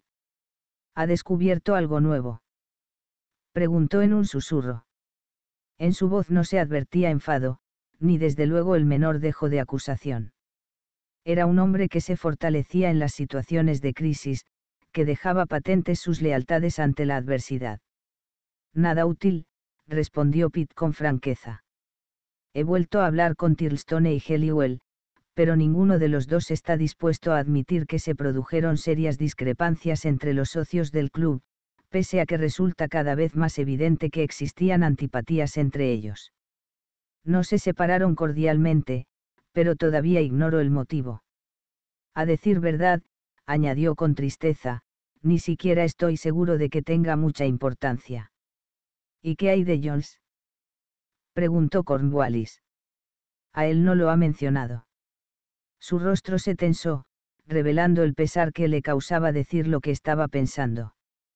Sé que es clérigo y que obviamente realiza una buena labor en Whitechapel, pero eso no excluye la posibilidad de que albergue un odio personal contra un hombre como Fitzjames. Ignoramos que viejas rencillas tuvieron lugar en el pasado, Pitt. Hundió las manos en los bolsillos del pantalón, deformándolos. Por otra parte, ningún hombre es inmune a los apetitos y la soledad, que en ocasiones pueden resultar abrumadores. Jones ha elegido un camino de servicio y abnegación, pero es joven. Puede ocurrir que uno se exija demasiado y llegado un momento sucumba a sus flaquezas. Pitt percibió en su voz emoción y apremio. Hablaba solo de Iago Jones. Él mismo había pasado largos años en la soledad del mar, agravada por el aislamiento propio del mando. Había tenido bajo su responsabilidad la vida de todos los tripulantes de su buque, sin poder recurrir a nadie durante periodos de seis meses. Lo sé, contestó Pitt. Dios quiera que no sea él el culpable, y personalmente creo que no lo es, pero comprendo que no puede descartarse. Iré a verlo. Luego volveré al camino más directo, analizaré nuevamente desde el principio los indicios relacionados con la muerte de Nora Gaff. Quiero conocerla más a fondo. ¿Se ha descubierto alguna conexión entre las dos víctimas? Preguntó Cornwallis, que interrumpió de nuevo su deambular, deteniéndose esta vez en un cuadrado de sol que se proyectaba en el suelo. Aparte de que ejercían el mismo oficio y vivían en el mismo barrio. No lo sé. Tengo que hablar con Ewart. Quizá a estas alturas haya encontrado algo. Ewart es un buen hombre, comentó Cornwallis con seriedad. He examinado su hoja de servicios. Todo el mundo habla bien de él, no solo como profesional sino también como persona. Posee una excelente reputación. Es discreto, concienzudo, buen padre de familia. Trabaja infatigablemente y ahorra su dinero. En su voz se notó de pronto un dejo de asombro. Tiene tres hijos varones y una hija. Ha casado bien a su hija, con un granjero de Kent. El matrimonio marcha sobre ruedas. Su primogénito estudia en la universidad, y los dos hijos menores van por el mismo camino. Es todo un logro. Se abstuvo de añadir, para un policía normal y corriente. Tuvo el tacto de contenerse, pero era eso lo que pensaba. No podríamos contar con un hombre mejor. Así es, coincidió Pitt. Es un buen hombre. Y desde el comienzo rechazó la idea de que Fitzjames estuviese involucrado en la muerte de Ada McKinley. Siempre pensó que fue alguien del barrio. Quizá tenía razón. Podría haber sido exactamente una tragedia doméstica como él decía. Debería haberle escuchado, prestado mayor atención a sus opiniones. En todo momento quitó importancia a la conexión con Fitzjames, y posiblemente no la tenía. Mañana iré a verlo. Así pues, el asunto en definitiva no tiene nada que ver con Fitzjames. Dijo Cornwallis con expresión ceñuda, más tanteando una posibilidad que expresando una convicción. Se hallaba junto al catalejo y el sextante, y los rayos del sol reverberaban junto a su rostro en el metal abrillantado. ¿Y el pañuelo? Podría ser suyo, pero lo es. Por fuerza tiene que ser suyo. No. Cualquiera podría haber encargado uno igual. ¿Y el botón? Es caro, pero puede obtenerse en cualquier buena sastrería. No demuestran nada, pues, esos objetos. No demuestran que Fitzjames estuviese allí, corrigió Pitt. Demuestran que alguien deseaba que pensásemos que sí estuvo. Y que ese alguien no era Costigan.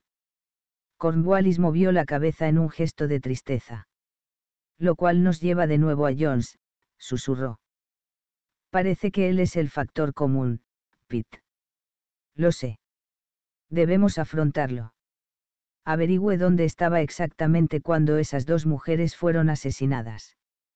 Siga todas las pistas. Olvídese de las motivaciones.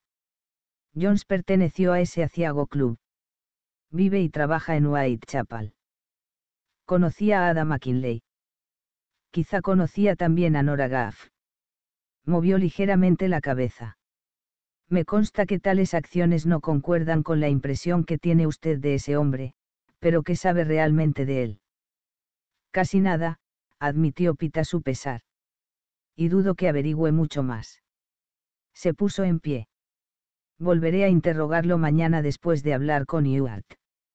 No se sentía con ánimos de visitar a Iago esa misma tarde. Sabía dónde estaba, en Cook Street repartiendo caldo no quería interrogarlo mientras atendía a los pobres.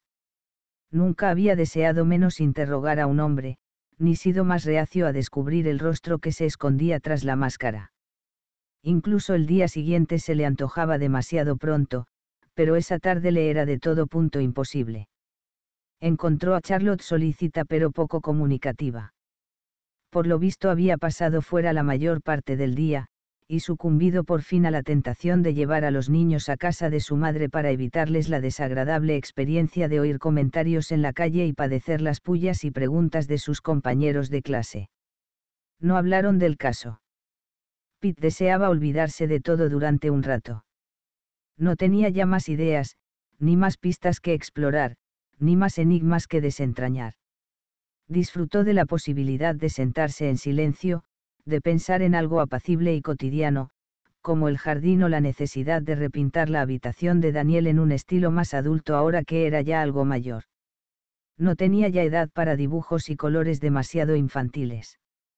Y quizá había también llegado el momento de concederle a Grace otro aumento. A la mañana siguiente fue temprano a Whitechapel y halló a Ewart aún en su mesa. Se le veía cansado y cabizbajo. Pitt no necesitaba preguntarle si había descubierto algo valioso, la respuesta estaba grabada en cada arruga de su rostro. Se había cortado al afeitarse y tenía las facciones contraídas. No he encontrado nada, dijo sin esperar la pregunta de Pitt. Esas pruebas no demuestran nada. Se retrepó en la silla, demasiado exhausto para mantenerse erguido. Se le notaba extrañamente abatido, teniendo en cuenta que sería Pitt quien cargase con la culpa. En esos momentos podría haberse alegrado de haberle cedido la responsabilidad del caso. Ya sé que el botón y el pañuelo no demuestran nada, dijo Pitt, y se sentó en la única silla disponible. ¿Qué más tenemos? Nada. Ewart extendió las palmas de las manos. Hemos vuelto a hablar con todas las mujeres de la casa. Sostienen que solo vieron a un hombre, joven, de pelo claro y rizado. Pero incluso a ese respecto empiezan a mostrarse indecisas. Algunas no están muy seguras de si realmente era rubio. Como si eso tuviese mucha importancia. Sus labios se arquearon en una mueca de desdén. De todos modos, la luz a veces engaña. Seguimos buscándolo. Tengo a varios agentes en ello, pero podría ser cualquiera, incluso alguien de la parte oeste de la ciudad, y en ese caso nunca lo encontraríamos. Pitt lo observó con asombro. Era raro oír hablar con tal desánimo a un hombre del rango y la experiencia de Ewart. Si ese era el individuo que había torturado y asesinado a dos mujeres, debían dar con él a toda costa. ¿Acaso Ewart temía aún que en realidad fuese Finlay Fitzjames, con todos los sinsabores que eso acarrearía, las acusaciones de negligencia en el cumplimiento del deber, de intolerancia y hasta de corrupción? Podía entender su renuencia, incluso su amilanamiento, pero no lo aprobaba. Se echó bruscamente hacia adelante. Pues si ese es el hombre que mató a Nora Gaff y a McKinley, vamos a encontrarlo, dijo, alzando la voz más de lo que pretendía. Alguien debió de verlo. Entró. Salió. Le ha repetido la descripción que dieron de él las mujeres de Mirle Street a las mujeres de Pentecostes Halley. Sí. Ewart estaba demasiado abatido para contestar con rabia. Y dicen simplemente que se parece a Costigan, como así es. Y tenía Costigan hermanos, primos o algún pariente. Preguntó Pitt.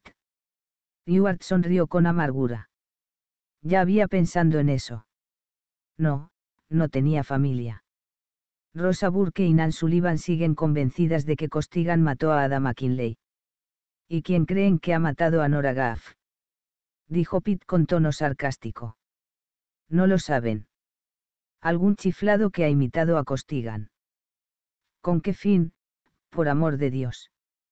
No esperaría que echasen la culpa a Costigan, supongo. No lo sé, respondió Ewart. Ellas prefieren pensar que el asesino fue Costigan y que ya lo han ahorcado, quitado de en medio. En cualquier caso, da igual lo que piensen. Alguien estuvo en la habitación de Nora Gaff, un hombre joven de pelo abundante y rizado, y en la casa no entró ni salió nadie más, así que tuvo que matarla él. Dios sabe quién pueda ser. Yo desde luego no lo sé. No entró ni salió nadie más. Repitió Pitt. Nadie. Ewart parecía sumido en la más absoluta desdicha, como si hablase de una desgracia personal y no de uno de los muchos sucesos que debía de haber presenciado a lo largo de su vida profesional.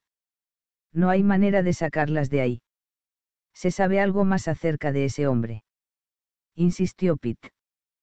Complexión. Modo de andar. Orejas.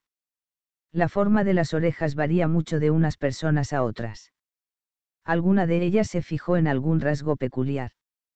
Hágalas pensar, exíjales que recuerden. No me diga cómo debo hacer mi trabajo. Replicó Ewart con indignación. Ya les he preguntado todo eso. Ninguna se fijó en él. Era un cliente más. Nadie vigila la casa. Pitt no podía evitar seguir acosándolo. No tenía nada más a que agarrarse. Nadie protege a esas mujeres. No hay al menos alguien que cuente a los clientes para asegurarse de que no se quedan parte de las ganancias. Sí, y solo recuerdan que iba bien vestido y tenía una espesa mata de pelo. Escuche, Pitt, he dado vueltas y más vueltas al asunto. Ewart olvidó el nuevo rango de Pitt y se dirigió a él como lo que había sido en otro tiempo, un igual. Hay varios agentes buscando a ese hombre a partir de su descripción. Han visitado todos los burdeles y casas de citas al norte de Mailand, al este de Limehouse, y al oeste de la torre. En la zona se vio al menos a media docena de hombres que concuerdan con la descripción. Parecía a punto de añadir algo pero cambió de idea. No tenemos nada. Pitt, también agotado, se recostó contra el respaldo de su silla. Era Finlay Fitzjames después de todo. O era Iago Jones, víctima de una extraña locura, una amarga mezcla de odio a las prostitutas, a su vida pasada, a Finlay y a los secretos que éste conocía de él o quizá odiaba a Finlay porque él lo había introducido en esa clase de vida. ¿Cuál era el origen de su locura? ¿Acaso la convicción de que Finlay lo había inducido a descubrir al pecador que llevaba dentro, sujeto a un apetito voraz e incontrolable? ¿Qué ocurre? preguntó Ewart, irguiéndose de pronto y tirando una pila de papeles con el codo. ¿Qué sabe? Nada, contestó Pitt. Pero tendré que hablar de nuevo con el reverendo Jones. Jones. Repitió Ewart sorprendido, sin molestarse en recoger los papeles, cree que puede darnos alguna pista. Personalmente lo dudo. Es un buen hombre, pero no sabe nada de los asuntos mundanos. Si estuviese enterado de algo, ya nos habría informado. Al desvanecerse la momentánea esperanza, su voz cayó de nuevo en su anterior monotonía. En cualquier caso, hablar con él será una pérdida de tiempo. No delataría a un feligrés aun si tuviese la certeza de que era culpable. Por los votos de los clérigos y esas cosas. Es mejor buscar posibles conexiones entre Ada y Nora, averiguar quiénes las conocían a las dos. Ya he empezado a investigar en esa dirección. Revolvió los papeles que acababan de caerse, apartó unos cuantos y se los tendió a Pitt. Ahí constan las personas que conocían a las dos mujeres y trataban con ellas por una u otra razón, vestidos, medias, cosméticos, medicamentos, comida, calzado, e incluso ropa de cama. Dejó escapar un gruñido. No tenía la menor idea de que una prostituta comprase tanta ropa de cama. Fíjese, unos cuantos coinciden. Es lógico. Pitt cogió los papeles, aunque no esperaba descubrir nada de especial interés. Supongo que en una zona tan reducida como esta no hay demasiados comerciantes en esa clase de artículos. ¿Concuerda alguno de ellos con la descripción? De momento no. La mayoría son hombres de mediana edad y estaban en casa con sus familias cuando se produjo el crimen. Ewart se sumió de nuevo en la impotencia, desmoronándose en la silla. ¿Hay noticias de Lennox? Preguntó Pitt. No. Nora fue asesinada exactamente de la misma manera que Ada, respondió Ewart con el dolor escrito en el rostro y una ira incontenible y devoradora. Con idénticas torturas. Todos los detalles coinciden, incluso aquellos que solo nosotros conocíamos. Tiene que haber sido la misma persona. No existe la menor diferencia. Preguntó Pitt en un susurro. El desordenado despacho resultaba claustrofóbico, no había espacio suficiente para albergar tan desmesuradas emociones. No, ninguna, confirmó Ewart. Se ha encontrado algo más, aparte del botón y el pañuelo. Prosiguió Pitt. No. Extraño, no. ¿Qué? Que todas las pruebas aparecidas en los escenarios de los dos crímenes impliquen a Finlay Fitzjames. Circunstancial, dijo Ewart, apresurándose más de lo necesario, y de inmediato, muy pálido, se hundió de nuevo en la silla. Quería decir, continuó Pitt, perplejo y disgustado, que hay algo anormal. Cuanto más lo pienso, más clara es mi impresión de que en ambos casos alguien colocó las pruebas a propósito para que las encontrásemos. Alguna de las mujeres que viven en esas dos casas conocía a Finlay Fitzjames aunque fuese de vista. Ewart se enderezó con un respingo. No.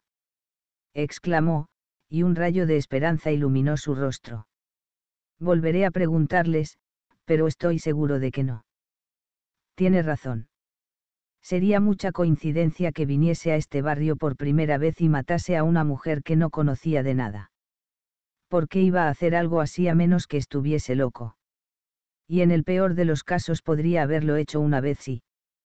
Tragó saliva con dificultad, como si tuviese la garganta cerrada por la tensión. Si hubiese estado borracho o, fuera de sí a causa de la lujuria, la ira o alguna otra pasión. Pero esa primera vez bastaría para aterrorizarlo. No volvería por aquí menos de dos meses después para repetir el crimen, y menos sabiendo que sospechamos de él. Ahora estaba inclinado sobre la mesa, su rostro súbitamente alerta por el entusiasmo. Usted ha hablado con él, Pitt. Le pareció un hombre poseído por alguna forma de locura. O le pareció más bien un joven que en el pasado era incapaz de dominarse, que de vez en cuando actúa neciamente, se excede con la bebida y no recuerda qué ha hecho la noche anterior, y que está muerto de miedo ante la idea de que lo acusen de un delito que no ha cometido.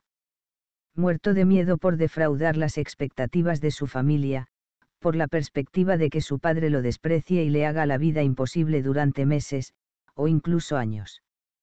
Esa era exactamente la impresión que Finlay había causado en Pitt. Él mismo habría sido incapaz de expresarlo con mayor precisión. Era una caracterización en extremo perspicaz del hombre que había conocido. Había subestimado las opiniones de Ewart. Su apreciación no podría ser más acertada, respondió. Fitzjames reacciona de ese modo cada vez que se siente amenazado. Miró fijamente a Ewart. Nos equivocamos con Costigan. Yo estaba totalmente convencido de su culpabilidad. No conseguí entender el detalle de las botas y la liga, pero no tenía la menor duda de que la mató él. Tampoco yo, dijo Ewart con gravedad. Y sigo pensando que fue él. Las botas y la liga debieron de ser cosa del cliente anterior. ¿Y la segunda vez, con Nora? Preguntó Pitt. ¿No sería el mismo cliente? No, eso tuvo que ser obra de quien colocó allí el pañuelo y el botón, para convencernos de que el crimen lo había cometido la misma persona. Apretó los labios. Siento decirlo, señor, pero empiezo a sospechar del reverendo Jones. La verdad es que tiene algo de fanático. ¿Por qué, si no, un caballero de buena posición renuncia de pronto a todo, toma el hábito y elige venir a trabajar a un sitio como Whitechapel? Movió la cabeza en un gesto de escepticismo. La gente como él no necesita trabajar. Fíjese en los otros socios del Club Fuego del Infierno. Heliwell trabaja en la City, pero solo cuando le viene en gana. Podría prescindir. Simplemente le gusta vivir a lo grande. Tiene una esposa que mantener, y supongo que ahora también hijos. Se pasea en su propio coche, tiene una casa enorme y muchos criados, organiza fiestas. Probablemente la asignación para ropa de su esposa supera lo que Yahoo Jones gana en una década. Pitt no podía rebatírselo. Otros pensamientos se agolpaban en su mente. Y ahí tiene a Tirlstone, prosiguió Ewart con desdén. Juega a hacerse el artista. Eso no le proporciona ingresos, pero tampoco los necesita. Es pura diversión. Pasa de una conversación estúpida a otra. Pasea por el parque, visita las exposiciones y los talleres de los pintores. Fitzjames, por su parte, quiere ser embajador o parlamentario, pero en realidad no trabaja a diario como usted o yo. Va al Foreign Office cuando se le antoja, y su trabajo consiste principalmente en cultivar relaciones útiles y dejarse ver donde conviene. Pitt guardaba silencio. Percibía el desprecio de Ewart y lo comprendía, quizá incluso lo compartía. Jones, en cambio, trabaja de sol a sol, concluyó Ewart domingos incluidos. No sé cuánto le pagan, pero por algo ser, más pobre que un ratón de iglesia, se considera el colmo de la miseria. Lleva ropa vieja, come lo mismo que la gente del barrio, y probablemente en invierno pasa el mismo frío. Vive peor que yo, ¿y por qué? No lo sé. Pitt se levantó. Pero estoy de acuerdo con usted, eso requiere una respuesta entre tanto mejor será que siga buscando al hombre que vio viva por última vez a Nora. Ya no sé a quién preguntar, protestó Ewart. Hemos hablado con todas las mujeres que viven en la casa, con los obreros de la fábrica de botellas, los vecinos y tenderos de la calle. Interrogue también a los mendigos y vendedores ambulantes, ordenó Pitt desde la puerta. Siga intentándolo. Alguien tuvo que verlo. No puede habérselo tragado la tierra. Hizo girar el picaporte. A menos que se le ocurra algo mejor. Dejó a Ewart en el despacho lóbrego y revuelto y volvió a Mirle Street. La cuestión del cliente que había desaparecido lo obsesionaba. Tenía que ser él quien había asesinado a Nora Gaff, pero el hecho de que nadie admitiese haberlo visto salir era significativo. En realidad, tampoco lo había visto llegar nadie. Aquella casa era un burdel. Siempre había gente por allí. No solo por las idas y venidas propias del oficio, sino por razones de seguridad. Cualquier mujer que trabajase en la calle conocía los riesgos de tropezarse con un cliente violento, grosaro, remiso a la hora de pagar, o con gustos y exigencias que no estaba dispuesta a satisfacer. Caminó con paso enérgico por las calles grises y concurridas, hombres y mujeres que andaban apresuradamente por las aceras, comerciantes, oficinistas, recaderos, repartidores, mercachifles y vendedores de periódicos. La muerte de Nora seguía ocupando la primera plana de todos los diarios, junto con proclamas de la inocencia de Costigan y peticiones de reforma. Algunos incluso solicitaban la abolición de la policía por su fracaso con el primer asesino en serie de Whitechapel, y nuevamente con el segundo. Pitt apretó el paso, deseando mirar en otra dirección y sintiéndose a la vez atraído por ellos contra su voluntad. Pese a haber imaginado escabrosos titulares, los reales superaban con creces sus previsiones. Un vendedor pregonaba, la policía no llega a ninguna parte. Whitechapel sumido de nuevo en el terror. Y en el cartel de un hombre anuncio se leía, ha vuelto ya que el destripador. La policía se revela impotente. El comisario Pitt no avanza en su investigación. O quizás sí. ¿Acaso sabe algo que no se atreve a decir? ¿Quién es el asesino de Whitechapel? Llegó a la casa de Mirle Street tenso, deprimido y sin aliento.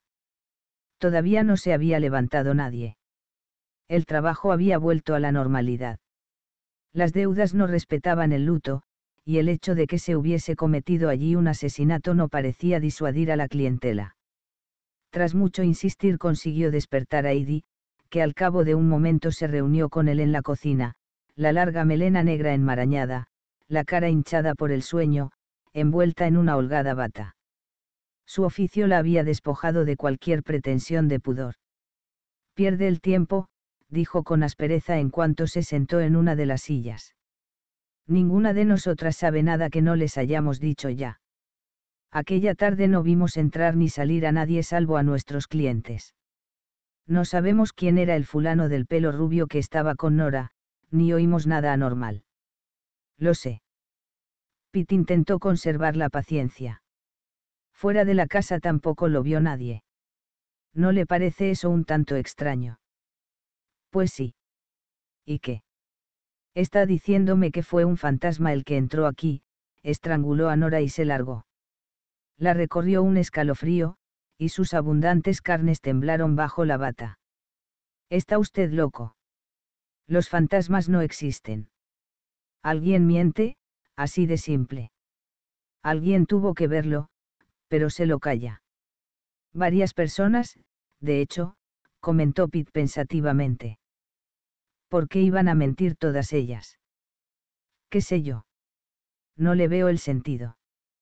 Personalmente quiero que atrapen a ese canalla y lo lleven a la horca.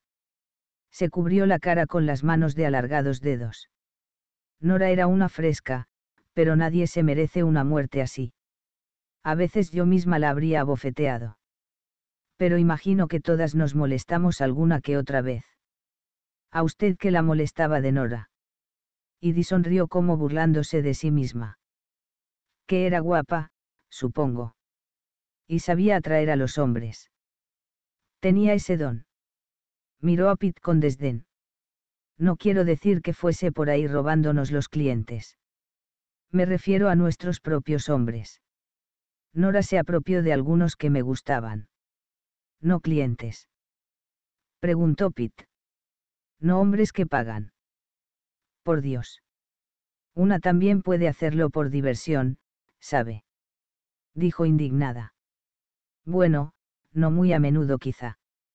Pero es agradable tener al lado a un hombre que esté a gusto con una.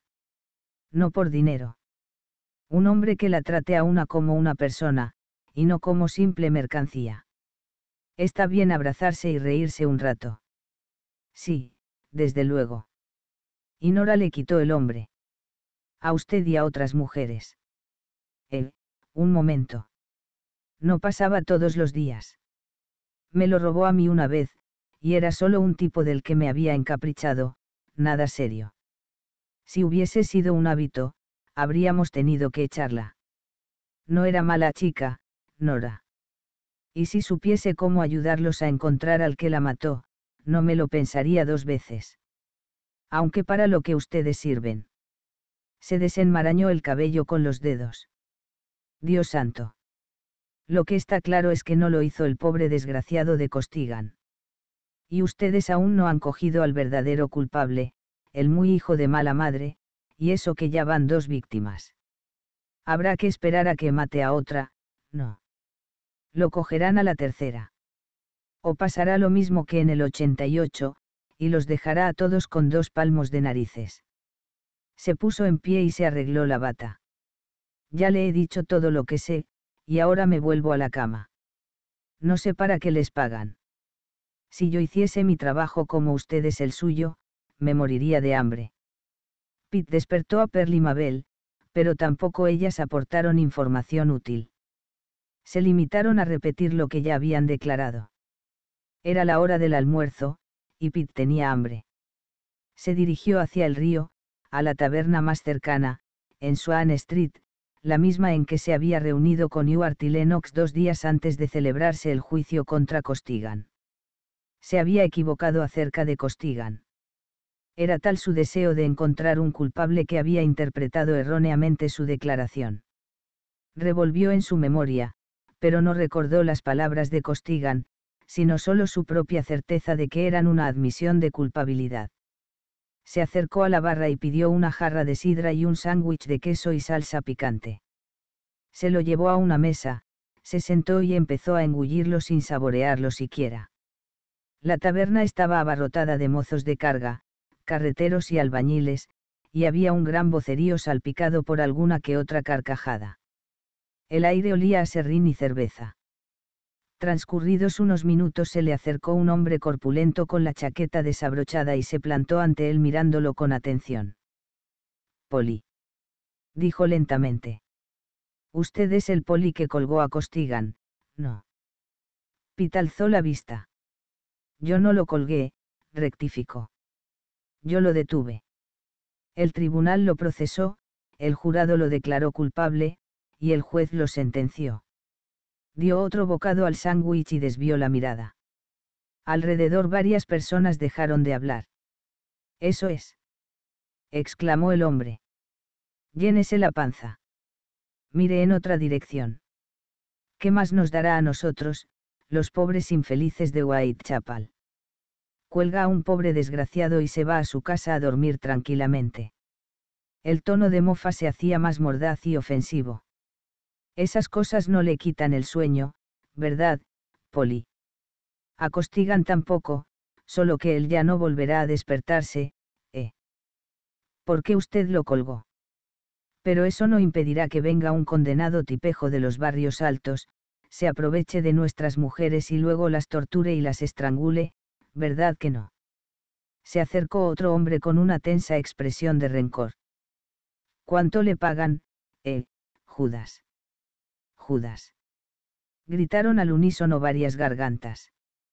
Ya nadie comía. Todas las conversaciones se habían interrumpido. Alguien se puso en pie.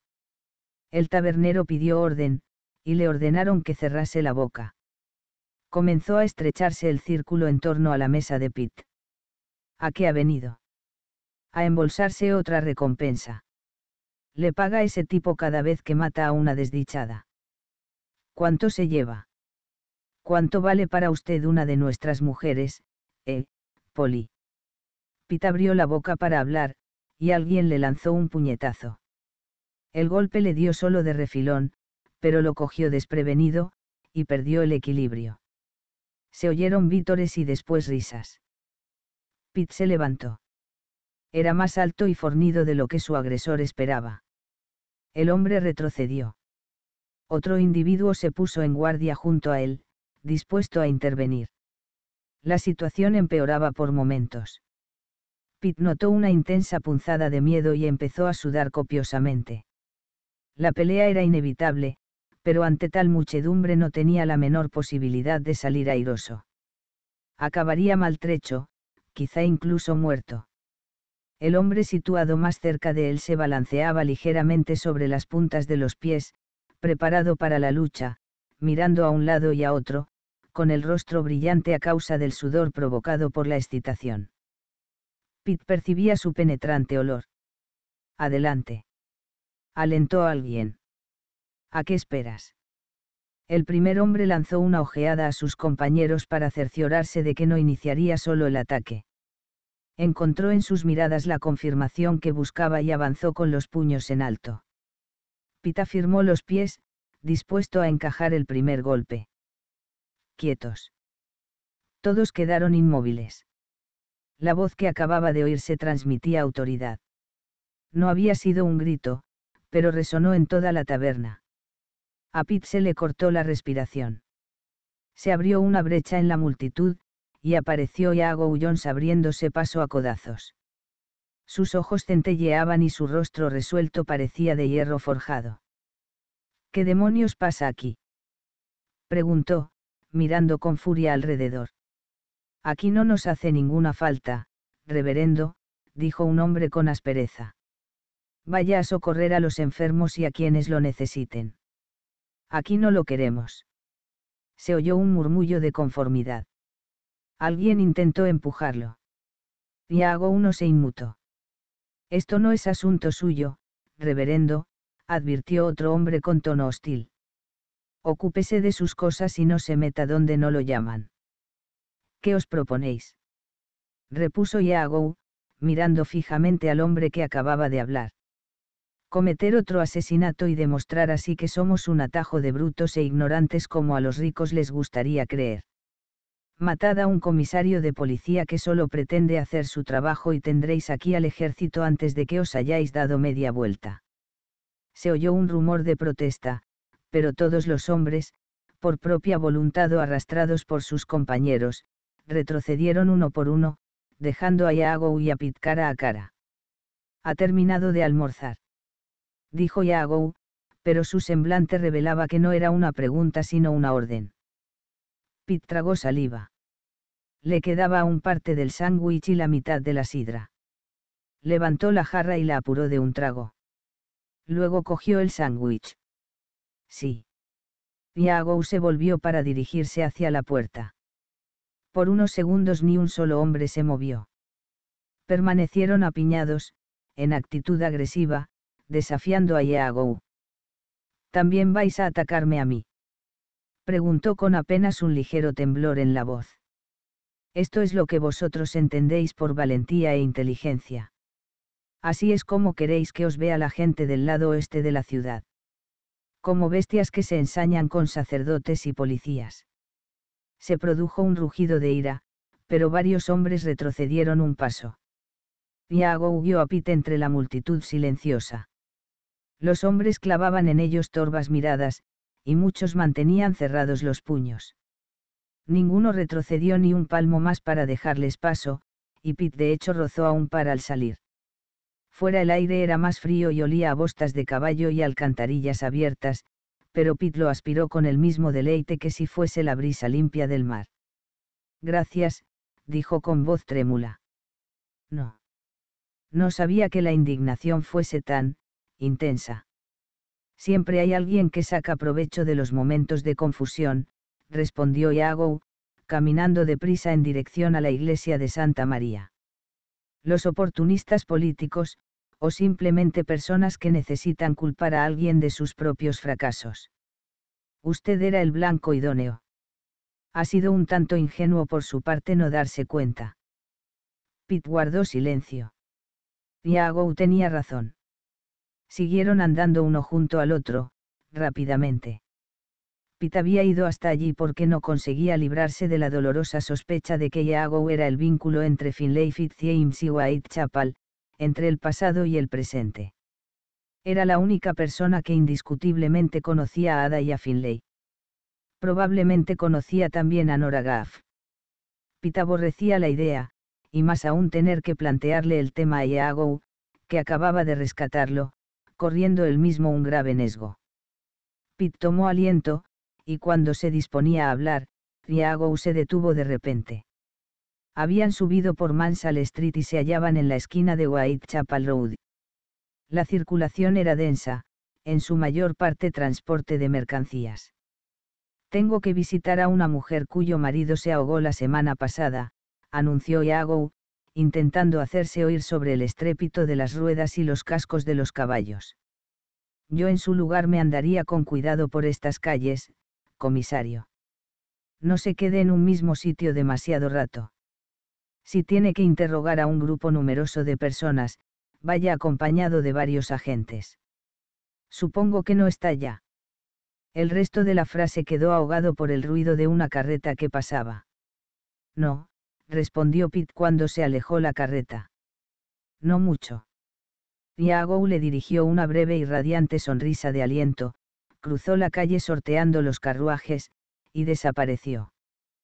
Pitt fue a buscar a Lennox cabía la posibilidad de que hubiese omitido algún detalle, alguna mínima diferencia, o incluso alguna percepción sobre la personalidad del hombre capaz de perpetrar tales atrocidades con otro ser humano. Lo encontró en un refugio hecho con cajas de madera medio podrida junto a la escalera que bajaba al río.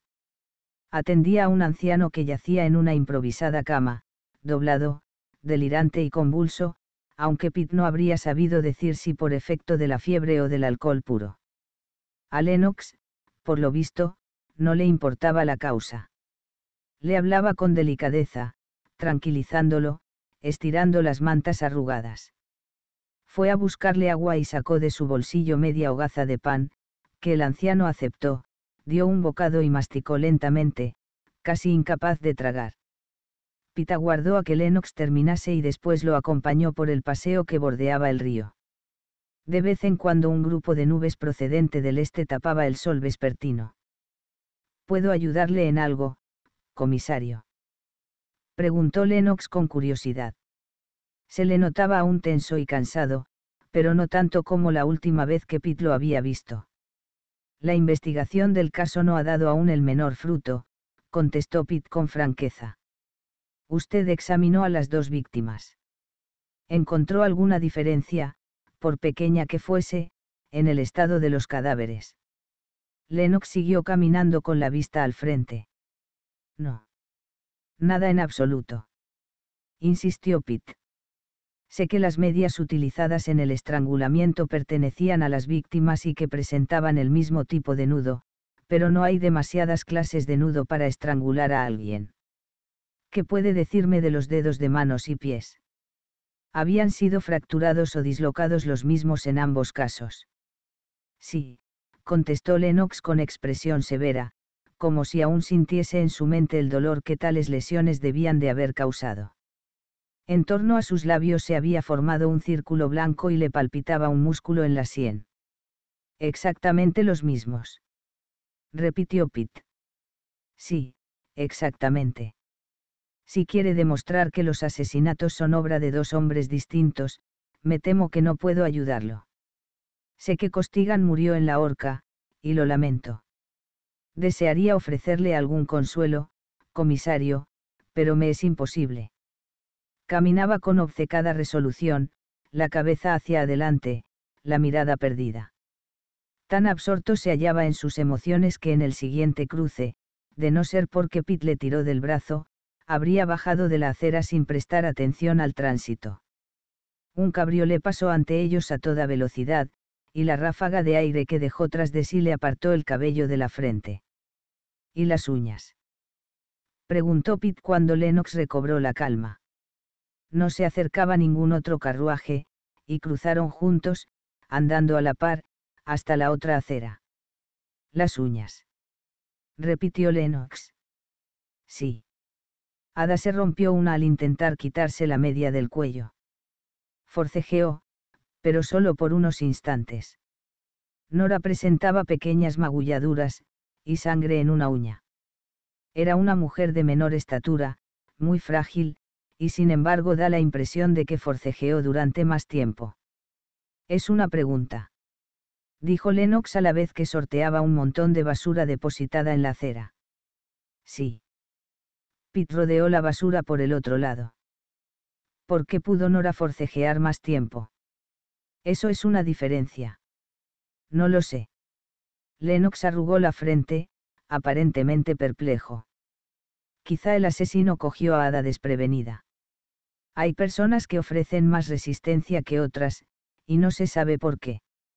Ocurre como con las enfermedades, unos pacientes sucumben, mueren de afecciones de las que en teoría deberían haberse recobrado fácilmente, otros, en cambio, se aferran a la vida y superan dolencias o heridas que deberían haberlos llevado a la tumba, que habrían acabado con la vida de cualquier otra persona. Guarda relación con la voluntad, no con el tamaño o la fortaleza física. Pita guardó a que continuase, pero Lennox se quedó en silencio. En todo caso, a juzgar por las pruebas forenses, considera que cometió los dos asesinatos la misma persona. Preguntó Pita al cabo de un par de minutos. Lennox se detuvo y se volvió hacia él. En su sombría mirada se advertía confusión y dolor, y en sus labios la tensión del recuerdo. No lo sé, comisario. Yo solo puedo hablar de lo que veo. A usted le corresponde conjeturar quién es culpable y quién inocente. En eso no me es posible ayudarlo. Si pudiese señalar a alguien y decir, ese es el hombre, lo haría. A ese respecto no creo que tenga usted la menor duda. He visto a dos mujeres jóvenes torturadas, sometidas a vejaciones y un profundo terror, y asesinadas. Se le quebró la voz y por un momento perdió el control, sucumbiendo a sus violentas emociones. Tomó aire con visible esfuerzo, tragó saliva y trató de recuperar por lo menos el dominio de su semblante. Pitt tendió una mano y lo cogió del brazo. Notó sus músculos agarrotados bajo la tela de la chaqueta. Cálmese, susurró. Lo siento. No debería haberlo presionado. Sin duda las mató la misma persona.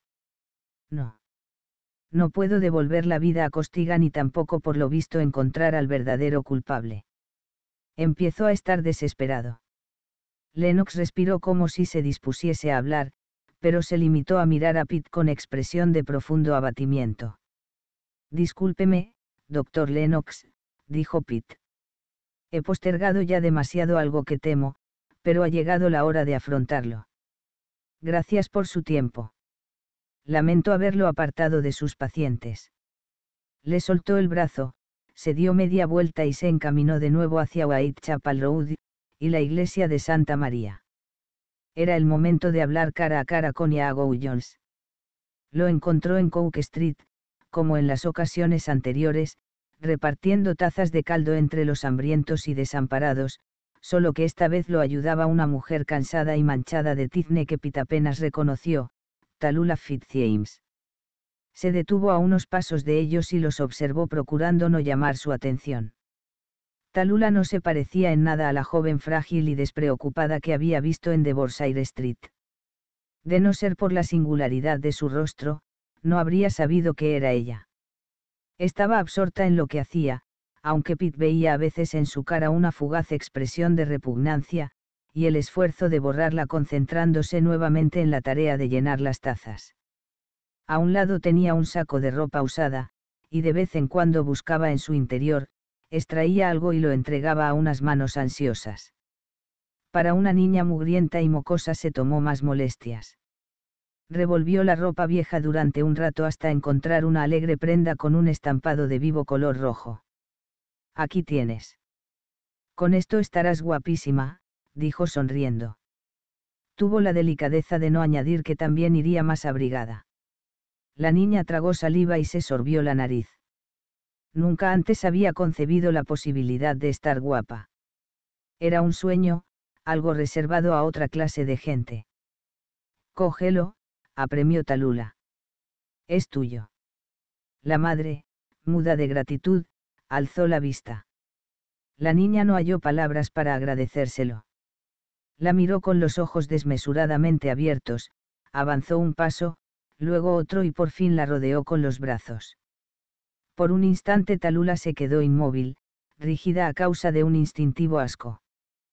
Con un esfuerzo de voluntad que se reflejó en su rostro durante apenas unas décimas de segundo, se sobrepuso, sonrió y se agachó para abrazar también a la niña. A continuación pasó a ocuparse de la siguiente persona de la cola, pero en su cara permaneció una expresión de dulzura, como si algo precioso se mostrase aún a sus grandes ojos. La cola avanzaba lentamente. Los hombres con visible resentimiento, disgustados por tener que recurrir a la caridad. Las mujeres, demacradas, con niños sucios en brazos, carecían de ese orgullo, para ellas, el hambre y el frío de un hijo era mucho peor que cualquier forma de degradación o la admisión de su necesidad. Cuando se terminó el caldo y Iago y Talula quedaron solos junto a la carretilla, Pete se acercó a ellos. Talula recogía el saco, ya vacío, que había contenido la ropa usada. Pete se preguntó si la habría facilitado ella misma, uniendo a su trabajo una aportación material. Iago salió a su encuentro y lo saludó educadamente pese al cansancio y la cautela que se traslucían en su mirada. Talula se hallaba a unos pasos de ellos, aún poniendo orden. ¿Qué puedo hacer por usted, comisario? Solo sé lo que ya sabía la última vez que hablamos. Conocía a Nora Gaff. Dijo Pitt con voz tranquila. Eso no tuve ocasión de preguntárselo en nuestra última conversación. Iago sonrió a su pesar. No, ciertamente no tuvo ocasión. Pues sí, la conocía un poco. Una chica preciosa. Muy joven. Muy segura de sí misma. Creo que quizá habría acabado casándose y convirtiéndose en una mujer respetable. A veces ocurre, sabía. Escrutó el rostro de Pete en busca de incredulidad. Sí, lo sabía, afirmó Pete. Yo mismo conozco algunos casos. Iago dejó escapar un suspiro. Claro, como no iba a saberlo.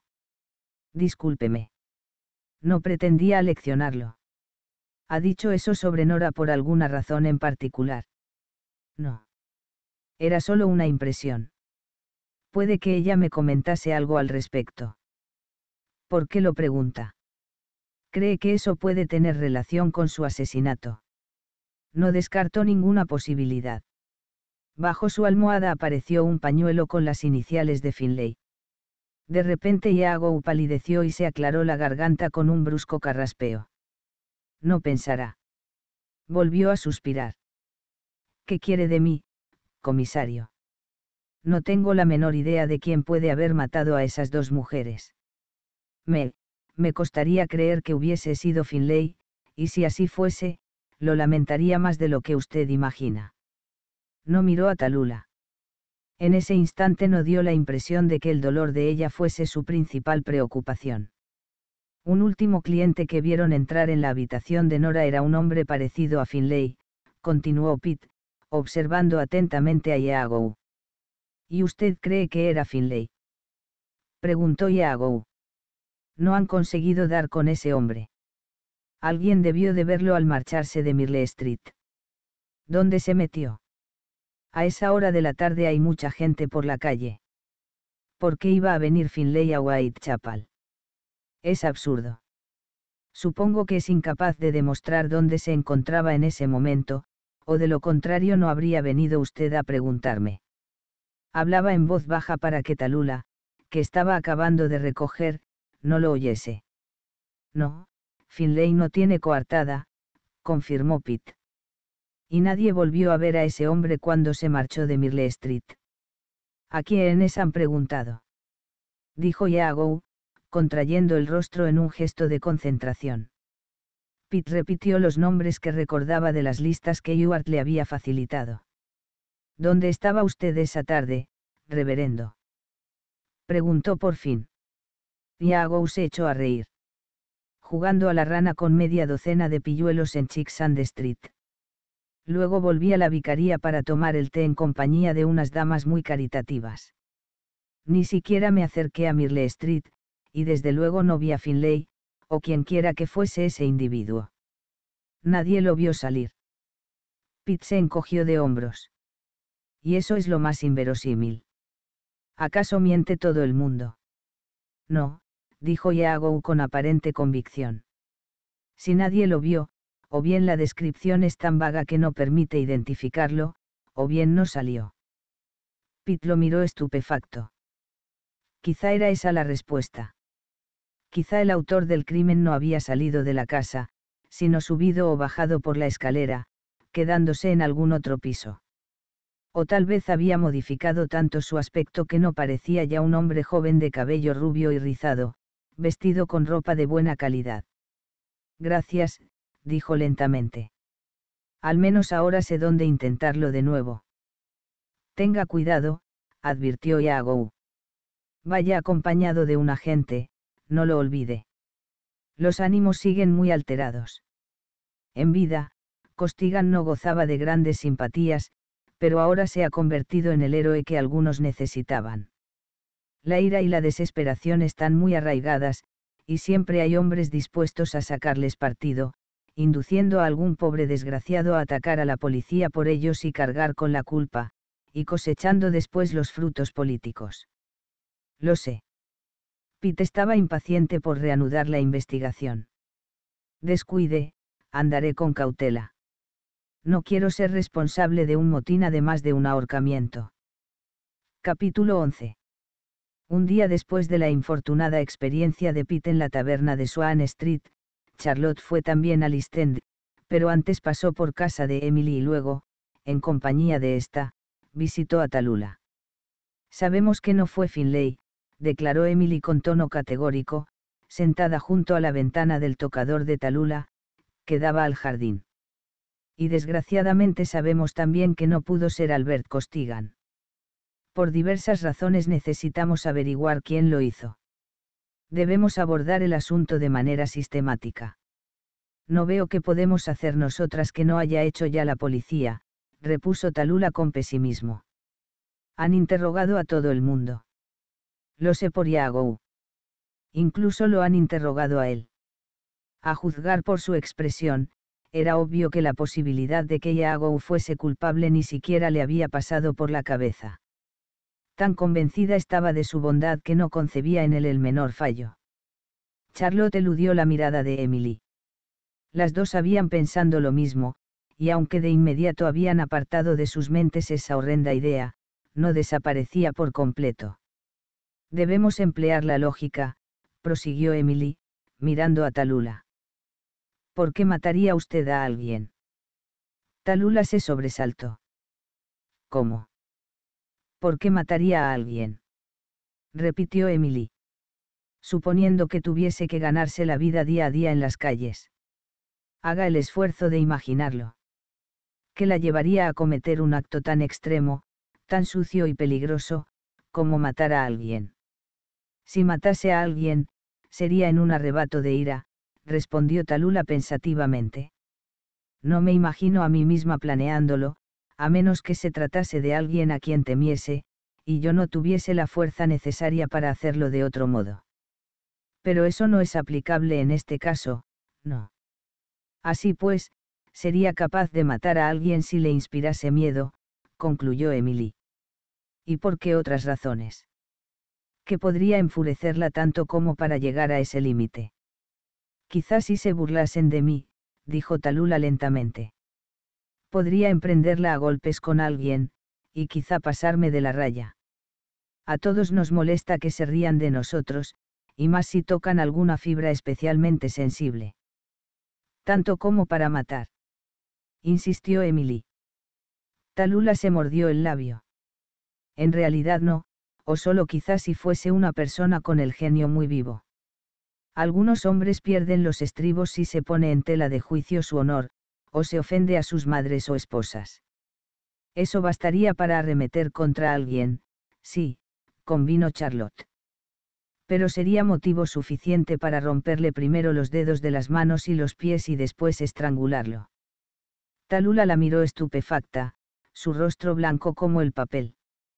Movió los labios como si fuese a hablar pero de su garganta no salió el menor sonido furiosa consigo misma y abrumada por un intenso sentimiento de culpabilidad, Charlotte comprendió que, como era de suponer, Talula no leía los periódicos.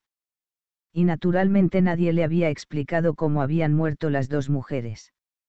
Debía de haber supuesto que había sido un simple estrangulamiento, algo rápido, unos instantes de forcejeo por respirar y después la inconsciencia. Y de pronto, con una sola frase, se había visto arrojada a la realidad. Lo siento, susurró Charlotte. He olvidado que no estaba enterada de eso. Debería haberme callado. Talula tragó saliva con visible esfuerzo. ¿Por qué? Se le quebró la voz. ¿Por qué tendría que protegerme de la verdad? Esa es la verdad, no. Las, torturaron. Sí. ¿Por qué? ¿Por qué tenían que hacerles una cosa así?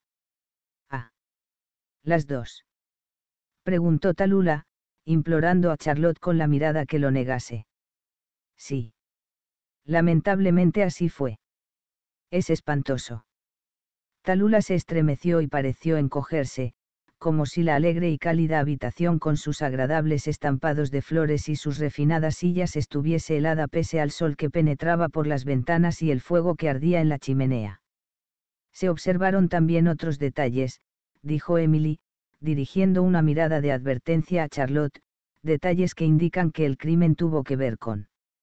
Vaciló, buscando la manera de describir aquello sin causar aún mayor desasosiego a Talula, que no era una mujer casada y, cabía suponer, desconocía muchos aspectos de la vida. Por fin añadió, con las relaciones entre hombres y mujeres. ¿Qué, detalles? preguntó Talula con voz ronca. Emily parecía incómoda. Detalles absurdos, prosiguió. A veces la gente tiene, fantasías extrañas. Cierta gente. Se interrumpió y buscó apoyo en la mirada de su hermana. Charlotte respiró hondo y explicó con voz serena. Toda relación tiene su lado extraño. A veces las personas disfrutan lanzándose comentarios hirientes, o adoptando una actitud dominante. Seguramente lo habrá usted observado en más de una ocasión. Entre algunos hombres y mujeres esas situaciones llegan a un grado extremo y adquieren una forma física. Desde luego eso solo se da en una minoría de la gente. Pero parece que quien quiera que haya cometido estos crímenes, es. Comprendo. Talula realizó el valiente esfuerzo de aparentar ecuanimidad. Eso significa, pues, que ese individuo tiene una vena de extraordinaria crueldad, y que mantenía, relaciones físicas con las víctimas. Dejó escapar una risa nerviosa. Aunque eso no es de extrañar, considerando el oficio de esas mujeres. ¿Pero por qué matarlas? No lo sé, contestó Emily. Quizá lo amenazaron. ¿Cómo? Talula parecía confusa. Eran más débiles que él. Por fuerza tenían que serlo. Con un chantaje, quizá, sugirió Emily. Las dos. Preguntó Charlotte con escepticismo. ¿En qué podía consistir el chantaje? En contar que había visitado a una prostituta. No suele hablarse del tema abiertamente, pero todas sabemos que los hombres lo hacen. De no ser así, no habría prostitutas. Sabemos que ocurre con otros hombres, corrigió Emily. Pero ¿y si es tu marido? ¿Y si alguien tan cercano a ti siente esa clase de apetitos? A algunos hombres podría arruinarles la vida. Imaginemos que alguien tiene en perspectiva un matrimonio ventajoso, o que ya se ha casado y depende de la buena voluntad de su suegro para mejorar su posición. O que necesita un hijo varón, un heredero, y teme que su esposa se lo niegue si llega a descubrir su conducta. Sí, eso tiene sentido, concedió Charlotte. Pero ¿por qué las dos, Ada y Nora? ¿Y por qué torturarlas? ¿Por qué no simplemente matarlas y marcharse de allí lo antes posible? Cuanto más tiempo permaneciese en el lugar del crimen, mayor era el riesgo de ser atrapado. ¿Y acaso la tortura podría formar parte de su perversión? No, en absoluto. Ninguna prostituta se prestaría a dejarse romper los dedos de las manos y los pies por más que le pagasen. Dejarse atar y echar agua fría quizá, pero no lo otro. Talula seguía muy pálida y estaba encorvada en su elegante silla. Pruebas, aventuró pensativamente. Ada tenía pruebas de su conducta, y él la torturó para que se las entregase. Pero ella no se las entregó, porque había pedido a Nora que se las guardase, conjeturó Charlotte. ¿Qué clase de pruebas? preguntó Emily con creciente entusiasmo en la voz. Por fin habían hallado una posibilidad con cierta lógica. Retratos comprometedores. Cartas. La declaración de un testigo. ¿Qué? La declaración de un testigo, contestó Charlotte. Los dibujos o pinturas no tienen ningún valor, no sirven como pruebas. Y nadie tomaría fotografías de algo así. Sería imposible. Hay que posar una eternidad para hacerse una fotografía. ¿Y quién envía cartas a una prostituta? Tiene que ser algo relacionado con un testigo. Quizá había ocurrido ya otras veces. Quizá muchas mujeres lo saben, y Ada tenía declaraciones escritas de todas ellas. ¿Y dónde están ahora? Talula miró alternativamente a Charlotte y Emily. En poder de ese hombre. Honora las tenía bien escondidas, y él no consiguió encontrarlas. Lo que debemos hacer, propuso Charlotte con determinación, irguiéndose en la silla, es reunir la mayor información posible sobre Nora y Ada. Ahí está la respuesta. Primero necesitamos demostrar que se conocían. Debemos averiguar todo lo que tenían en común, y luego tratar de encontrar a otras mujeres que conozcan a ese hombre. Podrían darnos una descripción exacta de él, o quizá incluso su nombre. Estupendo. Talula se puso en pie. Nos pondremos manos a la obra inmediatamente. Iago nos ayudará conocía a Ada McKinley. Él sabrá por dónde debemos empezar, y hasta puede que nos ayude a granjearnos la confianza de la gente para que acceda a hablar con nosotras.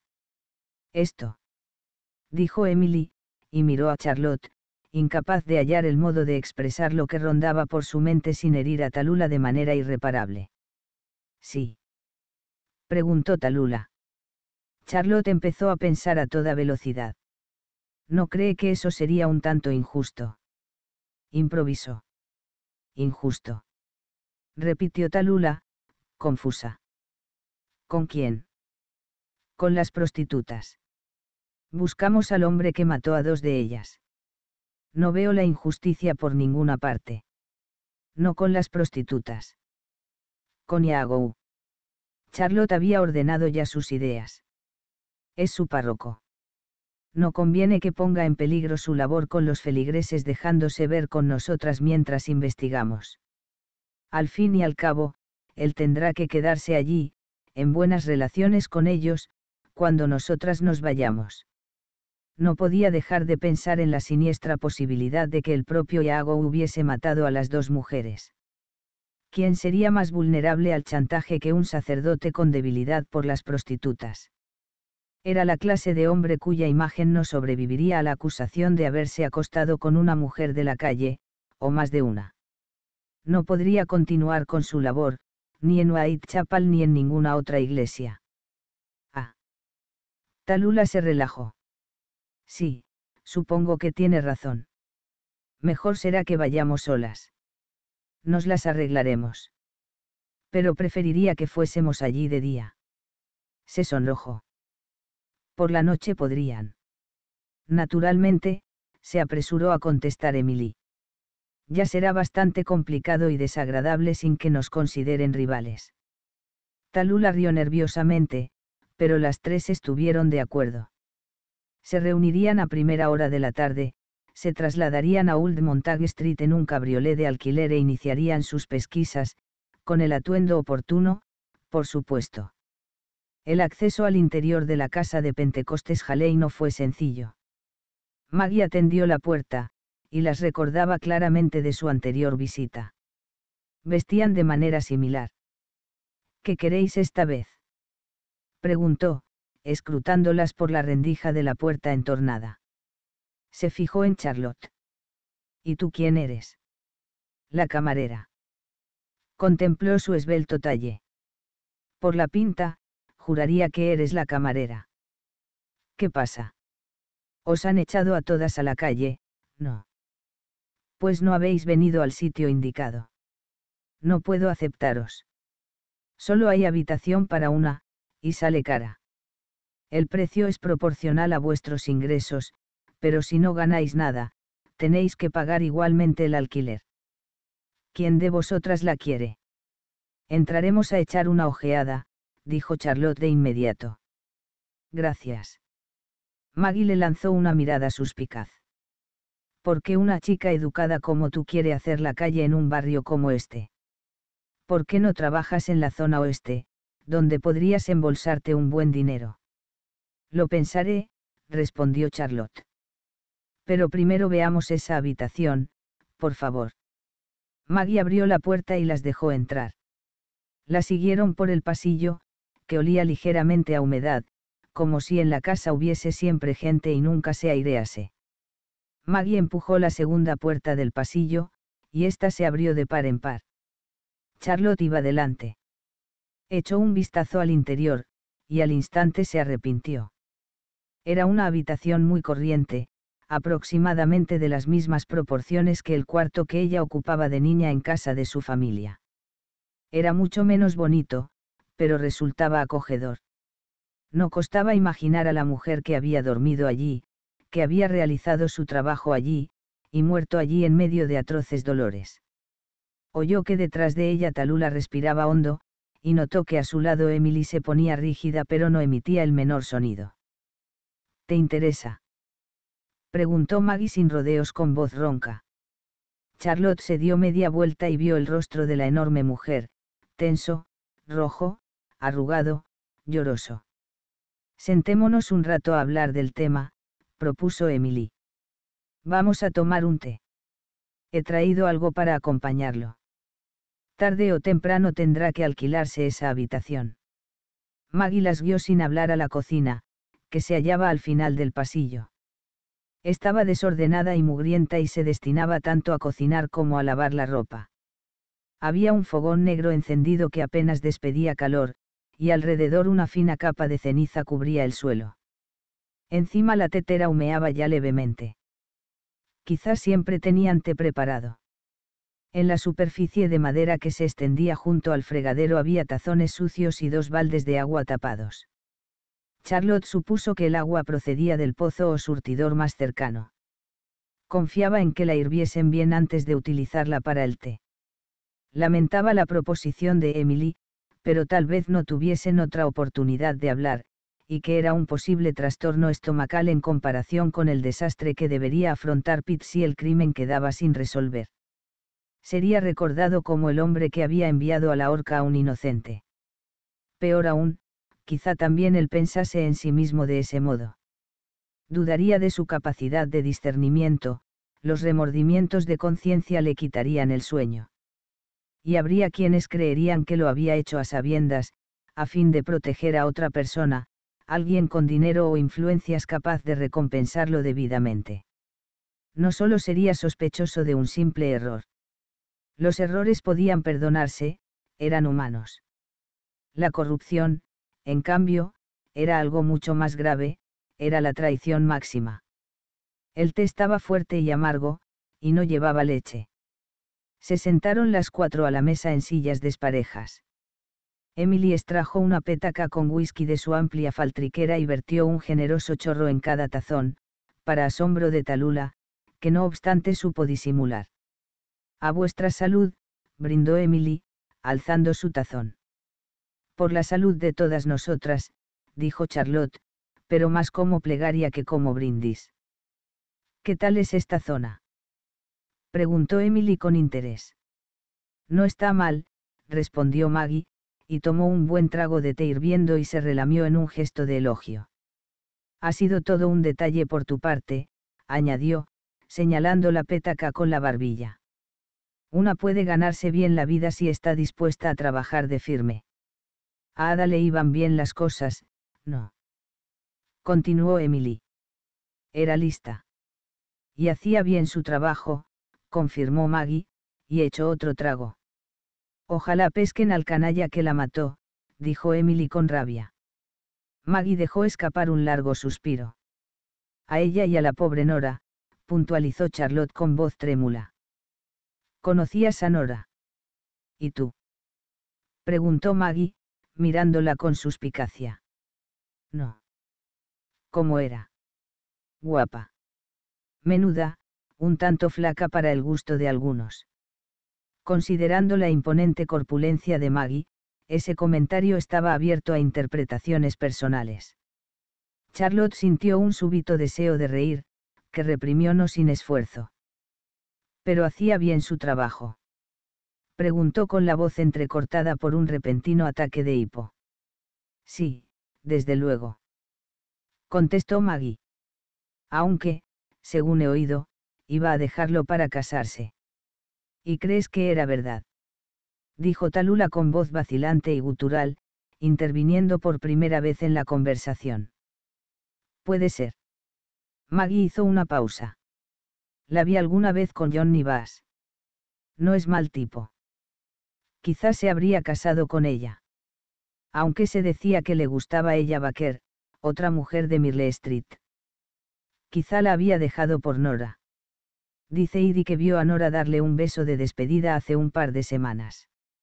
Yo he dado besos de despedida a muchos hombres, y eso no significa que vayan a casarse conmigo, repuso Talula. Eso haces. Maggie la observó con atención. Se nota que no llevas mucho tiempo en el oficio, guapa. Ándate con cuidado.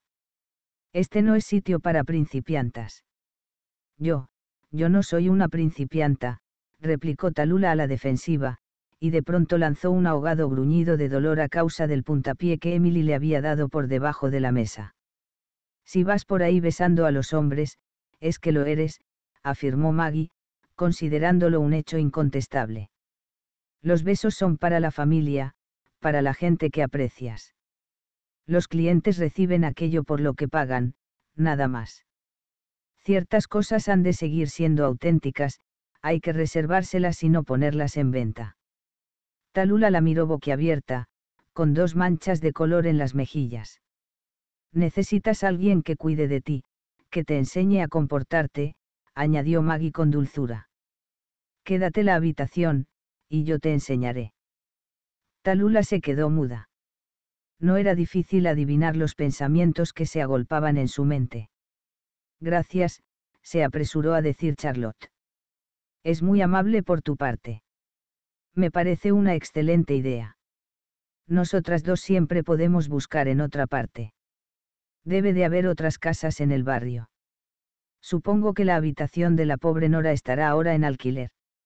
No sabría decirte, respondió Maggie. Pero podéis preguntar. Si está ya ocupada, podríais ir a ver a Maveins, en Chicksand Street. Ella suele tener habitaciones libres. No es el sitio ideal, pero de momento os sacará del apuro, y cuando aparezca algo mejor, os trasladáis. No lleva mucho tiempo aquí, pero he oído decir que no se porta mal. La ropa tenéis que ponerla vosotras. Se volvió hacia Talula. Tú tienes tu propia ropa, no. M, mi propia ropa. Repitió Talula, tartamudeando. Sí. Santo cielo. Claro está que eres una principianta. Maggie movió la cabeza en un gesto de desesperación. Pero de cara no estás mal, y tienes el pelo bonito. Aún podrá hacerse algo contigo.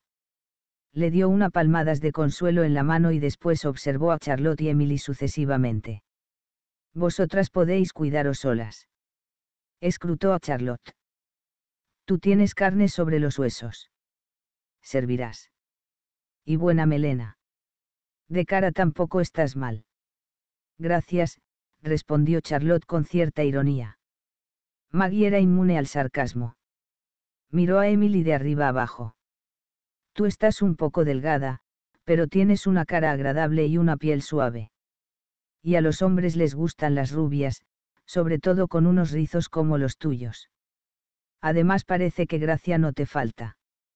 Servirás. ¿Puedes decirnos dónde encontrar a Maveins? Preguntó Emily, pasando por alto su evaluación personal y volviendo a la cuestión que las atañía. Sí, claro, contestó Maggie. En el 21 de Chicksand Street. Es la calle siguiente a esta en dirección a Mailand. Cualquiera os indicará el camino. Parecía que la conversación tocaba a su fin, y sin embargo no habían obtenido aún información suficiente para abandonar. Ada y Nora se conocían, comentó Charlotte sin rodeos. Se parecían en algo. Tenían amigos comunes. Maggie pestañeó, perpleja. ¿Y a ti qué más te da? No quiero acabar con los dedos de las manos y los pies rotos y estrangulada con una de mis medias, contestó Charlotte con tono rotundo. Si hay por aquí un chiflado, me gustaría saber qué clase de víctimas elige para no estar entre ellas. Mira, guapa, elige solo a una clase de mujeres, respondió Maggie con cautela. Las mujeres que se venden a cualquier hombre porque tienen que dar de comer a sus hijos, o porque no quieren trabajar en las fábricas de cerillas para acabar con fosforismo y ver cómo se les pudre la cara, o en los talleres de costura cosiendo faldas todo el día y media noche a cambio de un salario con el que no viviría ni una rata mientras dura, es más fácil ganarse la vida tumbada de espaldas. Volvió a llenar de té los tazones y lanzó una mirada esperanzada a Emily. Emily añadió de nuevo un chorro de whisky en cada tazón. Gracias, dijo Maggie antes de proseguir con su arenga. Si querías una vida sin peligros, tendrías que haber nacido rica. Puede que acabes pillando una enfermedad, o puede que no. Te llevarás alguna que otra paliza, incluso alguna puñalada si te abandona la suerte. Con el tiempo desearás no volver a ver a un hombre hasta el final de tus días. Se sorbió la nariz. Pero no pasarás hambre, ni frío en cuanto vuelvas a casa de la calle. Y tendrás ocasiones de reírte. Dejó escapar un suspiro y tomó un sorbo de té. Qué buenos ratos pasamos, Nora, Rosie, Ada y yo nos contábamos anécdotas y nos hacíamos pasar por señoras respetables. Se sorbió la nariz. Recuerdo que una noche de verano salimos y montamos en uno de los barcos de recreo que suben por el río, como cualquier otra persona. Muy arregladas, claro está. Comimos empanada de anguilas y confitura y bebimos pipermín. Debió de ser una noche inolvidable, susurró Charlotte, imaginándolas pese a que no conocía sus rostros.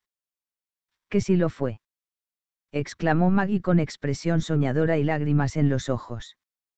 Y a veces nos contábamos historias de fantasmas. Nos asustábamos como niñas. También hubo momentos difíciles, claro, pero supongo que es entonces cuando una descubre quiénes son las verdaderas amigas. Volvió a sorberse por la nariz y se enjugó las mejillas con las manos. Eso es verdad, coincidió Emily. Siento mucho lo de Ada, y espero que cojan al que la mató. ¿Cómo van a cogerlo? Dijo Maggie con tristeza. ¿Cogieron acaso al destripador? ¿Por qué? Pues, iban a coger a este. Talula se estremeció. Dos años después, la mera mención de ese asesino seguía helando la sangre. Charlotte sintió también un escalofrío, pese al té con whisky y al calor de la cocina pequeña y cerrada. En la casa no se oía nada más que sus propias voces. Las otras mujeres dormían después de su noche de trabajo, sus cuerpos exhaustos, recién utilizados por desconocidos para aliviar sus necesidades, sin amor, sin besos, como podría usarse un urinario público. Miró a Talula y vio reflejada en su rostro una nueva toma de conciencia. De la mano de Iago, dando de comer a los pobres, a mujeres respetables oprimidas por el hambre, el frío y la angustia, había conocido un mundo nuevo para ella. Y este era otro mundo, aún mucho más oscuro, con aflicciones distintas, con distintos miedos. ¿Vienen por aquí muchos caballeros? Preguntó de pronto, y las palabras brotaron entrecortadamente de su garganta, como si le doliese pronunciarlas. Hombres con dinero. Margie soltó una carcajada.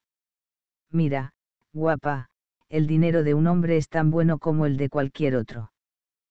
Pero vienen caballeros. Insistió Talula con el semblante tenso y la mirada fija en los ojos de Maggie. No muy a menudo. ¿Por qué? Si te gustan los caballeros, tendrás que ir más al oeste. Haymarket, Piccadilly, esa zona. Pero allí las habitaciones se alquilan por horas y hay mucha competencia. Vale más que lo intentes aquí. Para una principiante será más fácil y yo cuidaré de ti. Talula percibió la ternura de Maggie y la conmovió profundamente. Charlotte lo notó en su expresión. Era, era solo curiosidad, dijo pesarosa, bajando la vista. A veces viene alguno, respondió Maggie, observándola. Fue un caballero el que mató a Ada. Preguntó Talula. No estaba dispuesta a rendirse. Mantenía firmemente sujeto entre sus dedos crispados el tazón lleno de oscuro té y con olor a whisky. No lo sé. Maggie hizo un gesto de indiferencia con sus voluminosos hombros. Estaba convencida de que había sido Bert Costigan, pero no debió de ser él si ahora han matado a Nora de la misma manera. O sea, que podría haber sido un caballero. Emily miró una por una a las otras tres mujeres. Pero es probable. ¿No sería más lógico pensar que las mató alguien que las conocía a las dos? Tal vez fue un caballero que las conocía a las dos, aventuró Charlotte, avanzando un paso más en sus deducciones. Un caballero con gustos un tanto perversos. Maggie apuró el té que le quedaba y dejó el tazón en la mesa con un brusco golpe. No vayas por ahí hablando de esa manera, dijo con tono tajante, señalándola con el dedo. Solo conseguirás asustar a la gente, y eso no sirve de nada. Aquí todas tenemos que trabajar tanto si hay un lunático suelto como si no. Idea ver a Maveins. Ella conoce su trabajo. Os encontrará alojamiento. Y no hagáis ruido al salir. Mis chicas todavía duermen, como haríais vosotras si hubieseis pasado la noche entera trabajando. Miró a Emily, gracias por la bebida. Ha sido muy amable por tu parte. Su expresión se suavizó cuando, por último, se volvió hacia Talula. Te guardaré la habitación hasta mañana. No puedo esperar más tiempo si sale alguna oferta. Gracias, contestó Talula, pero en cuanto salieron de la casa y dejaron atrás el callejón, empezó a temblar violentamente y se arrimó tanto a Emily que casi la tiró de la estrecha acera. Siguiendo las instrucciones de Maggie, llegaron a Chicksand Street y localizaron la enorme y destartalada casa de vecindad donde Maveins tenía su establecimiento.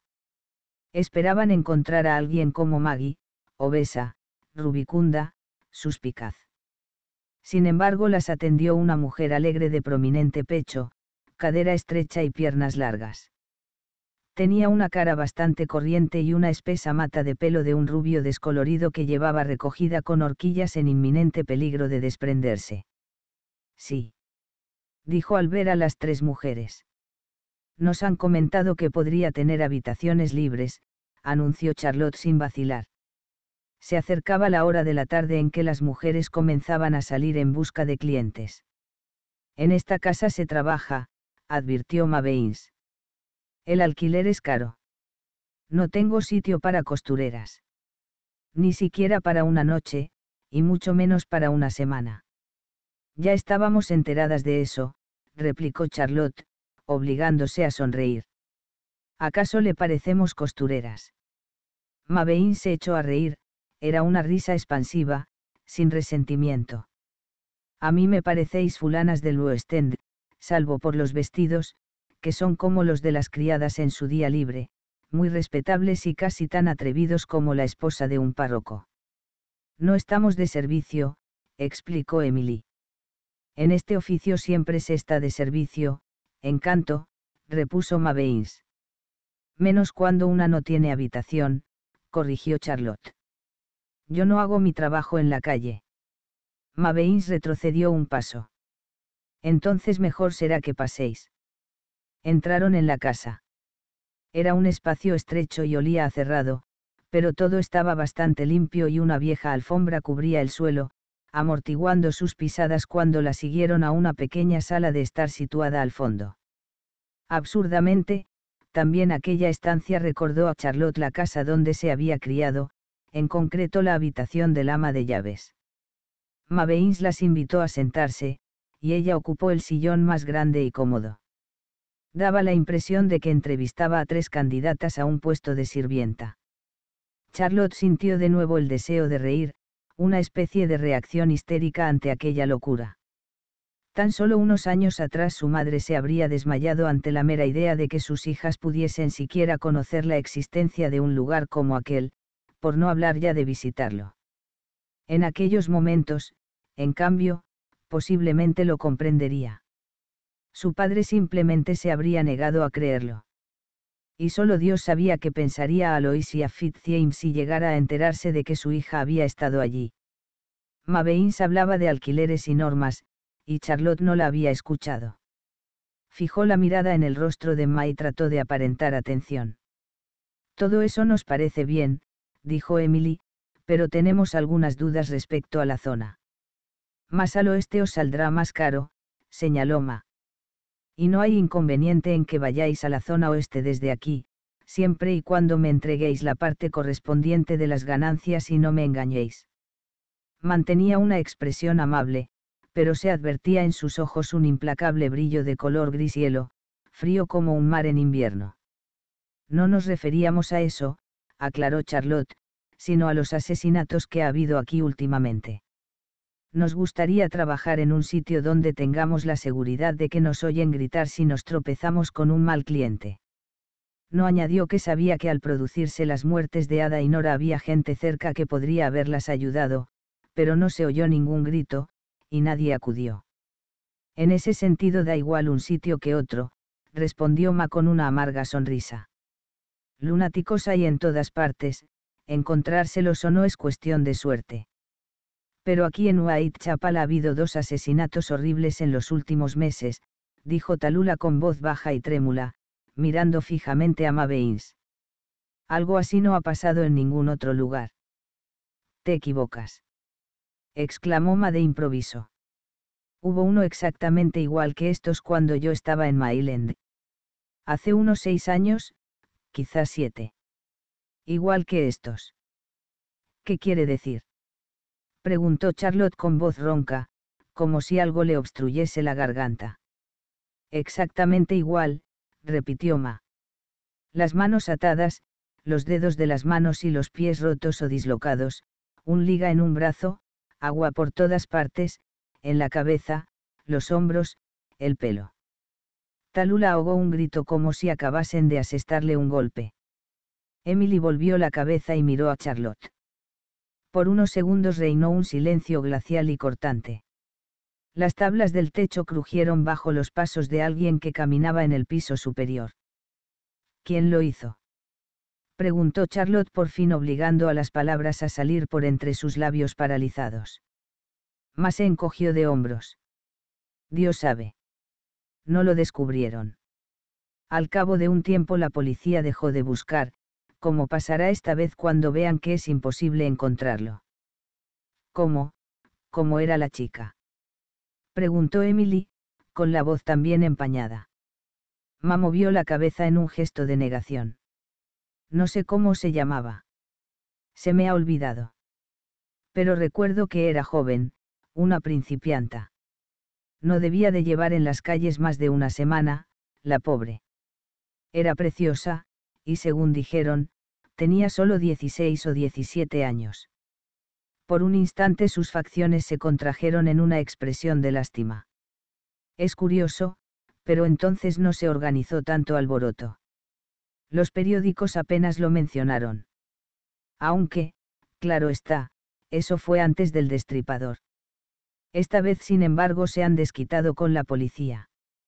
Tal como está el panorama, no me gustaría ser uno de ellos. Alzó un hombro en un gesto de desdén. Pero ¿quién querría ser un policía ni ahora ni nunca? Miró a Emily. En fin, ¿os interesan las habitaciones o no? No tengo tiempo para estarme aquí de charla con vosotras. No, gracias, contestó Charlotte. Por ahora no. Tenemos que pensarlo con más calma. Quizá no es lo que nos conviene en estos momentos. A continuación se puso de pie y tuvo que apoyarse por unos segundos en el brazo del sillón para conservar el equilibrio. Le flojeaban las rodillas. Con Emily a un lado y Talula, moviéndose como en un sueño, un paso por detrás, recorrió el pasillo y salió a Chicksand Street. El aire frío la azotó en la cara como una bofetada, pero apenas lo notó. Pit había dormido mal la noche anterior. Tenía la impresión de haber permanecido inerte en la cama medianoche, por temor a despertar a Charlotte con el menor movimiento. Cuando estaba preocupada, tenía el sueño ligero. Cuando uno de los niños enfermaba, por las noches oía los ruidos más imperceptibles y se incorporaba casi de inmediato. Desde el segundo asesinato Charlotte había advertido sus pesadillas y sus horas de insomnio. Se despertaba alarmada incluso si Pete se daba la vuelta con demasiada frecuencia. Pete yacía en la oscuridad, con los ojos abiertos, observando el tenue dibujo que formaba en el techo la luz de las lejanas farolas de gas que se filtraba a través de las cortinas.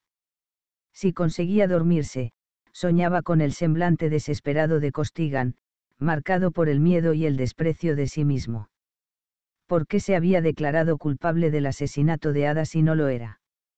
Al decir, yo la maté, se refería en realidad a que en cierta forma se sentía responsable de su comportamiento, y en consecuencia de su muerte, pero solo indirectamente.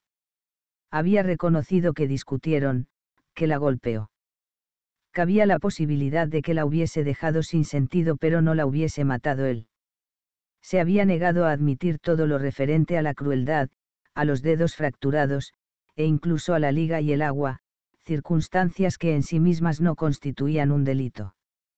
¿Por qué esa rotunda negativa si era verdad? En su situación poca importancia tenía. Habría sido ahorcado de todos modos. Y dado que los guardias de la cárcel daban por seguro que sí lo había hecho, su trato no habría sido distinto en ningún caso. Por otro lado, Costigan no podía ser culpable de la muerte de Nora Gaff. ¿Quién era el hombre de cabello rubio que, según los testimonios, había entrado en la habitación de Nora poco antes de su muerte. ¿Cómo había podido salir sin que ninguna de las diez o doce personas que había allí lo viese? Las palabras de Iago Ullón se arremolinaban en su mente. En ellas residía sin duda la solución, o bien al salir ofrecía un aspecto tan distinto que nadie lo había reconocido, o bien, aún más sencillo, ni siquiera había salido. Era el cabello rubio y rizado una peluca. Había salido de la casa con un abrigo y un pelo distintos. ¿Qué había sido, pues, del primer abrigo? Lo había sacado doblado o todavía puesto. Y de la peluca. Su cabello auténtico podía ser de cualquier color y textura. Pete tenía que volver e interrogar otra vez a todo el mundo, comprobar si recordaban haber visto salir a alguien con una peluca. Pero ¿cómo podían darse cuenta de una cosa así? Uno podía esconder una peluca en un bolsillo. Un bolsillo grande. En el bolsillo de un pantalón abultaría demasiado. Quizá alguien recordaba el abrigo. En Mirle Street poca gente llevaba abrigo largo, y menos de buena calidad. Y la otra posibilidad, que no hubiese salido sino que se hubiese quedado en el edificio, en otro piso no se le había ocurrido subir a la planta siguiente. Las otras mujeres podían haber seguido trabajando allí con quienquiera que se hallase ya en el edificio. La presencia de la policía debía de haber disuadido a nuevos clientes, pero quienes se encontraban ya dentro bien podían haber ocupado su tiempo en algo agradable. Y probablemente no habían abandonado el edificio hasta que se marchó la policía, para evitar así ser identificados de ese modo no tendrían que dar explicaciones. Cuando volviese a Mirle Street a la mañana siguiente, debía interrogar también a todas las mujeres del piso superior y pedirles las descripciones de todos sus clientes de aquella tarde. Debería haberlo hecho ya en un primer momento. Había sido un grave descuido. Pete seguía tendido boca arriba, contemplando la oscuridad. Charlotte respiraba acompasadamente junto a él. Dormía profundamente, o quizá yacía inmóvil igual que Pete, fingiendo dormir para no molestarlo, para no revelar que también ella estaba insomne, y preocupada, y asustada. Cornwallis lo respaldaría, pero tal vez no consiguiese mantenerlo en su puesto si Costigan era indultado, o incluso si no lo era. Y quizá no debía siquiera intentarlo. Si Pitt había enviado a la horca a un hombre inocente, quizá lo justo era que perdiese su puesto. Quizá no daba la talla como sustituto de Maika Dramand, no estaba capacitado para el cargo. Farnsworth hubiese sonreído satisfecho ante aquello. Él nunca había considerado a Pitt apto para el mando, a su juicio, carecía de la formación y el rango social necesarios. Vespasia lo lamentaría. Siempre había confiado en él. Se sentiría decepcionada. No lo diría, pero no podría evitar sentirlo. Pero sobre todo defraudaría a Charlotte. Tampoco ella lo manifestaría, y en realidad eso empeoraría más aún las cosas. Finalmente concilió un sueño ligero y desasosegado, y al cabo de un rato se despertó con un sobresalto. ¿Y si había sido Iago Jones disfrazado con una peluca rubia?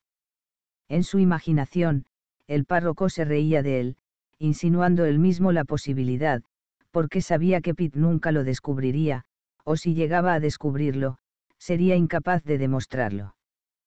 Casi amanecía. Pitt estaba entumecido.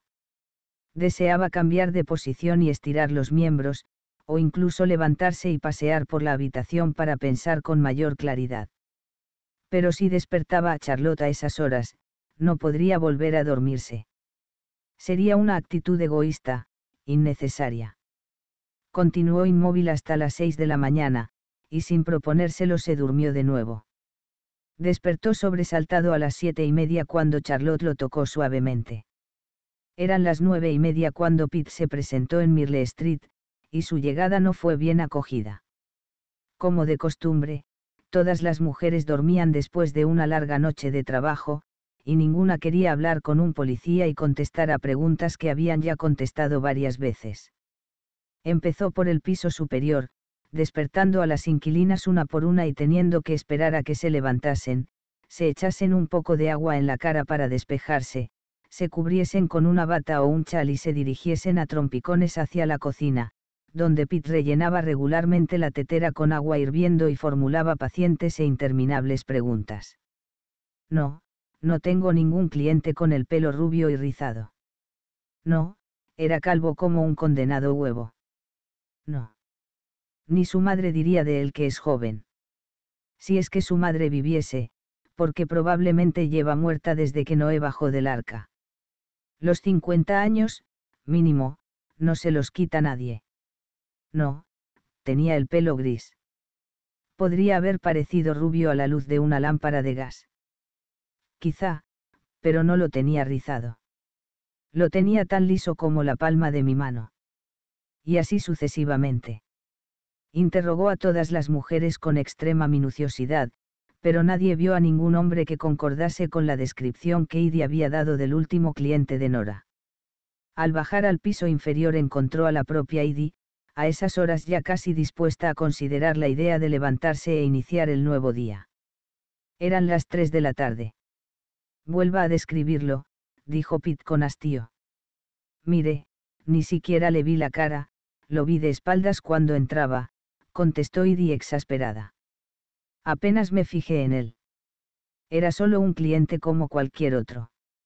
No sabía que fuese a matarla, y menos.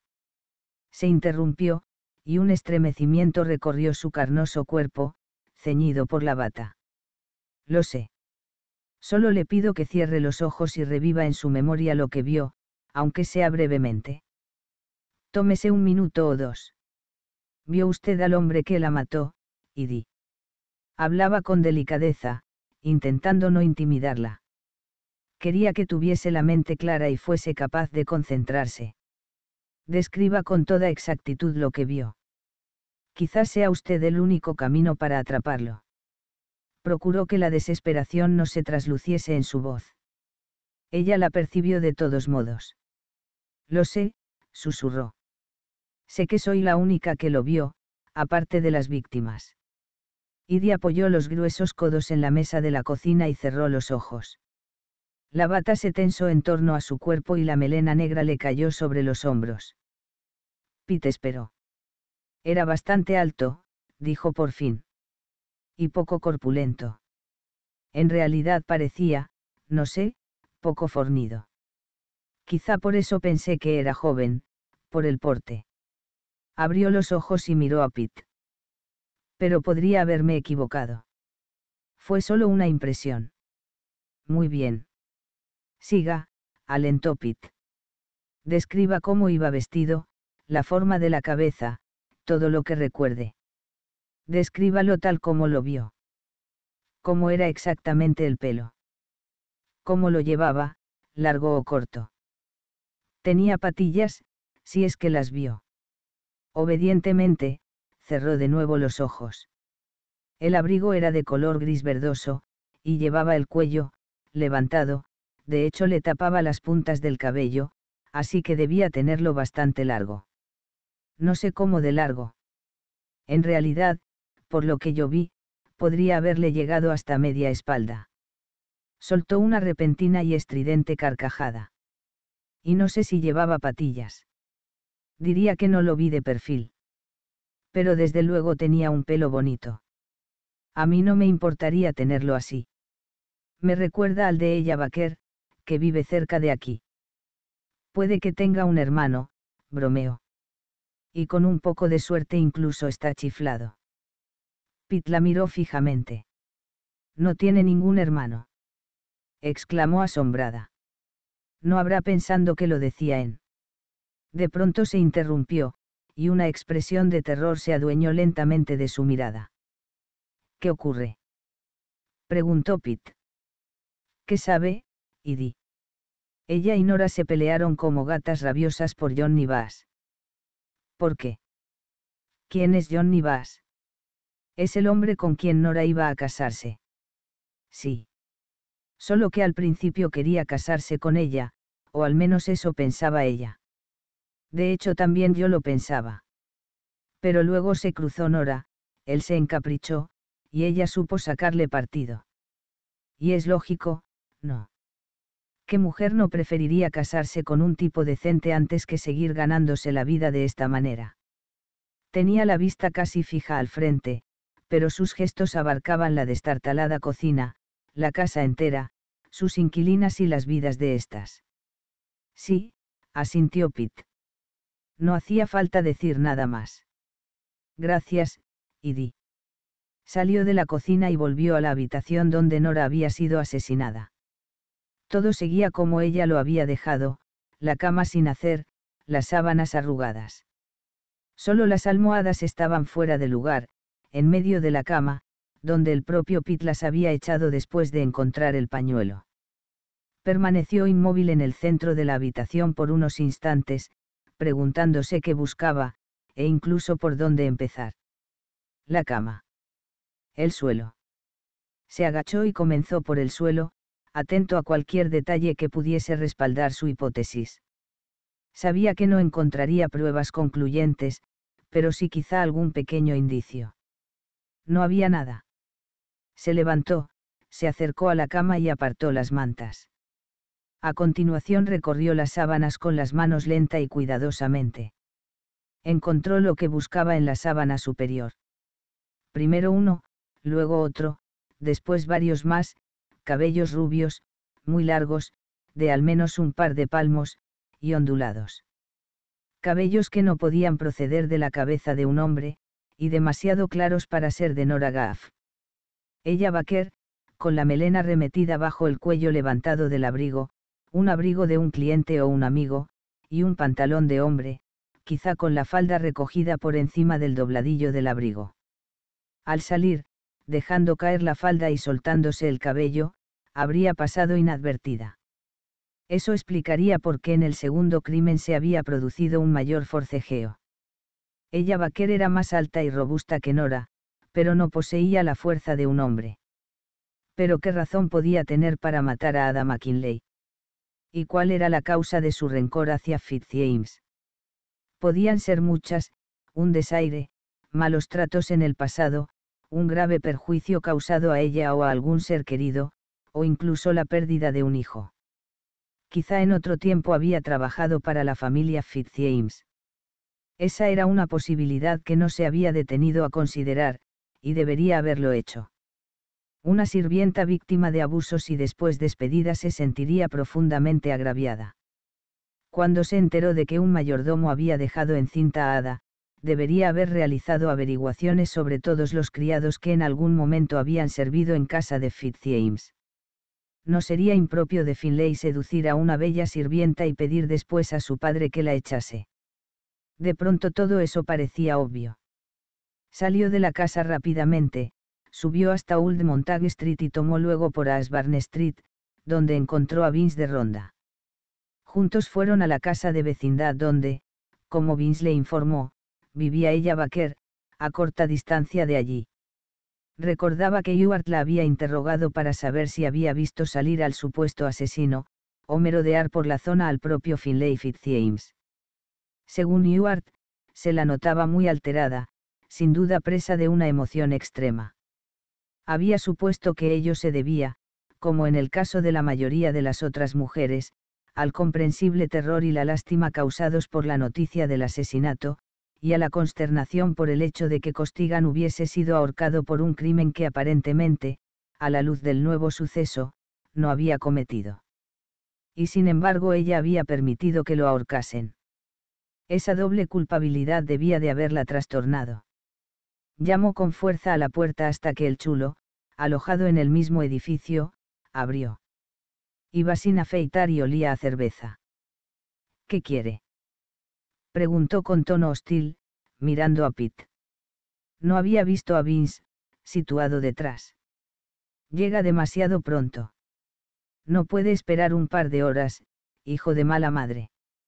Vince dio un paso al frente. Policía, anunció Pitt con tono cortante. Quiero hablar con ella vaquera ahora mismo. Observando el rostro del Pitt y la corpulencia de Vince, el hombre optó por no discutir malhumorado, los guió hasta la puerta de ella, en la segunda planta. Golpeó con los nudillos y la llamó a gritos por su nombre. Ella abrió al cabo de unos instantes. Era una mujer atractiva, de cuerpo grande y marcada silueta. Tenía unas facciones pronunciadas, quizá un tanto toscas. Su principal atributo era el cabello, abundante, ondulado, del color del trigo maduro, del oro mate. Le caía por los hombros y la espalda.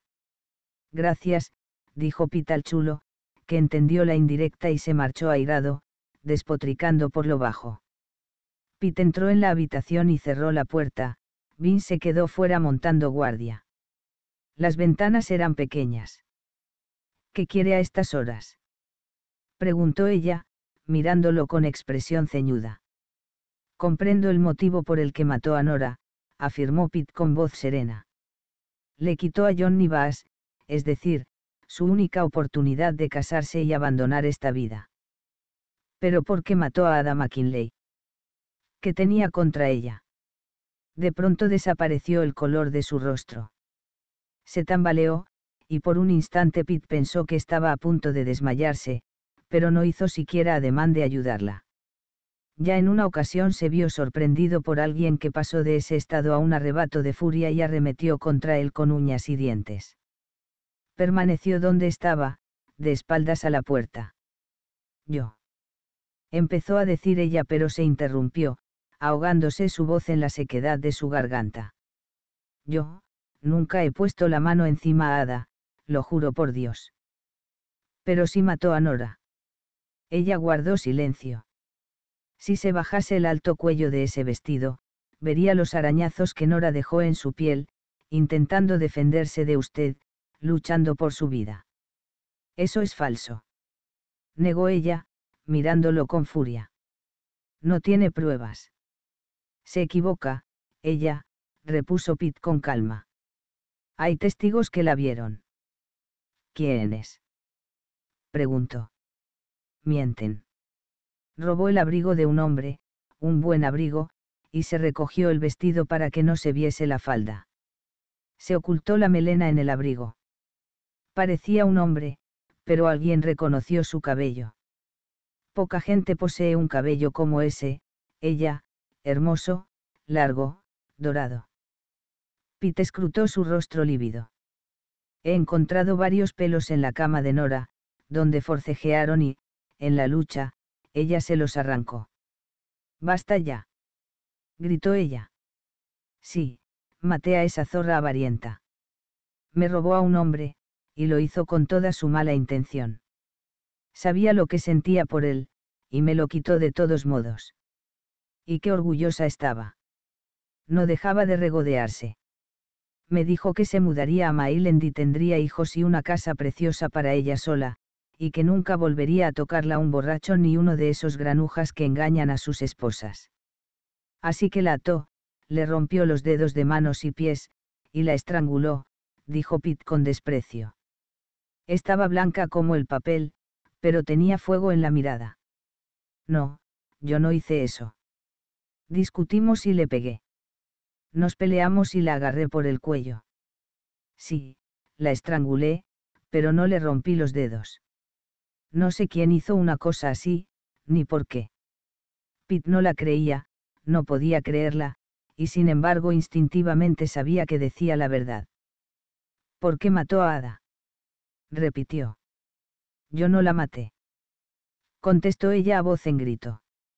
Yo no maté a Ada. Ni siquiera la conocía. Pensaba que la había matado Bert Costigan, igual que usted. Si no fue él, no sé quién fue. Con un escalofriante sobresalto, Pitt recordó la vehemencia con que Costigan se había negado a admitir que él hubiese roto los dedos a Ada, su indignación y perplejidad por el mero hecho de que lo acusasen de algo semejante. En sus ojos había visto la misma mirada que veía ahora en los de ella, una mirada de miedo, de ira, de absoluta estupefacción. Pero sí mató a Nora. Repitió Pitt, procurando transmitir una total certeza. No era una pregunta, era una acusación. Sí, supongo que negarlo ya no sirve de nada. Pero no le rompí los dedos, y no tengo nada que ver con la muerte de Ada. Nunca he puesto los pies en esa casa. Pit ya no sabía si creerla o no. Mirándola, oyendo su voz, le parecía sincera, pero el cerebro le decía que aquello era absurdo. Admitía haber matado a Nora. ¿Qué sentido tenía negar que había matado también a Ada? El castigo no sería peor, y en cualquier caso nadie la creería. Yo no maté a Ada. exclamó. Y tampoco hice esas atrocidades a Nora. ¿Por qué pretendía implicar a Finlay Fitzjames? Preguntó Pitt. Lo miró desconcertada. ¿A quién? A Finlay Fitzjames, repitió Pitt porque dejó su pañuelo y su botón en la habitación de Nora. No sé de qué me habla. No salía de su asombro. Es la primera vez que oigo ese nombre. ¿Quién es? No ha trabajado en casa de los Fitzjames. Yo nunca he trabajado en ninguna casa. En toda mi vida he sido criada de nadie. Seguía sin saber si creerla o no. Quizá. Pero eso ahora no tiene mucha importancia vamos. Queda detenida por el asesinato de Nora. Si se resiste, será peor. Al menos que las otras mujeres la vean salir con dignidad. Ella sacudió la cabeza y se mesó el magnífico cabello, mirando a Pitt con expresión desafiante. Pero el valor no tardó en abandonarla, y volvió a desmoronarse, accediendo a acompañar a Pitt. Gracias a Dios. exclamó Ewart con un suspiro, recostándose en su silla de la comisaría de Whitechapel. Admito que tenía pocas esperanzas de que llegásemos a resolver el caso. Miró a Pitt con una sonrisa. La tensión que lo atenazaba solo unas horas antes parecía haberse evaporado por completo, como si lo hubiesen aliviado de una intolerable carga y de repente pudiese respirar sin restricciones, libre de una profunda angustia incluso el miedo que lo obsesionaba desde el primer momento había desaparecido. Sabía que el mérito era de Pitt, y no le dolían prendas. Aunque más bien hay que decir que lo ha resuelto usted. Yo poca cosa he hecho, a decir verdad. Cruzó las manos sobre el abdomen. Así que era ella Baker. No se me había ocurrido que pudiese ser una mujer. Ni siquiera se me había cruzado por la mente debería haberlo pensando. Jura que ella no mató a Ada, dijo Pitt, sentado frente a él, ni rompió los dedos a Nora. Ewart no se inmutó. Bueno, no es de extrañar, Pero su palabra no tiene ningún valor. No sé por qué se molesta en mentir. El resultado será el mismo. Y sostiene que tampoco ha sido ella quien pretendía implicar a Finlay Fitzjames, añadió Pitt. Asegura que nunca había oído hablar de él, ni había servido en una casa. Ewart hizo un gesto de indiferencia. Es obvio que miente, aunque no me explico por qué. De todos modos, da igual. Sonrió. El caso queda resuelto. Y sin consecuencias desagradables. Es mucho más de lo que yo esperaba, admitió, y de inmediato, dejando entrever nuevamente cierto desasosiego, añadió, desde el comienzo creía que Fitzjames era inocente, pero me, me parecía muy difícil demostrarlo. Pitt se puso en pie. ¿Informará usted mismo a Fitzjames? Preguntó Ewart. Tranquilizará a la familia de una vez por todas. Sí. Iré a decírselo. Bien. Ewart esbozó una peculiar sonrisa agridulce. Me alegro. Lo tenía usted merecido. Perfecto, dijo Augustus Fitzjames lacónicamente cuando Pitt anunció que ella Baker había sido detenida y acusada del asesinato de Nora Gaff. Imagino que la procesarán a sí mismo por la muerte de la otra mujer. No. No hay pruebas, y ella se niega a admitirlo, respondió Pitt. Una vez más se hallaban en el gabinete de Fitzjames, y en esta ocasión ardía el fuego en la chimenea, caldeando la habitación en el frío anochecer. En fin, supongo que no tiene importancia. Augustus no mostró especial interés. La ahorcarán igualmente por el segundo asesinato, y todo el mundo sabrá que cometió también el primero, puesto que al parecer los dos fueron idénticos. Le agradezco que haya venido a informarme, comisario. Ha realizado un excelente trabajo, esta vez. Es una lástima lo de ese otro hombre. Costigan. Pero ya nada puede hacerse. Su indiferencia al respecto era patente. Estaba de pie y se balanceaba ligeramente. Y en todo caso estamos mejor sin individuos como ese. Un oficio repugnante, vivir de los inmorales ingresos de las mujeres. Sino colgando de una soga, como mínimo le correspondía estar encerrado en la cárcel. Habría acabado mal tarde o temprano. Si Pitt no hubiese sido el responsable de la muerte de Costigan, habría expresado enérgicamente su opinión respecto a tales ideas, el profundo horror que le inspiraban. ¿Había trabajado ella vaquera alguna vez para usted, señor Fitzjames? Preguntó, preocupado aún por los cabos sueltos, las dudas sin aclarar. No lo creo, contestó Augustus con expresión ceñuda. Mejor dicho, estoy seguro de que no había trabajado en esta casa. ¿Por qué? Por saber cómo consiguió los efectos personales de su hijo, y sobre todo qué razón podía tener para dejarlos en los escenarios de los dos crímenes. No tengo la menor idea. Los robó, supongo, repuso Augustus. Ya poco importa. Gracias por haber venido personalmente, comisario. Me complace comprobar que la policía no es tan incompetente como pretenden hacernos creer algunos de nuestros periódicos más estridentes y peor informados. Apretó los labios. Y ahora, si me perdona, tengo un compromiso. Buenas noches. Pita abrió la boca para añadir algo más, pero Augustus había ya tirado del cordón de la campanilla para que acudiese el mayordomo y acompañase a Pita a la puerta. Obviamente Augustus no tenía intención de seguir hablando del tema. Buenas noches, señor Fitzjames, se despidió Pitt, y tuvo que marcharse porque el mayordomo abrió la puerta y le sonrió. Capítulo 12. Pitt volvió a casa tarde y agotado, pero era el cansancio de la victoria, aun cuando quedasen todavía aspectos del caso que lo intrigaban profundamente y quizá nunca resolvería. Ya había oscurecido, y un halo de bruma envolvía la luz de las farolas. En el aire húmedo se percibía el olor de las hojas en descomposición y la tierra removida, y se presagiaba la inminencia de las primeras heladas. Abrió la puerta de su casa, y en cuanto entró, vio a Charlotte en lo alto de la escalera. Vestía una falda y una blusa muy sencillas, casi sin gracia, y algunos mechones de cabello escapaban de las horquillas. Bajó tan deprisa que Pete temió que resbalase y cayese. ¿Qué ocurre? preguntó, advirtiendo ansiedad en su rostro. Tomás. Charlotte respiró hondo. Estaba tan impaciente por comunicarle sus noticias que no notó que también él tenía algo urgente que contar. Tomás, he investigado un poco por mi cuenta. No he corrido ningún nesgo. El hecho mismo de que pretendiese tranquilizarlo respecto a su seguridad revelaba que sí había existido peligro. ¿Cómo? dijo Pete, mirándola a la cara cuando llegó al pie de la escalera. ¿Qué has hecho? Supongo que te ha acompañado Emily.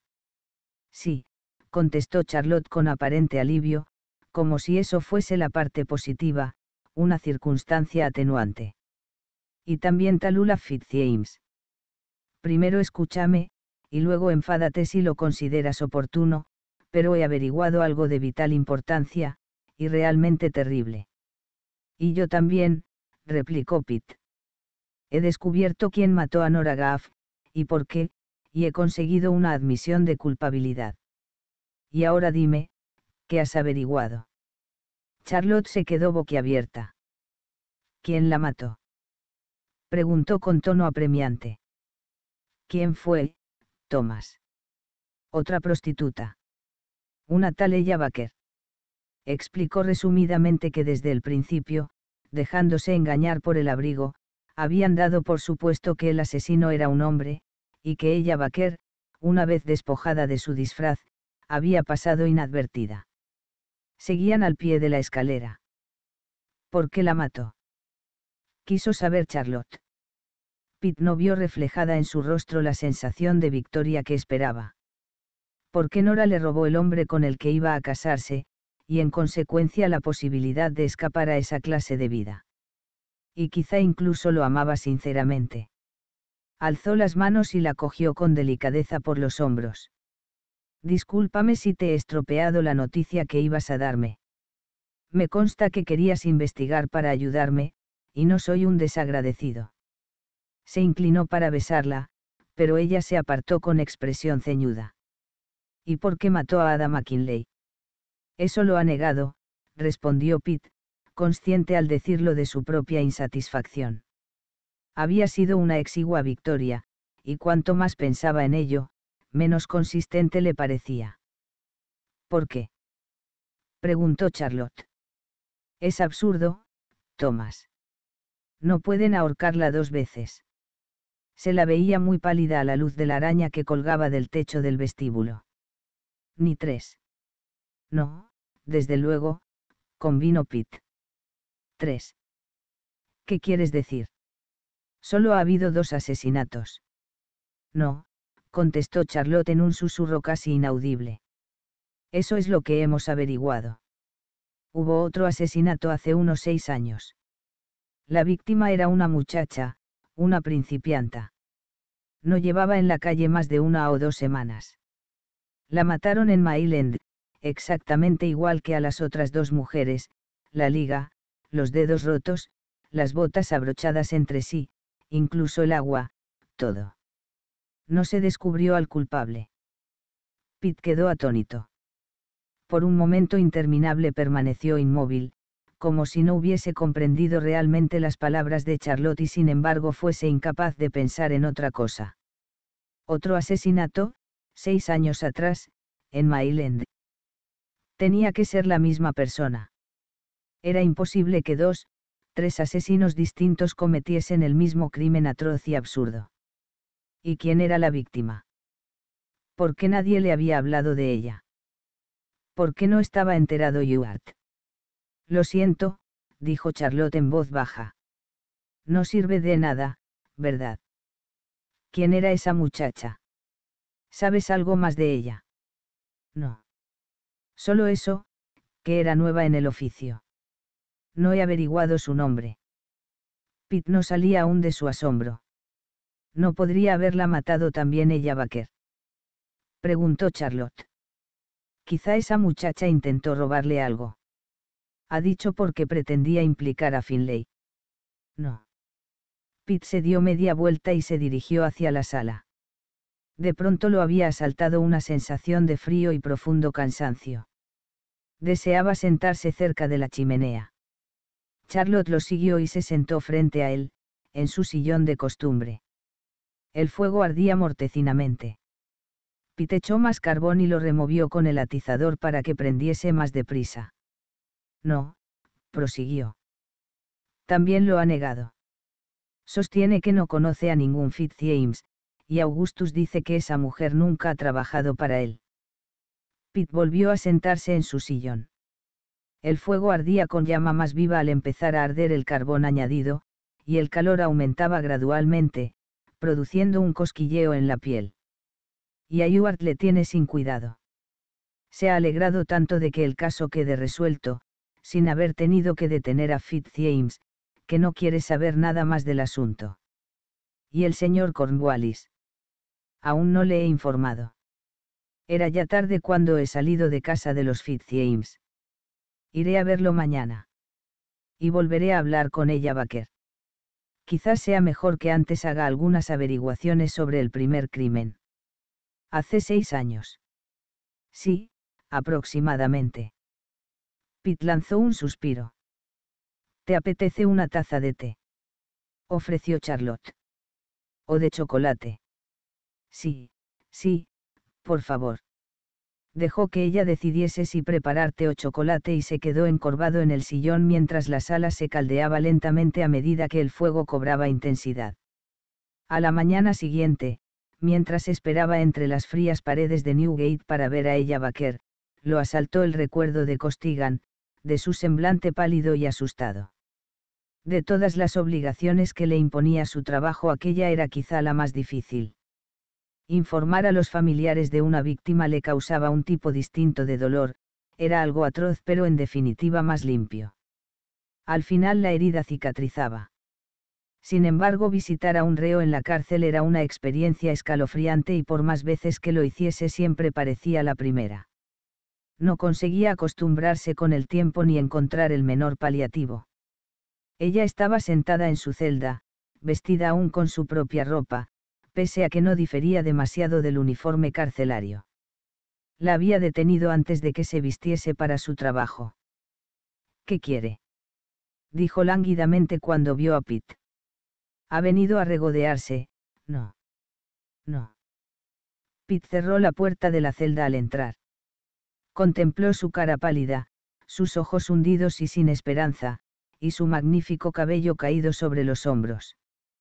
Curiosamente, pese a que había visto a Ada y Nora, sus dedos rotos, sus rostros yertos y desfigurados por la agonía final, en ese momento veía solo a ella y su desesperación.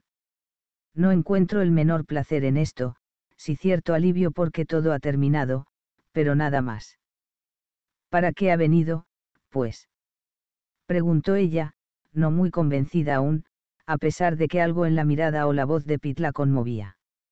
Hábleme de la primera víctima, ella, contestó Pit. ¿Por qué la mató? ¿Qué le había hecho? Apenas llevaba dos semanas en las calles. Ella lo miró con cara de absoluta incomprensión. Se ha vuelto loco. No sé de qué me habla. Pegué a Nora, luego nos peleamos, y la estrangulé. Yo no le rompí los dedos, ni le eché agua, ni abroché las botas. Y no tuve nada que ver con lo de Ada McKinley. Ni siquiera había oído su nombre hasta que la mataron. Y en cuanto a esa otra, no sé a quién se refiere. Que yo sepa, no ha habido ninguna más. Hace unos seis años, en Mayland, aclaró Pitt. Hace seis años. Exclamó con incredulidad, y al instante prorrumpió en carcajadas estridentes y roncas, llenas de dolor y un miedo incontrolable. Hace seis años yo vivía en Manchester. Me casé y me trasladé allí. Cuando mi marido murió, volví a Londres y empecé a hacer la calle. No tenía otra manera de ganarme la vida, excepto la fábrica de cerillas. Una prima mía murió de fosforismo. No estaba dispuesta a pasar por eso. Antes la horca. De pronto sus ojos se anegaron en lágrimas. Y en realidad así ha sido, no. Pitt deseó pronunciar unas palabras de consuelo. Percibía los terrores que se cernían sobre ella, una oscuridad de la que no había escapatoria. Pero no encontró nada que decir. La compasión ya de nada servía, y hablar de esperanza habría sido un cruel engaño. Sonrió en respuesta a su macabro humor. Revelaba cierta valentía y despertó su admiración. ¿Cómo se llamaba su marido? Preguntó. Joe Baker. Joseph. Va a comprobarlo. Se sorbió la nariz. Era un buen hombre, Joe. Bebía más de la cuenta, pero no era mala persona. Nunca me pegó. Se limitaba a dormir la mona. El muy estúpido. ¿A qué se dedicaba? Trabajó en los canales. Un día tuvo un accidente y se ahogó. Debía estar borracho, supongo. Lo lamento, susurró Pitt. Lo dijo con toda sinceridad. Ella se encogió de hombros. Ahora ya no importa. Al salir de Newgate Pitt fue a la comisaría de Mailand y preguntó por el policía de mayor rango que llevase allí de servicio más de seis años. Un joven sargento, un tanto perplejo, lo acompañó hasta el reducido despacho del inspector Forrest, un hombre delgado de cabello negro, amplias entradas, ojos oscuros y mirada triste. Comisario Pitt. exclamó sorprendido, y se puso en pie de inmediato. Buenos días, señor. ¿En qué podemos ayudarlo? Buenos días, inspector. Pitt cerró la puerta al entrar y tomó asiento. Según me han dicho, estaba usted ya aquí, en Mayland, hace seis años. Sí. He leído en los periódicos que ha resuelto el caso. Forrest volvió a sentarse tras su escritorio. Enhorabuena. Desde luego es bastante más de lo que conseguimos nosotros. Pero que conste que por aquellas fechas yo era solo sargento. Así pues, tuvieron un caso exactamente igual. Preguntó Pitt, incapaz de disimular su enojo. Sí. Por lo que yo sé, hasta el menor detalle, contestó Forrest, echándose hacia adelante en su silla. Aquella vez los periódicos apenas lo mencionaron, pero yo lo recordaré mientras viva. La pobre desdichada. No tendría más de 15 o 16 años. Y era guapa, decían, antes de que el asesino la torturase de aquel modo. La asesina, rectificó Pitt. Ah. Forrest movió la cabeza como reprochándose el descuido. Sí, la asesina. Disculpe, es solo que llevo muchos años convencido de que había sido un hombre. Siempre tuve la impresión de que se trataba de un crimen de naturaleza sexual, obra de uno de esos hombres que solo se excitan con la humillación y el dolor ajenos, que necesitan sentir su poder sobre alguien, verlo totalmente indefenso. Un acto perverso. Aún me cuesta creer que una mujer haya cometido esa clase de crímenes. Pero si lo ha admitido, será verdad. No, no lo ha admitido. Solo se ha declarado culpable del último, el asesinato de Nora Gaff. De hecho, según ha dicho, hace seis años vivía en Manchester. Forrest lo miró asombrado. Pues tiene que ser la misma persona. Ni siquiera en Londres, esta sentina de vicios y corrupción, puede haber dos lunáticos que anden por ahí maltratando de ese modo a las mujeres. ¿Por qué no me informó acerca de ese caso? Preguntó Pitt, procurando en vano no adoptar un tono acusador. Yo. Forrest parecía sorprendido. ¿Por qué no lo informé? Sí. Por amor de Dios, es que no se da cuenta de lo útil que podría habernos sido. Como mínimo debíamos estar enterados podríamos haber averiguado qué tenían en común las víctimas y quién las conocía a las tres. No le informé por qué. No lo puso al corriente el inspector Ewart. Él se ocupó del caso. Pitt se quedó helado. Di por supuesto que él se lo contaría, adujo Forrest con lógica. Está diciéndome que no se lo contó. En su rostro y en su voz se advertía una manifiesta incredulidad. El propio Pitt no podía dar crédito a aquello. Las imágenes de Ewart se agolpaban en su mente, los recuerdos de su cólera, su abatimiento, su temor. Pero no tenía sentido mentir, y en todo caso la verdad era evidente.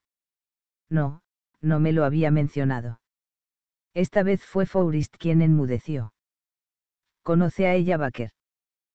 Preguntó Pitt. ¿O había oído hablar antes de ella? ¿Le sonaba su nombre?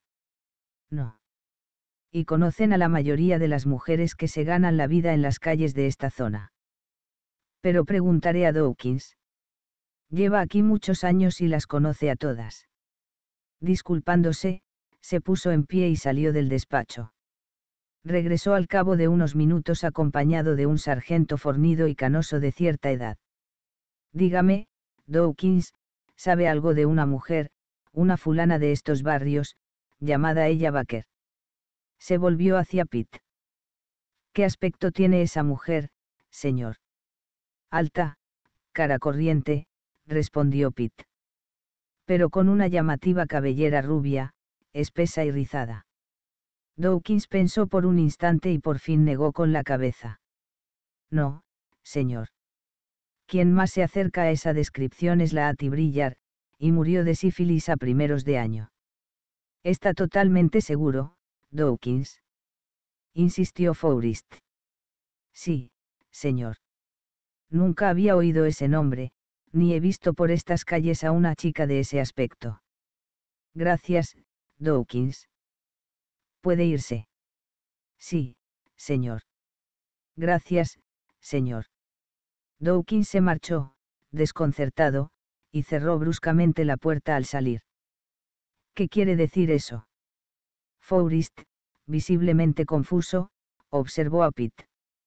¿Acaso esa mujer no cometió el asesinato de hace seis años? No lo sé, admitió Pitt. ¿Guardan algún expediente del caso al que pueda echarle un vistazo? Naturalmente. Pediré que lo traigan. Forrest se excusó de nuevo, y transcurrió un largo y frustrante cuarto de hora hasta que regresó con una delgada carpeta. Aquí está, señor. No es gran cosa. Gracias. Pitt cogió la carpeta, la abrió y leyó el contenido. Forrest tenía razón, el expediente era muy breve, pero los detalles del crimen coincidían plenamente con los de las muertes de Ada McKinley y Nora Gaff. Todo estaba allí recogido fríamente, con clínica objetividad, escrito con una excelente caligrafía. El nombre de la víctima resultaba poco verosímil, Mary Smith. ¿Era ese su verdadero nombre? O simplemente no sabían cómo se llamaba y utilizaron un nombre corriente. Acababa de llegar a la zona y era nueva en el oficio. No se incluía ningún otro dato sobre ella, ni lugar de nacimiento, ni familiares localizados, ni lista de efectos personales. Pitt leyó con detenimiento la descripción de los objetos hallados en el lugar del crimen. No había alusión a nada que pudiese considerarse una pista. Y desde luego no se había hallado nada de Finlay Fitzjames o algún otro caballero. Leyó las declaraciones de los testigos, pero no aportaban nada. Habían visto entrar y salir a varios hombres, como era lógico tratándose de la habitación de una prostituta. No se describían rasgos personales de los clientes, salvo que todos eran jóvenes. Todo era en extremo inconsistente. No era extraño que el caso hubiese quedado sin resolver. Formaban el equipo policial encargado de la investigación los agentes Trask y Porter, bajo las órdenes del inspector Ewart el forense que había examinado el cadáver en el lugar del crimen y realizado posteriormente la autopsia era Lennox. ¿Por qué ninguno de los dos se lo había mencionado a Pitt? No existía ningún motivo justificable. No recuerdo haber leído la noticia en los periódicos, comentó a Forrest, que había permanecido en silencio, con cara de preocupación, mientras Pitt examinaba el informe. No apareció como tal, contestó Forrest publicaron solo una breve nota sobre la muerte, pero no incluía los detalles. Ya sabe cómo son estas cosas, mantengámoslo en secreto por si sirve para atrapar al culpable. Ewart y Lennox tenían que saber algo, ocultaron algo. Sí, lo sé, asintió Pitt, pero la perspectiva lo inquietaba profundamente. Lo obligaba a afrontar sus más aciagas sospechas. Dos horas más tarde, cuando se plantó ante Ewart en su despacho de Whitechapel, este lo miró atónito, como hipnotizado. ¿Y bien? dijo Pitt. ¿Por qué demonios no me informó acerca del primer caso? No lo resolvimos, respondió Ewart, desesperado. No descubrimos nada que hubiese podido sernos útil para los nuevos casos. No diga estupideces. Pitt se dio media vuelta y se acercó a la ventana. Allí giró en redondo y miró de nuevo a Ewart con furia. Usted no sabe si hubiese podido sernos útil o no. ¿Por qué se lo cayó? ¿Por qué solo habría servido para enturbiar aún más la actual investigación? Ewart también empezaba a alzar la voz. Nada indica que fuese la misma persona. Aquello ocurrió en Mailend hace seis años. Hay gente que copia los crímenes de otros, en especial gente que no está en sus cabales, gente malévola y estúpida que lee algo y se obsesiona con ello. ¿Dónde lo lee? Lo interrumpió Pitt sin miramientos. Como usted bien sabe, los detalles de aquel crimen no aparecieron en los periódicos. Ni yo ni ninguno de los policías que ha trabajado en estos últimos asesinatos tenía noticia de ese caso. En Whitechapel nadie podía establecer la relación entre los tres crímenes. Nadie salvo usted. Usted y Lennox. Tampoco yo, porque no existía tal relación, repuso Ewart triunfalmente, satisfecho de la lógica de su conclusión. ¿Duda acaso que fue ella Baker quien mató a Nora Gaff? No. Pitt se volvió de cara a la ventana y contempló los edificios grises y el cielo otoñal. Admitió su culpabilidad. Y encontré pelos suyos en la cama de Nora, pelos largos y rubios. Nora debió de arrancárselos en el forcejeo. ¿Y entonces cuál es el problema? Preguntó Ewart con creciente aplomo. Yo tenía razón. Estos últimos casos y el de hace seis años no tienen nada que ver. ¿Cómo sabe que ella Baker no mató a la primera chica, Mary Smith, o como quiera que se llamase en realidad? No lo sé. Quizás sí la mató. En todo caso, ahora poco importa.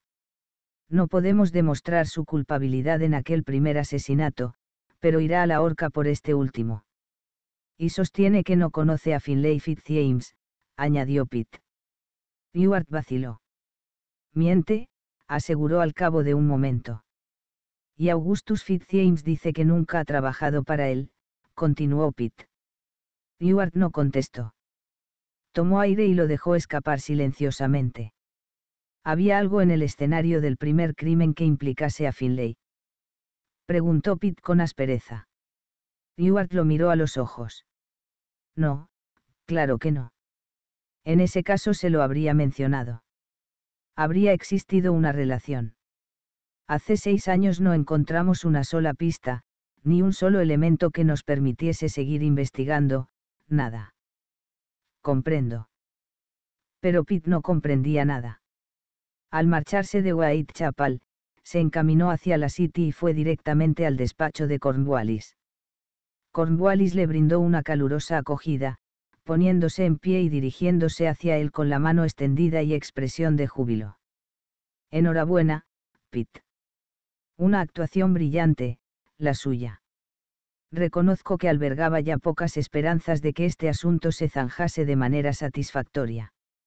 Y por si fuera poco, con admisión de culpabilidad incluida. Dejó caer la mano, notando de pronto que algo andaba mal. La sonrisa se desvaneció de sus labios. Su mirada se ensombreció. ¿Qué ocurre? ¿Cuál es ahora el problema? Siéntese. Señaló uno de los grandes sillones de piel y él ocupó el otro. Se echó hacia adelante, con semblante grave y total atención. Pitt le informó acerca del crimen de Mayland. Cornwallis quedó estupefacto. Y Ewart acaba de decírselo preguntó. Es inconcebible. Pitt no veía la manera de explicar lo sucedido sin sacar a relucir la participación de Charlotte, y no era momento para mentiras o evasivas. Ewart no tenía la menor intención de decírmelo, contestó con pesar. Lo descubrió mi esposa, y yo lo sé por ella.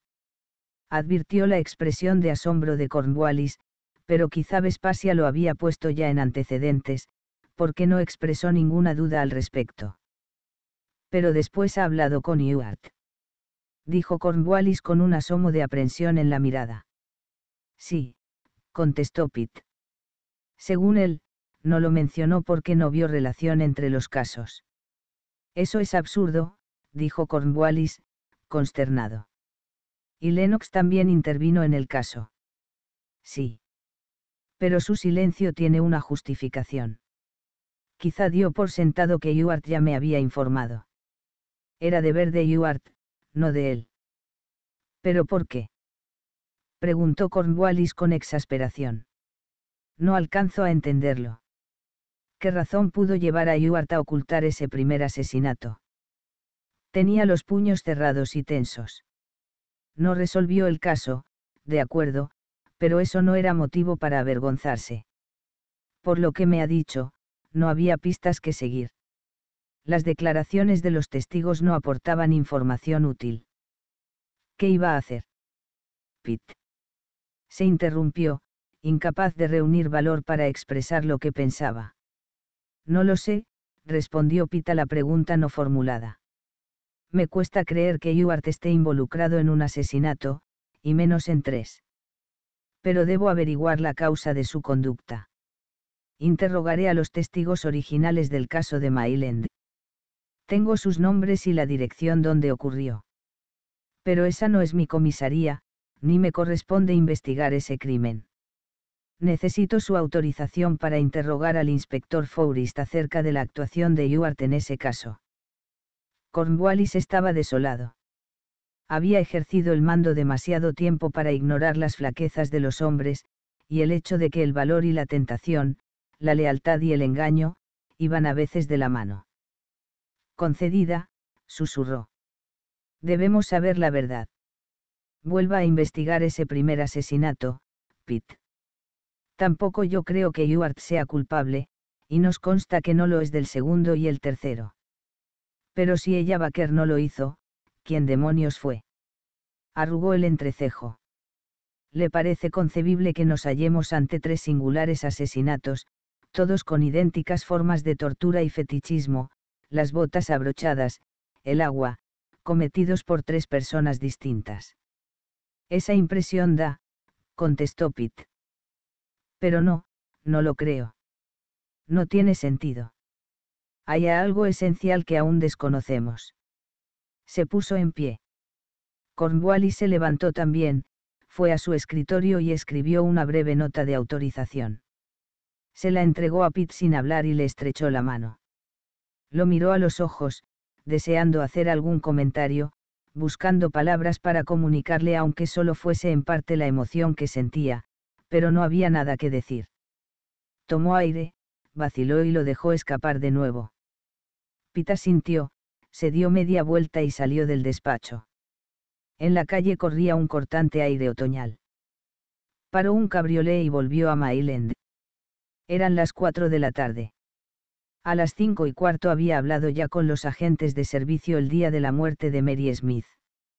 Era imposible que Ewart estuviese involucrado en el crimen, en la misma medida que tampoco podía haber intervenido en los asesinatos de Ada McKinley y Nora Gaff. A continuación visitó la casa de Glow Road donde Mary Smith había muerto. Preguntó al casero, un hombre canoso y sin afeitar, por el primer testigo mencionado en el informe. Está el señor Oliver Stubbs.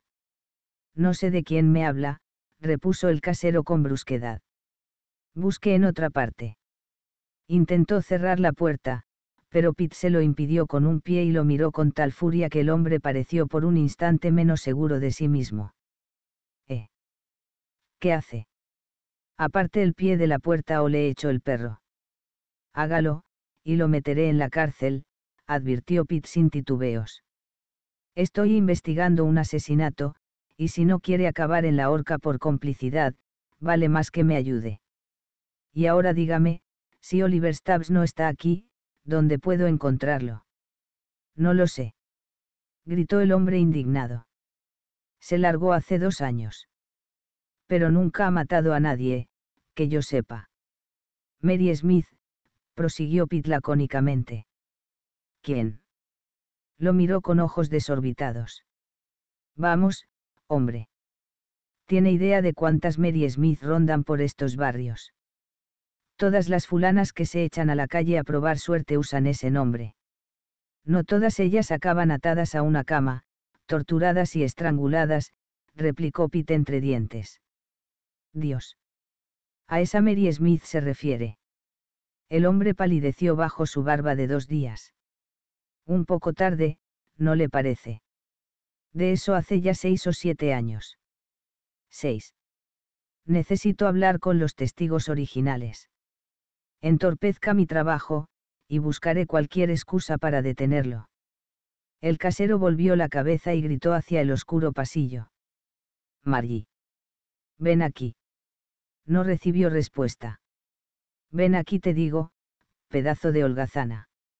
Volvió a llamar, alzando aún más la voz. Tras otro momento de silencio salió una mujer gruesa y pelirroja de una de las habitaciones del fondo y se acercó. Sí. ¿Qué pasa?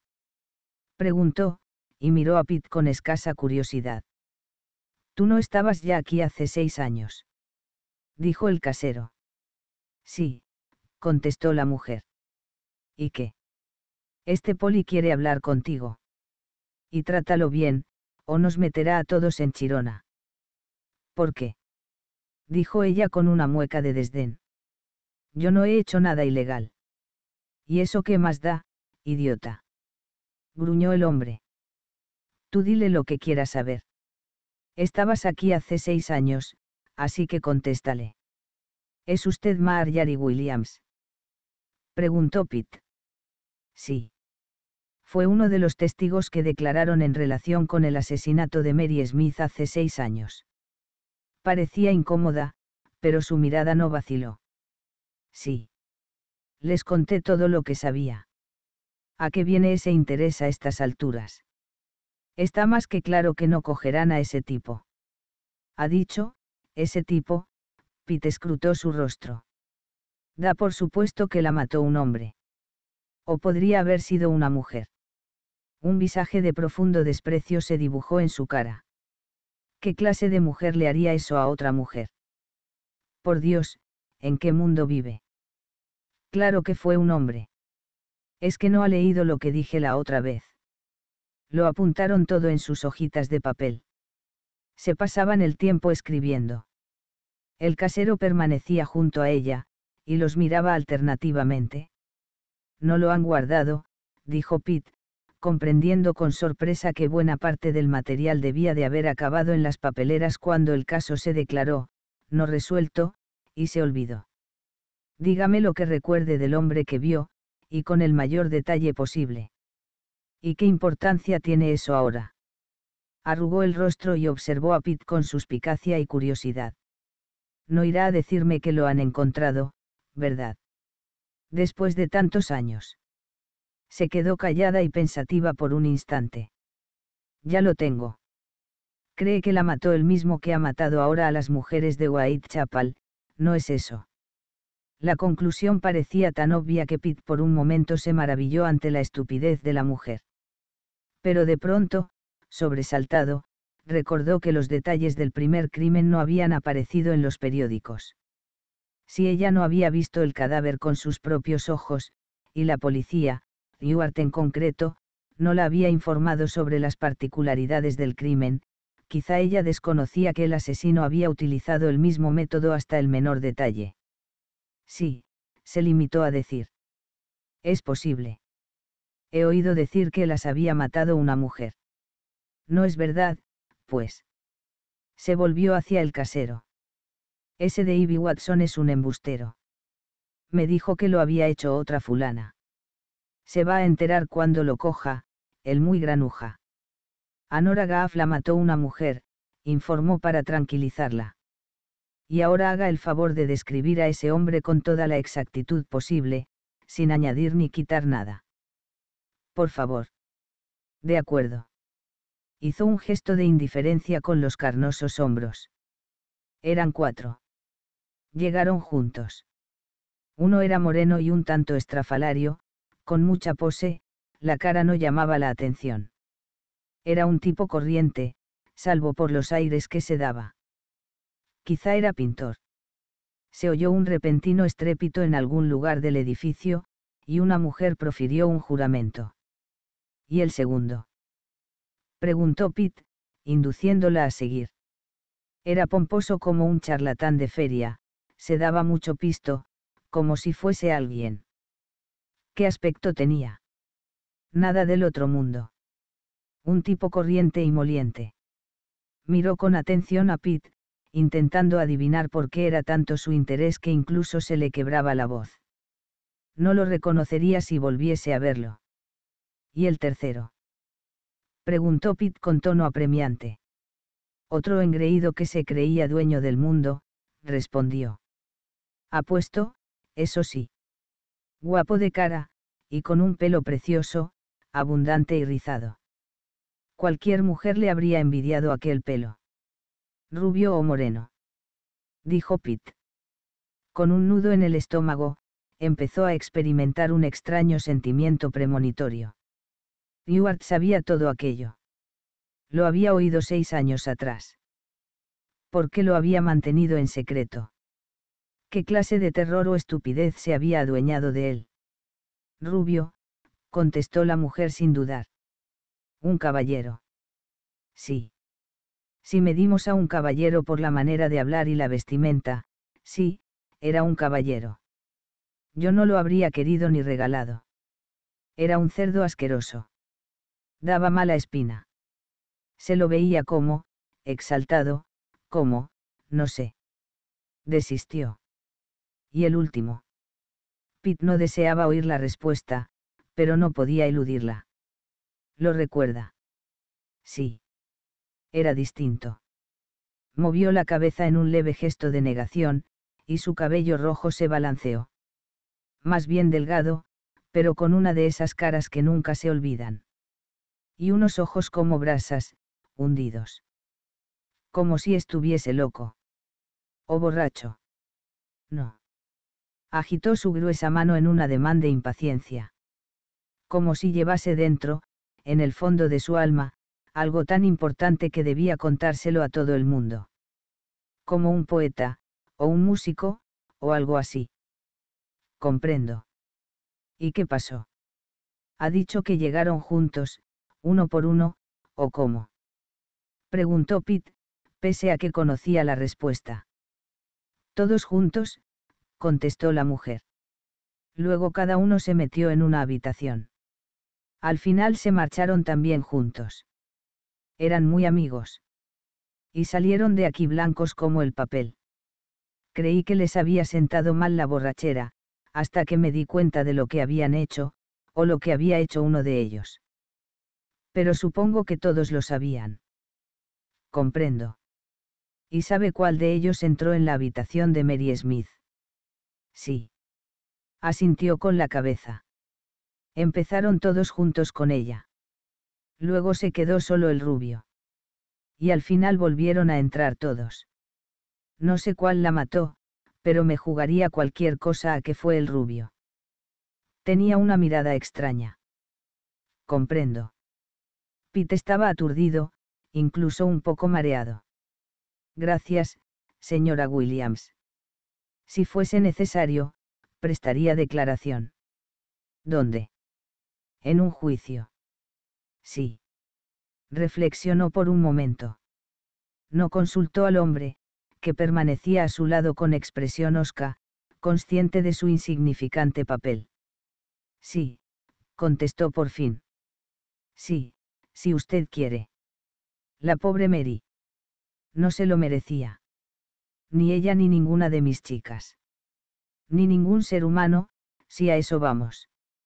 Mandaré a ese canalla a la horca, si es que ustedes lo cogen, claro está. Soltó una carcajada osca y desdeñosa. Algo más, caballero. De momento no. Gracias. Pitt se alejó despacio. Eran casi las seis de la tarde, y oscurecían el cielo unas densas nubes procedentes del este, empujadas por un cortante viento que arrastraba los olores del río, la sal, el pescado y el esfuerzo humano. No había escapatoria. Marjorie Williams había descrito a los cuatro jóvenes con tal precisión que apenas si podía albergarse una ligerísima duda, basada más en la esperanza que en la razón. Habían sido los socios del Club Fuego del Infierno, Tirlstone, Heliwell, Finlay y Iago Jones. Una profunda tristeza abrumaba a Pitt. Se encaminó lentamente hacia Whitechapel. Tardaría una media hora en llegar a Coke Street. Lamentó que la distancia no fuese aún mayor. Lo adelantaba toda clase de gente camino de sus casas después del trabajo, oficinistas con los hombros rígidos y manchas de tinta en los dedos, algunos con los ojos entornados tras todo un día con la vista fija en las letras negras sobre el papel blanco, dependientes en grupos de dos o tres. Pronto saldrían también los obreros e irían a hacinarse en las casas de vecindad, cada uno a su estrecho espacio, donde lo esperaba su familia y conservaba sus escasas pertenencias. Al cruzar la calle estuvo a punto de ser arrollado por un cabriolé. Anochecía, y la temperatura bajaba por momentos. Se levantó el cuello del abrigo y apretó el paso sin darse cuenta. No pretendía llegar allí más deprisa, simplemente tiraba de él la emoción, una mezcla de ira y urgencia interior. Avanzaba por End Road, que pasaría a llamarse Whitechapel Road en el cruce con Brady Street. Su inicial renuencia se había transformado en un perentorio deseo de acabar cuanto antes. Andaba a grandes zancadas, viendo apenas a los otros transeúntes. Las farolas estaban ya encendidas luces anaranjadas resplandecían en la creciente oscuridad, los carruajes se convirtieron en meras formas en movimiento con farolillos de posición a ambos lados, los cascos de los caballos tableteaban contra los adoquines húmedos y las ruedas se deslizaban con un siseo. Dobló a la izquierda en Plumas Row, que conducía hasta Coke Street. Era el lugar y la hora en que casi con toda seguridad encontraría a Iago Jones, y Pitt tenía la profunda, y quizá irracional, convicción de que Jones no le mentiría si lo enfrentaba a la verdad. Giró en la última esquina y vio la carretilla bajo la farola, su luz reflejada en las varas, gastadas allí donde las manos las asían un día tras otro, quizá generación tras generación. La enjuta figura de Iago Jones en su raído traje aún servía caldo a los últimos harapientos. Junto a él, trabajando a la par en silencio, se encontraba Talula Fitzjames. Pitt los observó, apoyado contra la pared en la oscuridad, hasta que terminaron el reparto de comida y empezaron a recoger sus enseres. Como siempre, no había sobrado nada. Reverendo Jones, llamó Pitt en voz baja, acercándose a él. Iago alzó la vista. Ya no se sorprendía de ver a Pitt. Había frecuentado mucho aquel lugar en los últimos meses. Sí, comisario dijo Yago con paciencia. Lo siento. Era una disculpa sincera. Pocas veces había lamentado tanto una necesidad. No puedo dejar correr el asunto. Lanzó una mirada a Talula, que seguía recogiendo los utensilios y cargándolos en la carretilla. ¿De qué se trata ahora? Preguntó Yago con arrugas de perplejidad en la frente. No sé nada más. He hablado con ella Vaquer una o dos veces, pero conmigo siempre se mostró muy autosuficiente. No necesitaba mis consejos. Esbozó una triste sonrisa. O mejor dicho, no los deseaba. No la conocía tanto como para percibir su desesperación. Quizá eso deba atribuirlo a mis limitaciones, pero al menos por lo que a ella atañe es ya demasiado tarde para rectificar. A la luz de la farola su rostro revelaba solo pesar y una sensación de derrota. Se alejó unos pasos para que Talula no lo oyese. Por favor, comisario, no me pida que la interrogue. Incluso si accediese a hablar conmigo, lo que dijese sería algo entre ella y Dios. Yo solo podría ofrecerle una pizca de consuelo humano, y la promesa de que Dios es a veces un juez más benévolo de lo que creemos, si somos sinceros, y quizá también más severos si no lo somos. Sinceros, reverendo. Repitió Pitt, notando el temblor de su propia voz. Yago lo miró fijamente. Tal vez había percibido en el tono de Pitt mayor ironía, perspicacia y dolor que en ocasiones anteriores. Hizo ademán de volverse hacia Talula, pero cambió de idea, o acaso dudó de la utilidad de cualquier esfuerzo por convencerla de quedarse al margen de aquello. ¿Qué ocurre, comisario? Ha pronunciado esa palabra como si para usted entrañase un profundo significado. Pitt no había previsto la presencia de Talula. Su primer impulso había sido pedirle que los dejara a solas, revelar a Iago su reciente descubrimiento en privado. Por simple consideración, le parecía incorrecto plantearle aquello cara a cara ante alguien que obviamente sentía por él el mayor respeto. Pero de pronto comprendió que Talula tenía derecho a enterarse. La afectaba directamente. Finlay era su hermano. Lo que se dijese en aquel rincón húmedo y oscuro de Coke Street sería en último extremo igualmente devastador en el salón de Devorshire Street.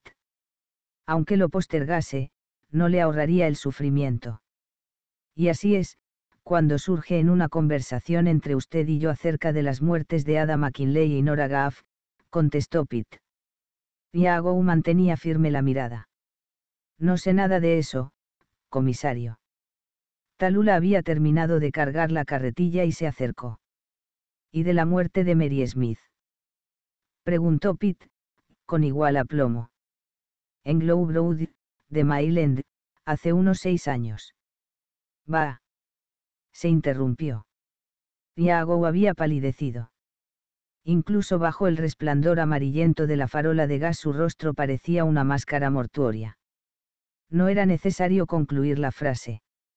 Iago uno mentiría. Mentir en aquellas circunstancias habría sido absurdo, una indignidad sin redención posible. Usted estaba allí, prosiguió Pitt con serenidad, procurando permanecer ajeno a la mirada de Talula, clavada en él con creciente terror. Usted, Tirlstone, Heliwell y Finlay Fitzjames. No era una pregunta, y su voz no dejaba lugar a dudas. Iago cerró lentamente los ojos. Controlarse le exigía un esfuerzo supremo. Daba la impresión de que si flaqueaba por un instante, se desmoronaría. Contestaré por mí, comisario, pero por nadie más. Tragó saliva con dificultad. Le temblaban las manos. Sí, estaba allí. En mi juventud cometí muchos errores de los que me avergüenzo, pero de ninguno tanto como de ese. Bebía en exceso, malgastaba el tiempo y daba valor a cosas que no lo tenían. Me preocupaba lo que la gente pensase de mí, y no el amor. Tampoco el respeto o el honor. Hablaba con amargura. Ni si mi conducta hería a los demás. Ni si daba buen o mal ejemplo. No hacía más que adoptar poses, exhibirme, deseando ser más inteligente e ingenioso que cualquier otro hombre. Talula lo miraba, pero él parecía no advertir su presencia, absorto en el desprecio por el hombre que había sido en otro tiempo. Ella se acercó, pero Yago siguió sin verla. Glowbrood, recordó Pitt, obligándolo a ir al grano, y no solo porque era lo que le interesaba, sino porque no le correspondía a él juzgar los otros pecados de Yago, fueran cuales fuesen, ni deseaba conocerlos. Estaba allí, admitió Yago por segunda vez. No maté a Mary Smith. Su voz se redujo a un ronco murmullo, como si el recuerdo cobrase vida ante sus ojos. Pero sé lo que le ocurrió, Dios me perdone. Desde entonces he dedicado mi vida a intentar pagar. ¿Quién la mató? Preguntó Pitt con delicadeza creía que Iago era inocente, y no solo porque lo deseaba, sino sobre todo por lo que veía reflejado en su rostro, la pasión, el tormento de la culpabilidad y el recuerdo, la repugnancia hacia sus propios actos, pero también el valor de haber expuesto por fin la verdad y al mismo tiempo mantener intacto su sentido del honor. No se lo diré, comisario. Lo siento. Pitt vaciló solo por un instante en realidad no había ninguna decisión que tomar. Reverendo, dijo, usando intencionadamente el tratamiento, Mary Smith no solo fue asesinada, antes fue torturada y humillada. La ataron a su cama, con una de sus medias, una de sus prendas íntimas. Percibió en el rostro de Iago el descarnado dolor que sentía, pero no se detuvo. La aterrorizaron y maltrataron. Le rompieron o dislocaron los dedos de las manos y los pies. No era una prostituta experimentada. Notó la creciente crispación de su voz. Era casi una niña, acababa de. Comisario. El grito procedía de Talula. Avanzó un paso y se colocó junto a Iago, mirando a Pitt. No es necesario que continúe. Conocemos lo ocurrido a esas mujeres de Whitechapel. Aceptamos que Mary Smith fue víctima de las mismas atrocidades y nos horroriza.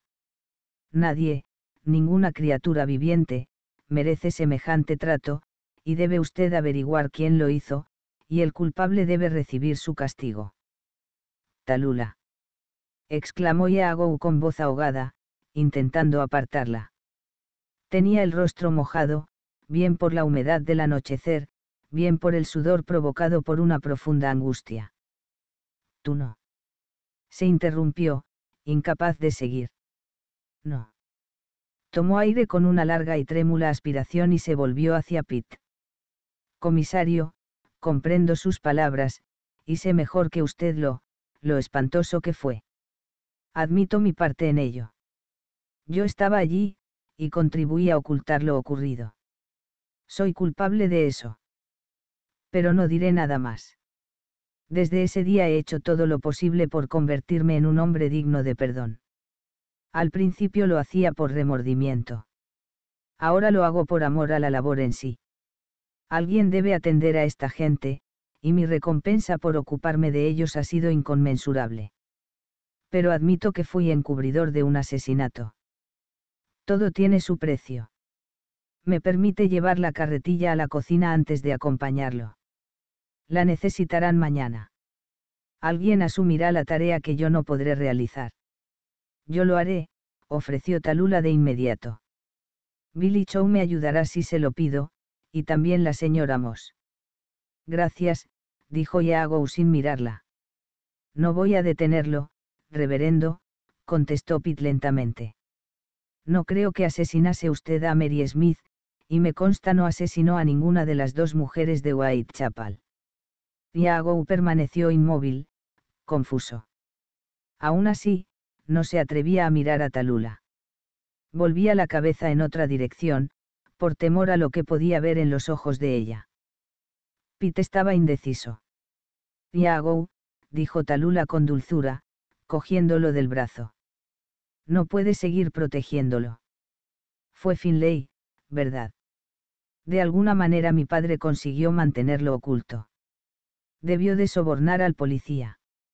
De pronto una oleada de recuerdos dispersos inundó la mente de Pete, una multitud de pequeñas impresiones. El orgullo de Ewart por los éxitos de su hijo, su selecta educación, el ventajoso matrimonio de su hija. ¡Qué proeza! Pero ¿a qué precio? Recordó la impaciencia de Ewart por encontrar a otro culpable, su expresión cada vez que oía mencionar a Augustus, la extraña mezcla de miedo y odio. Comprendía ahora con siniestra claridad por qué había destruido las declaraciones de los testigos del asesinato de Globe Road y archivado el caso sin resolver, y por qué no había informado a Pitt. Qué pesadillas debían de haberlo asaltado cuando pensó que Finlay había vuelto a cometer el mismo crimen, y que él tendría que encubrirlo de nuevo, pero esta vez obligado a ceder la investigación a un superior y trabajar bajo sus órdenes.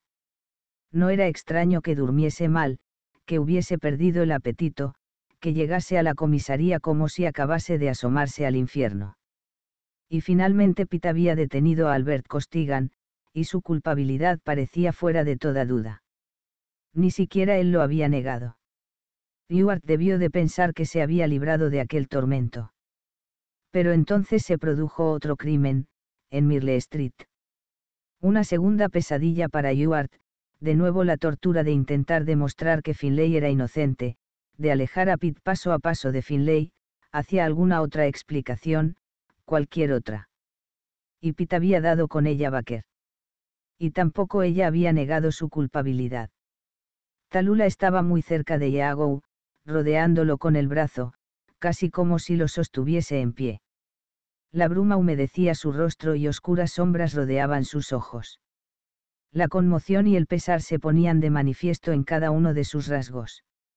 Sin embargo mostraba a sí mismo una fortaleza ausente hasta ese momento, casi una luminosidad, como si hubiese encontrado en su interior un don precioso e indestructible, y a su debido tiempo mucho más valioso que cualquiera de los lujos que de Borside Street podía ofrecerle, o arrebatarle. No puedes protegerlo, repitió, buscando la mirada de Yagou.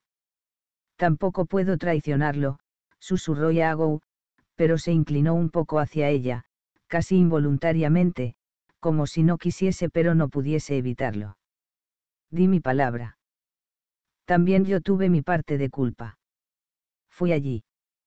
Conocía las pasiones que lo consumían, la ira, la necesidad de poder, y sin embargo fui. Las pasiones que consumían a Finlay Fitzjames. Preguntó Pitt. Iago uno respondió. Pitt sabía que era inútil insistir. Aún no disponía de pruebas suficientes para detener a Finlay por el asesinato de Mary Smith, no sin la declaración de Iago. Marjorie Williams podía reconocer a los cuatro hombres, pero habían pasado seis años. ¿Y de qué servía el testimonio de una mujer como ella contra la palabra de Finlay Fitzjames y el poder de su padre? Correría Talula a su casa para poner sobre aviso a Finlay. Existía la posibilidad de que Pitt se presentase en Devorsire Street y descubriese que Finlay se había marchado, posiblemente a la Europa continental, o incluso más lejos, quizá a América. Los tres permanecían bajo la luz de la farola de Cook Street, inmóviles, Iago y Talula juntos, ella rodeándolo con un brazo, Pete enfrente. Estaban ateridos a causa de la pegajosa y fría humedad de la noche. En el río, a lo lejos, reverberaba sobre el agua el débil lamento de una sirena de niebla. ¿Quién dejó el gemelo y la insignia de Finlay en la habitación de Adam McKinley? Preguntó Pete por curiosidad fue usted. O uno de los otros dos. Yo no fui, dijo Yago, sorprendido. Y apostaría todo cuanto poseo, que no es mucho, a que tampoco fue ninguno de ellos. A Heliwell lo aterroriza que su reputación pueda verse empañada por el menor descrédito, y no digamos ya un asesinato. Tirlstone simplemente quiere olvidar lo ocurrido. El Club Fuego del Infierno se disolvió, y juramos no vernos nunca más. Talula apartó la vista de Iago y miró a Pitt con el entrecejo fruncido. No tiene sentido, comisario. Los supuestos culpables de los dos últimos asesinatos vivían en Whitechapel. No es posible que conociesen a Finlay, y menos aún que tuviesen acceso a sus efectos personales. ¿Y por qué iban a hacer una cosa así Mortimer o Norbert? Estaba muy pálida y tenía los ojos hundidos y el propio Finlay desde luego no pudo ser. Su voz se redujo a un susurro. Cometió el primer crimen, pero no el segundo. Lo sé, comisario. Le juro que no fue él. Lo vi en la fiesta. La creo, señorita Fitzjames. Tampoco fue Ewart. Lo atormentaba la posibilidad de que llegásemos a sospechar seriamente de él, y ya no digamos de acusarlo. Puede que odie a su padre, puede que odie a Finlay, pero tiene mucho que perder si Finlay es declarado culpable, su medio de vida, su familia, e incluso su libertad. Y presiento que si eso ocurriese, su padre, lejos de proteger a Ewart, lo destruiría por haber fracasado. Talula guardó silencio. No podía negarlo, pero admitirlo resultaba demasiado doloroso era más de lo que podía resistir. Iago la estrechó con su brazo. Hay un elemento crucial que aún no ha descubierto, dijo Iago, casi para sí más que para Pitt. Algo en torno a lo que gira todo lo demás. ¿Qué es? Preguntaron al unísono Pitt y Talula. No lo sé, admitió Iago. Solo sé que existe y que tiene una importancia vital. Pero mientras lo oía, Pitt rescató del fondo de su mente la duda que lo inquietaba, aún sin resolver. Mary Smith, dijo como si pensase en voz alta. Es un nombre muy corriente. Demasiado corriente. ¿Quién era? ¿Cómo se llamaba en realidad? Iago volvió a cerrar los ojos. No lo sé. Era joven. Era hermosa, y muy infeliz. Dios nos perdone. Sigo sin verle el sentido, protestó Talula, volviéndose hacia Pitt. En las habitaciones de esas mujeres se encontraron varios objetos de Finlay. ¿Quién pudo dejarlos allí, de no ser el asesino? Tenía algo que ver Mary Smith con Costigan y ella Baker. Contrajo el rostro en una mueca de perplejidad. ¿Cómo iban a matar a dos mujeres solo para culpar a Finlay? Es una locura. Entumecido a causa del penetrante frío, bajo el halo en que la bruma había convertido la luz de la farola, pitalló de pronto otra respuesta, trágica y absurdamente sencilla. Si su sospecha se cumplía, todo quedaría explicado. Debo regresar a la comisaría, anunció. Su voz sonaba exactamente igual que antes, y sin embargo a él le pareció por completo distinta. Era una respuesta que no deseaba confirmar, y sin embargo, pese a haberla vislumbrado fugazmente, cobraba intensidad en su cerebro por momentos. Llevaré a Talula, la señorita Fitzjames, conmigo a Santa María, dijo Iago, el semblante sereno, los hombros erguidos. En los labios de Pitt se dibujó la mínima expresión de una sonrisa. Era un gesto afectuoso, pero apenas un trémulo destello donde él habría deseado el más vivo resplandor. Excelente idea, reverendo. Será el mejor lugar para ella. Sin ánimo de entrometerme, y en tanto la decencia lo permita, le sugiero que le dé cobijo allí. Pero. Empezó a decir Yago. Sé dónde encontrarlo si lo necesito, atajó Pitt. Pero no creo que se dé el caso. Me consta que no declarará contra Finlay, y no hay nadie que declare contra usted continúe con su trabajo en la parroquia. Es una gran labor. Buenas noches.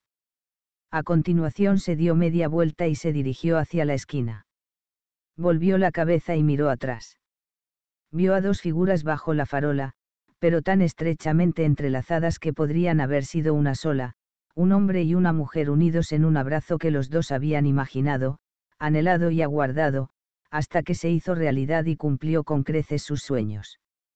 Ewart se sorprendió al ver a Pitt. Alzó la vista desde detrás de su escritorio con semblante sereno, sin el menor asomo de sospecha, sin miedo a lo que se avecinaba. ¿Está el doctor Lennox en la comisaría? Preguntó Pitt. Si no está, envía a alguien a buscarlo. Se encuentra mal. Dijo Ewart, pero aún no había acabado la frase cuando se le demudó la expresión. Era obvio que Pitt no estaba enfermo, sino dolido y taciturno. Traiga aquí al doctor Lennox, repitió Pitt. Lo conoce bien. Esto, relativamente. La sangre había dejado de afluir a sus mejillas. ¿Por qué? ¿A qué se dedicaba el padre de Lennox? ¿Cómo? ¿Cómo se ganaba la vida su padre? No. No, tengo la menor idea. ¿Por qué? Ewart parecía sinceramente desconcertado. Ha hecho algo indebido. ¿Qué pasa, Pete? Tiene muy mala cara. Siéntese. Le serviré un coñac.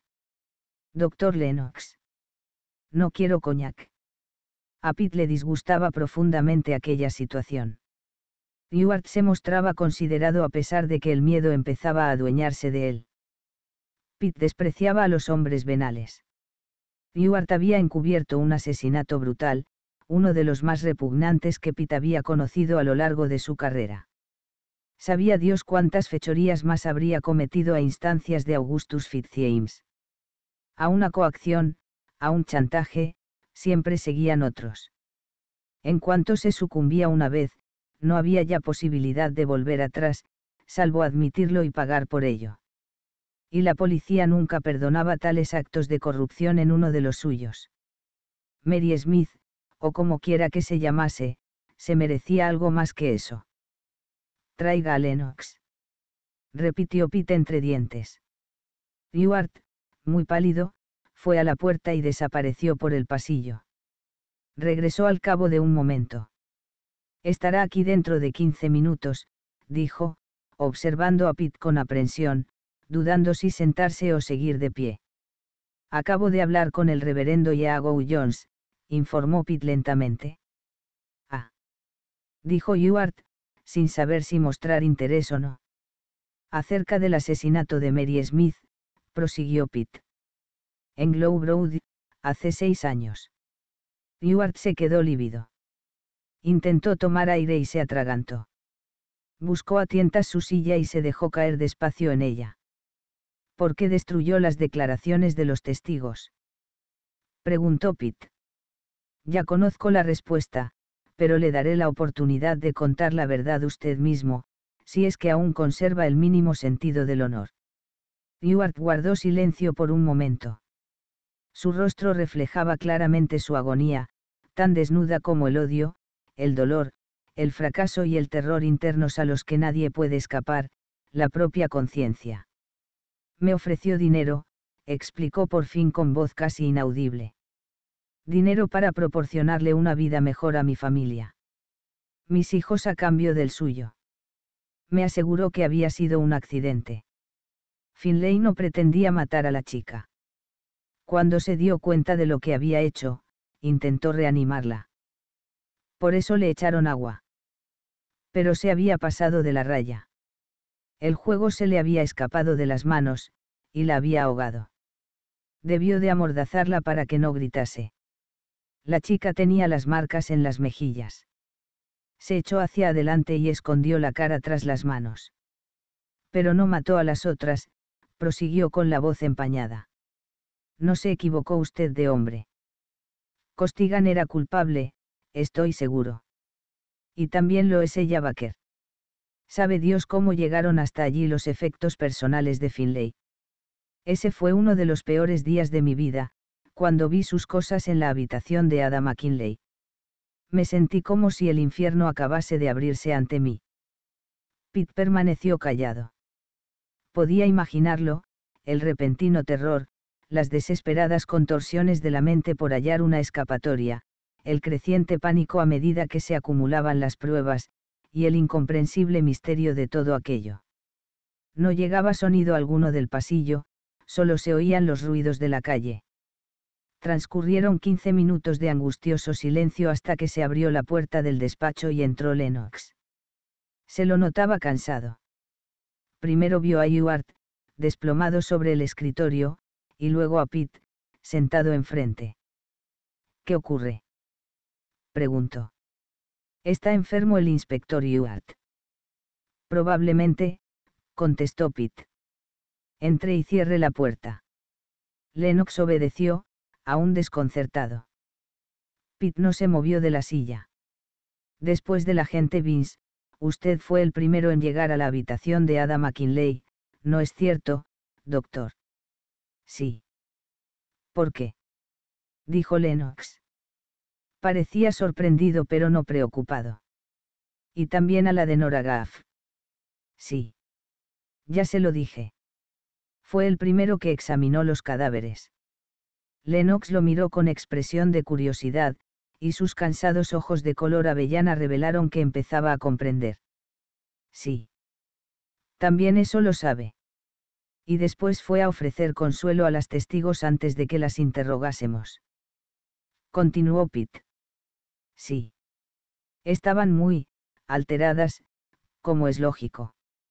También fue usted el primero en llegar a la habitación donde murió asesinada Mary Smith. Lennox palideció, pero conservó la serenidad.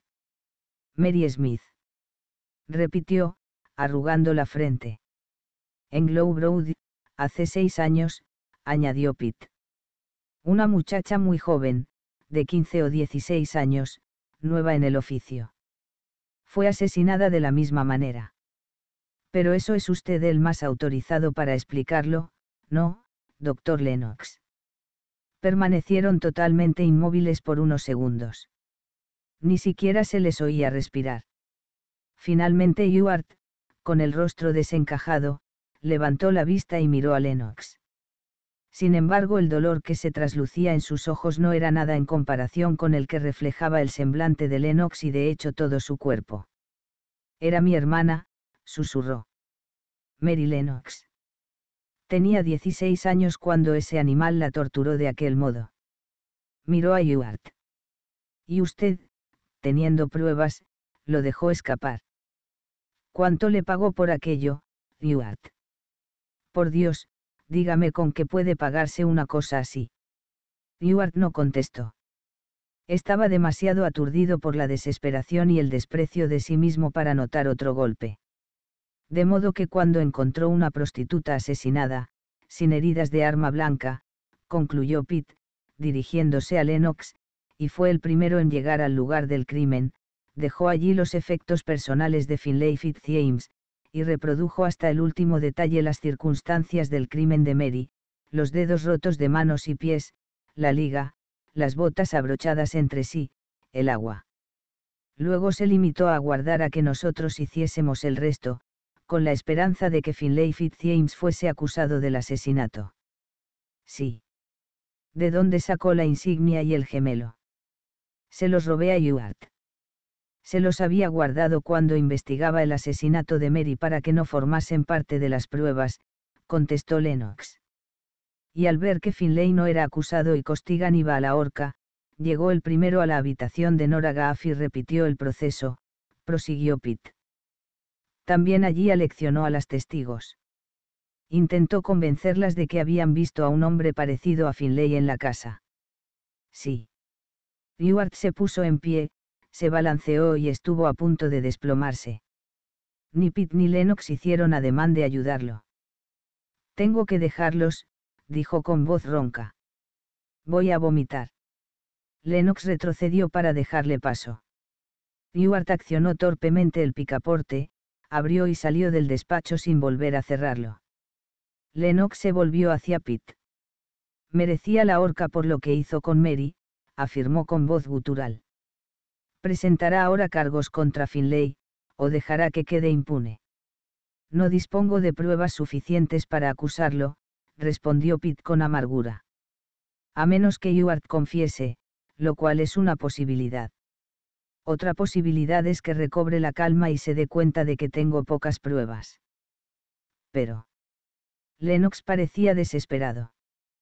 Podríamos ver si Marjorie Williams identifica a Finlay, continuó Pitt. Esa es otra opción. Y quizá también lo identificasen los otros dos testigos. Y es posible asimismo que Heliwell y Tirlstone se asusten y accedan a hablar, sobre todo si también los identifican. Debe hacerlo. Lennox se inclinó y agarró a Pitt de los brazos, hincándole los dedos en la carne. Debe. No tuvo ocasión de terminar la frase, porque de pronto se asomó al despacho el agente Vince, visiblemente preocupado. Comisario, el señor Ewart acaba de salir de aquí como alma que lleva el diablo, y ha cogido varios cartuchos de dinamita incautados.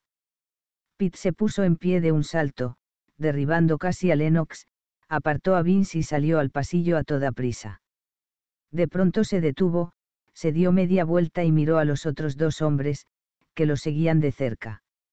Vince, vaya a parar un cabriolé. Requíselo si es necesario.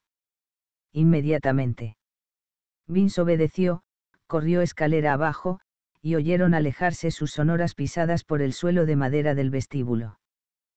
Pitt miró a Lennox. Presente ahora mismo su dimisión al sargento de guardia. Váyase antes de que yo regrese. No me diga a dónde, y yo no lo buscaré. Lennox se quedó inmóvil. En su rostro apareció una expresión de gratitud, suavizando sus severos rasgos, y los ojos se le anegaron en lágrimas. Pitt no tuvo tiempo para añadir nada más. A toda velocidad se lanzó escalera abajo, atravesó el vestíbulo y descendió por la escalinata hasta la calle. Vince lo aguardaba junto a un cabriolé con la puerta abierta, soportando las quejas del indignado cochero. Al número 38 de Devorshire Street, ordenó Pitt, y saltó al interior, seguido de Vince. Vaya tan deprisa como pueda. Es una cuestión de vida o muerte. El cochero captó la tensión y la urgencia. Su látigo restalló, y el cabriolé se puso en marcha con una brusca sacudida. En cuestión de segundos avanzaban rápidamente entre el tránsito con serio peligro para todo lo que se interpusiese en su camino. Ni Pit ni Vince despegaron los labios. Se zarandeaban de uno a otro lado, sujetándose como podían a los asideros del cabriolé, con grave nesgo de resultar heridos, y además habría sido imposible hacerse oír sobre el ruido de los cascos y las ruedas, los chirridos de la madera, y los gritos de los airados cocheros. Cuando el cabriolé aminoró la marcha para detenerse en Devorshire Street, Pitt abrió la puerta y saltó a la acera, seguido de inmediato por Vince. Corrió hasta la puerta y llamó, primero con la campanilla, casi arrancándola, y después con los puños. Vince gritaba junto a él, pero Pitt no prestaba atención a sus palabras. La puerta se abrió de par en par, y apareció el amable mayordomo, visiblemente alarmado. ¿Está Ewart aquí? preguntó Pitt con tono apremiante. Un policía, el inspector Ewart. Un hombre de pelo oscuro y escaso, que llevaba un paquete, probablemente una bolsa. Sí, señor. Ha llegado hace unos minutos. Quería ver al señor Fitzjames. ¿Dónde está? El mayordomo palideció. En el gabinete. ¿Está encendido el fuego allí? Preguntó Pitt, y la voz se le quebró a causa de la extrema tensión. Sí, señor. ¿Qué ocurre? Si me. No completó la frase. La explosión destruyó la chimenea y abrió una brecha en la pared exterior del gabinete. Arrancó la puerta de los goznes y la lanzó al vestíbulo. La onda expansiva los derribó a los tres, que quedaron magullados y heridos en el suelo. Pitt salió despedido hacia atrás y fue a estrellarse contra la mesa del vestíbulo. Vince cayó de rodillas. Había libros y papeles por todas partes, y en el aire flotaba una nube de ceniza. Siguieron unos segundos de silencio, roto solo por el ruido de las piedras y escombros al depositarse. Después empezaron los gritos. Pitt se levantó, tambaleándose, mareado y dolorido, ajeno a los rasguños y la sangre que le corría por las manos y la cara. Se acercó con paso inestable al gabinete y se asomó al interior. Los restos de libros lo cubrían todo salvo un pequeño espacio en el centro donde unas brasas de carbón ardían sobre la alfombra. El cuerpo de Ewart yacía retorcido y ensangrentado, y a poco más de un paso se hallaba lo que quedaba de Augustus Fitzjames, extendido sobre el montón de astillas que antes había sido una mesa. En el pecho tenía clavado un fragmento irregular y afilado de madera, pero ya nada le importaba. Pitt se dio media vuelta y vio al mayordomo de rodillas, intentando incorporarse, pálido a causa de la conmoción. Vin se acercó a ayudarlo. Una criada gritaba sin cesar en el piso superior. Aloysia Fitzjames se hallaba en lo alto de la escalera. Finlay salió del salón. Parecía no dar crédito a lo que veía lanzó una mirada iracunda a Pitt. Dios santo. exclamó. ¿Qué ha hecho? ¿Dónde, dónde está mi padre? Ha muerto, contestó Pitt con la garganta reseca por el humo. Y también él, el inspector Ewart. Pero tenemos aún sus archivos. Finlay Fitzjames, queda usted detenido por la tortura y el asesinato de Mary Lennox, el 12 de septiembre de 1884. Finlay, desesperado, dirigió la mirada hacia el gabinete reducido a escombros. Esta vez no puede ayudarlo, dijo Pitt. Tampoco Ewart. Ciertas cosas pueden aplazarse, señor Fitzjames, pero siempre llegan, un día u otro.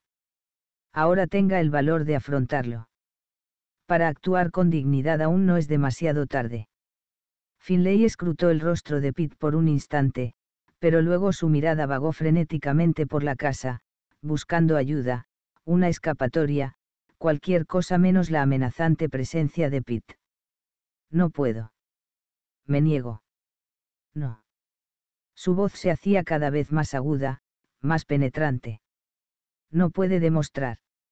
Ewart lo ha contado todo antes de morir. Aloisia descendió lentamente por la escalera y se acercó a su hijo, quedándose junto a él sin llegar a tocarlo. Miró a Pitt. Finlay lo acompañará con dignidad, comisario, susurró. Yo iré con él.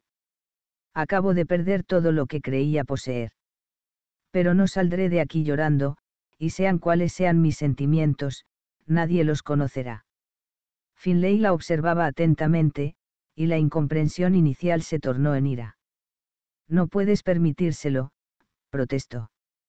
Haz algo. Exigió aterrorizado con voz acusadora. Haz algo. No puedes consentir que me lleve. Me ahorcarán.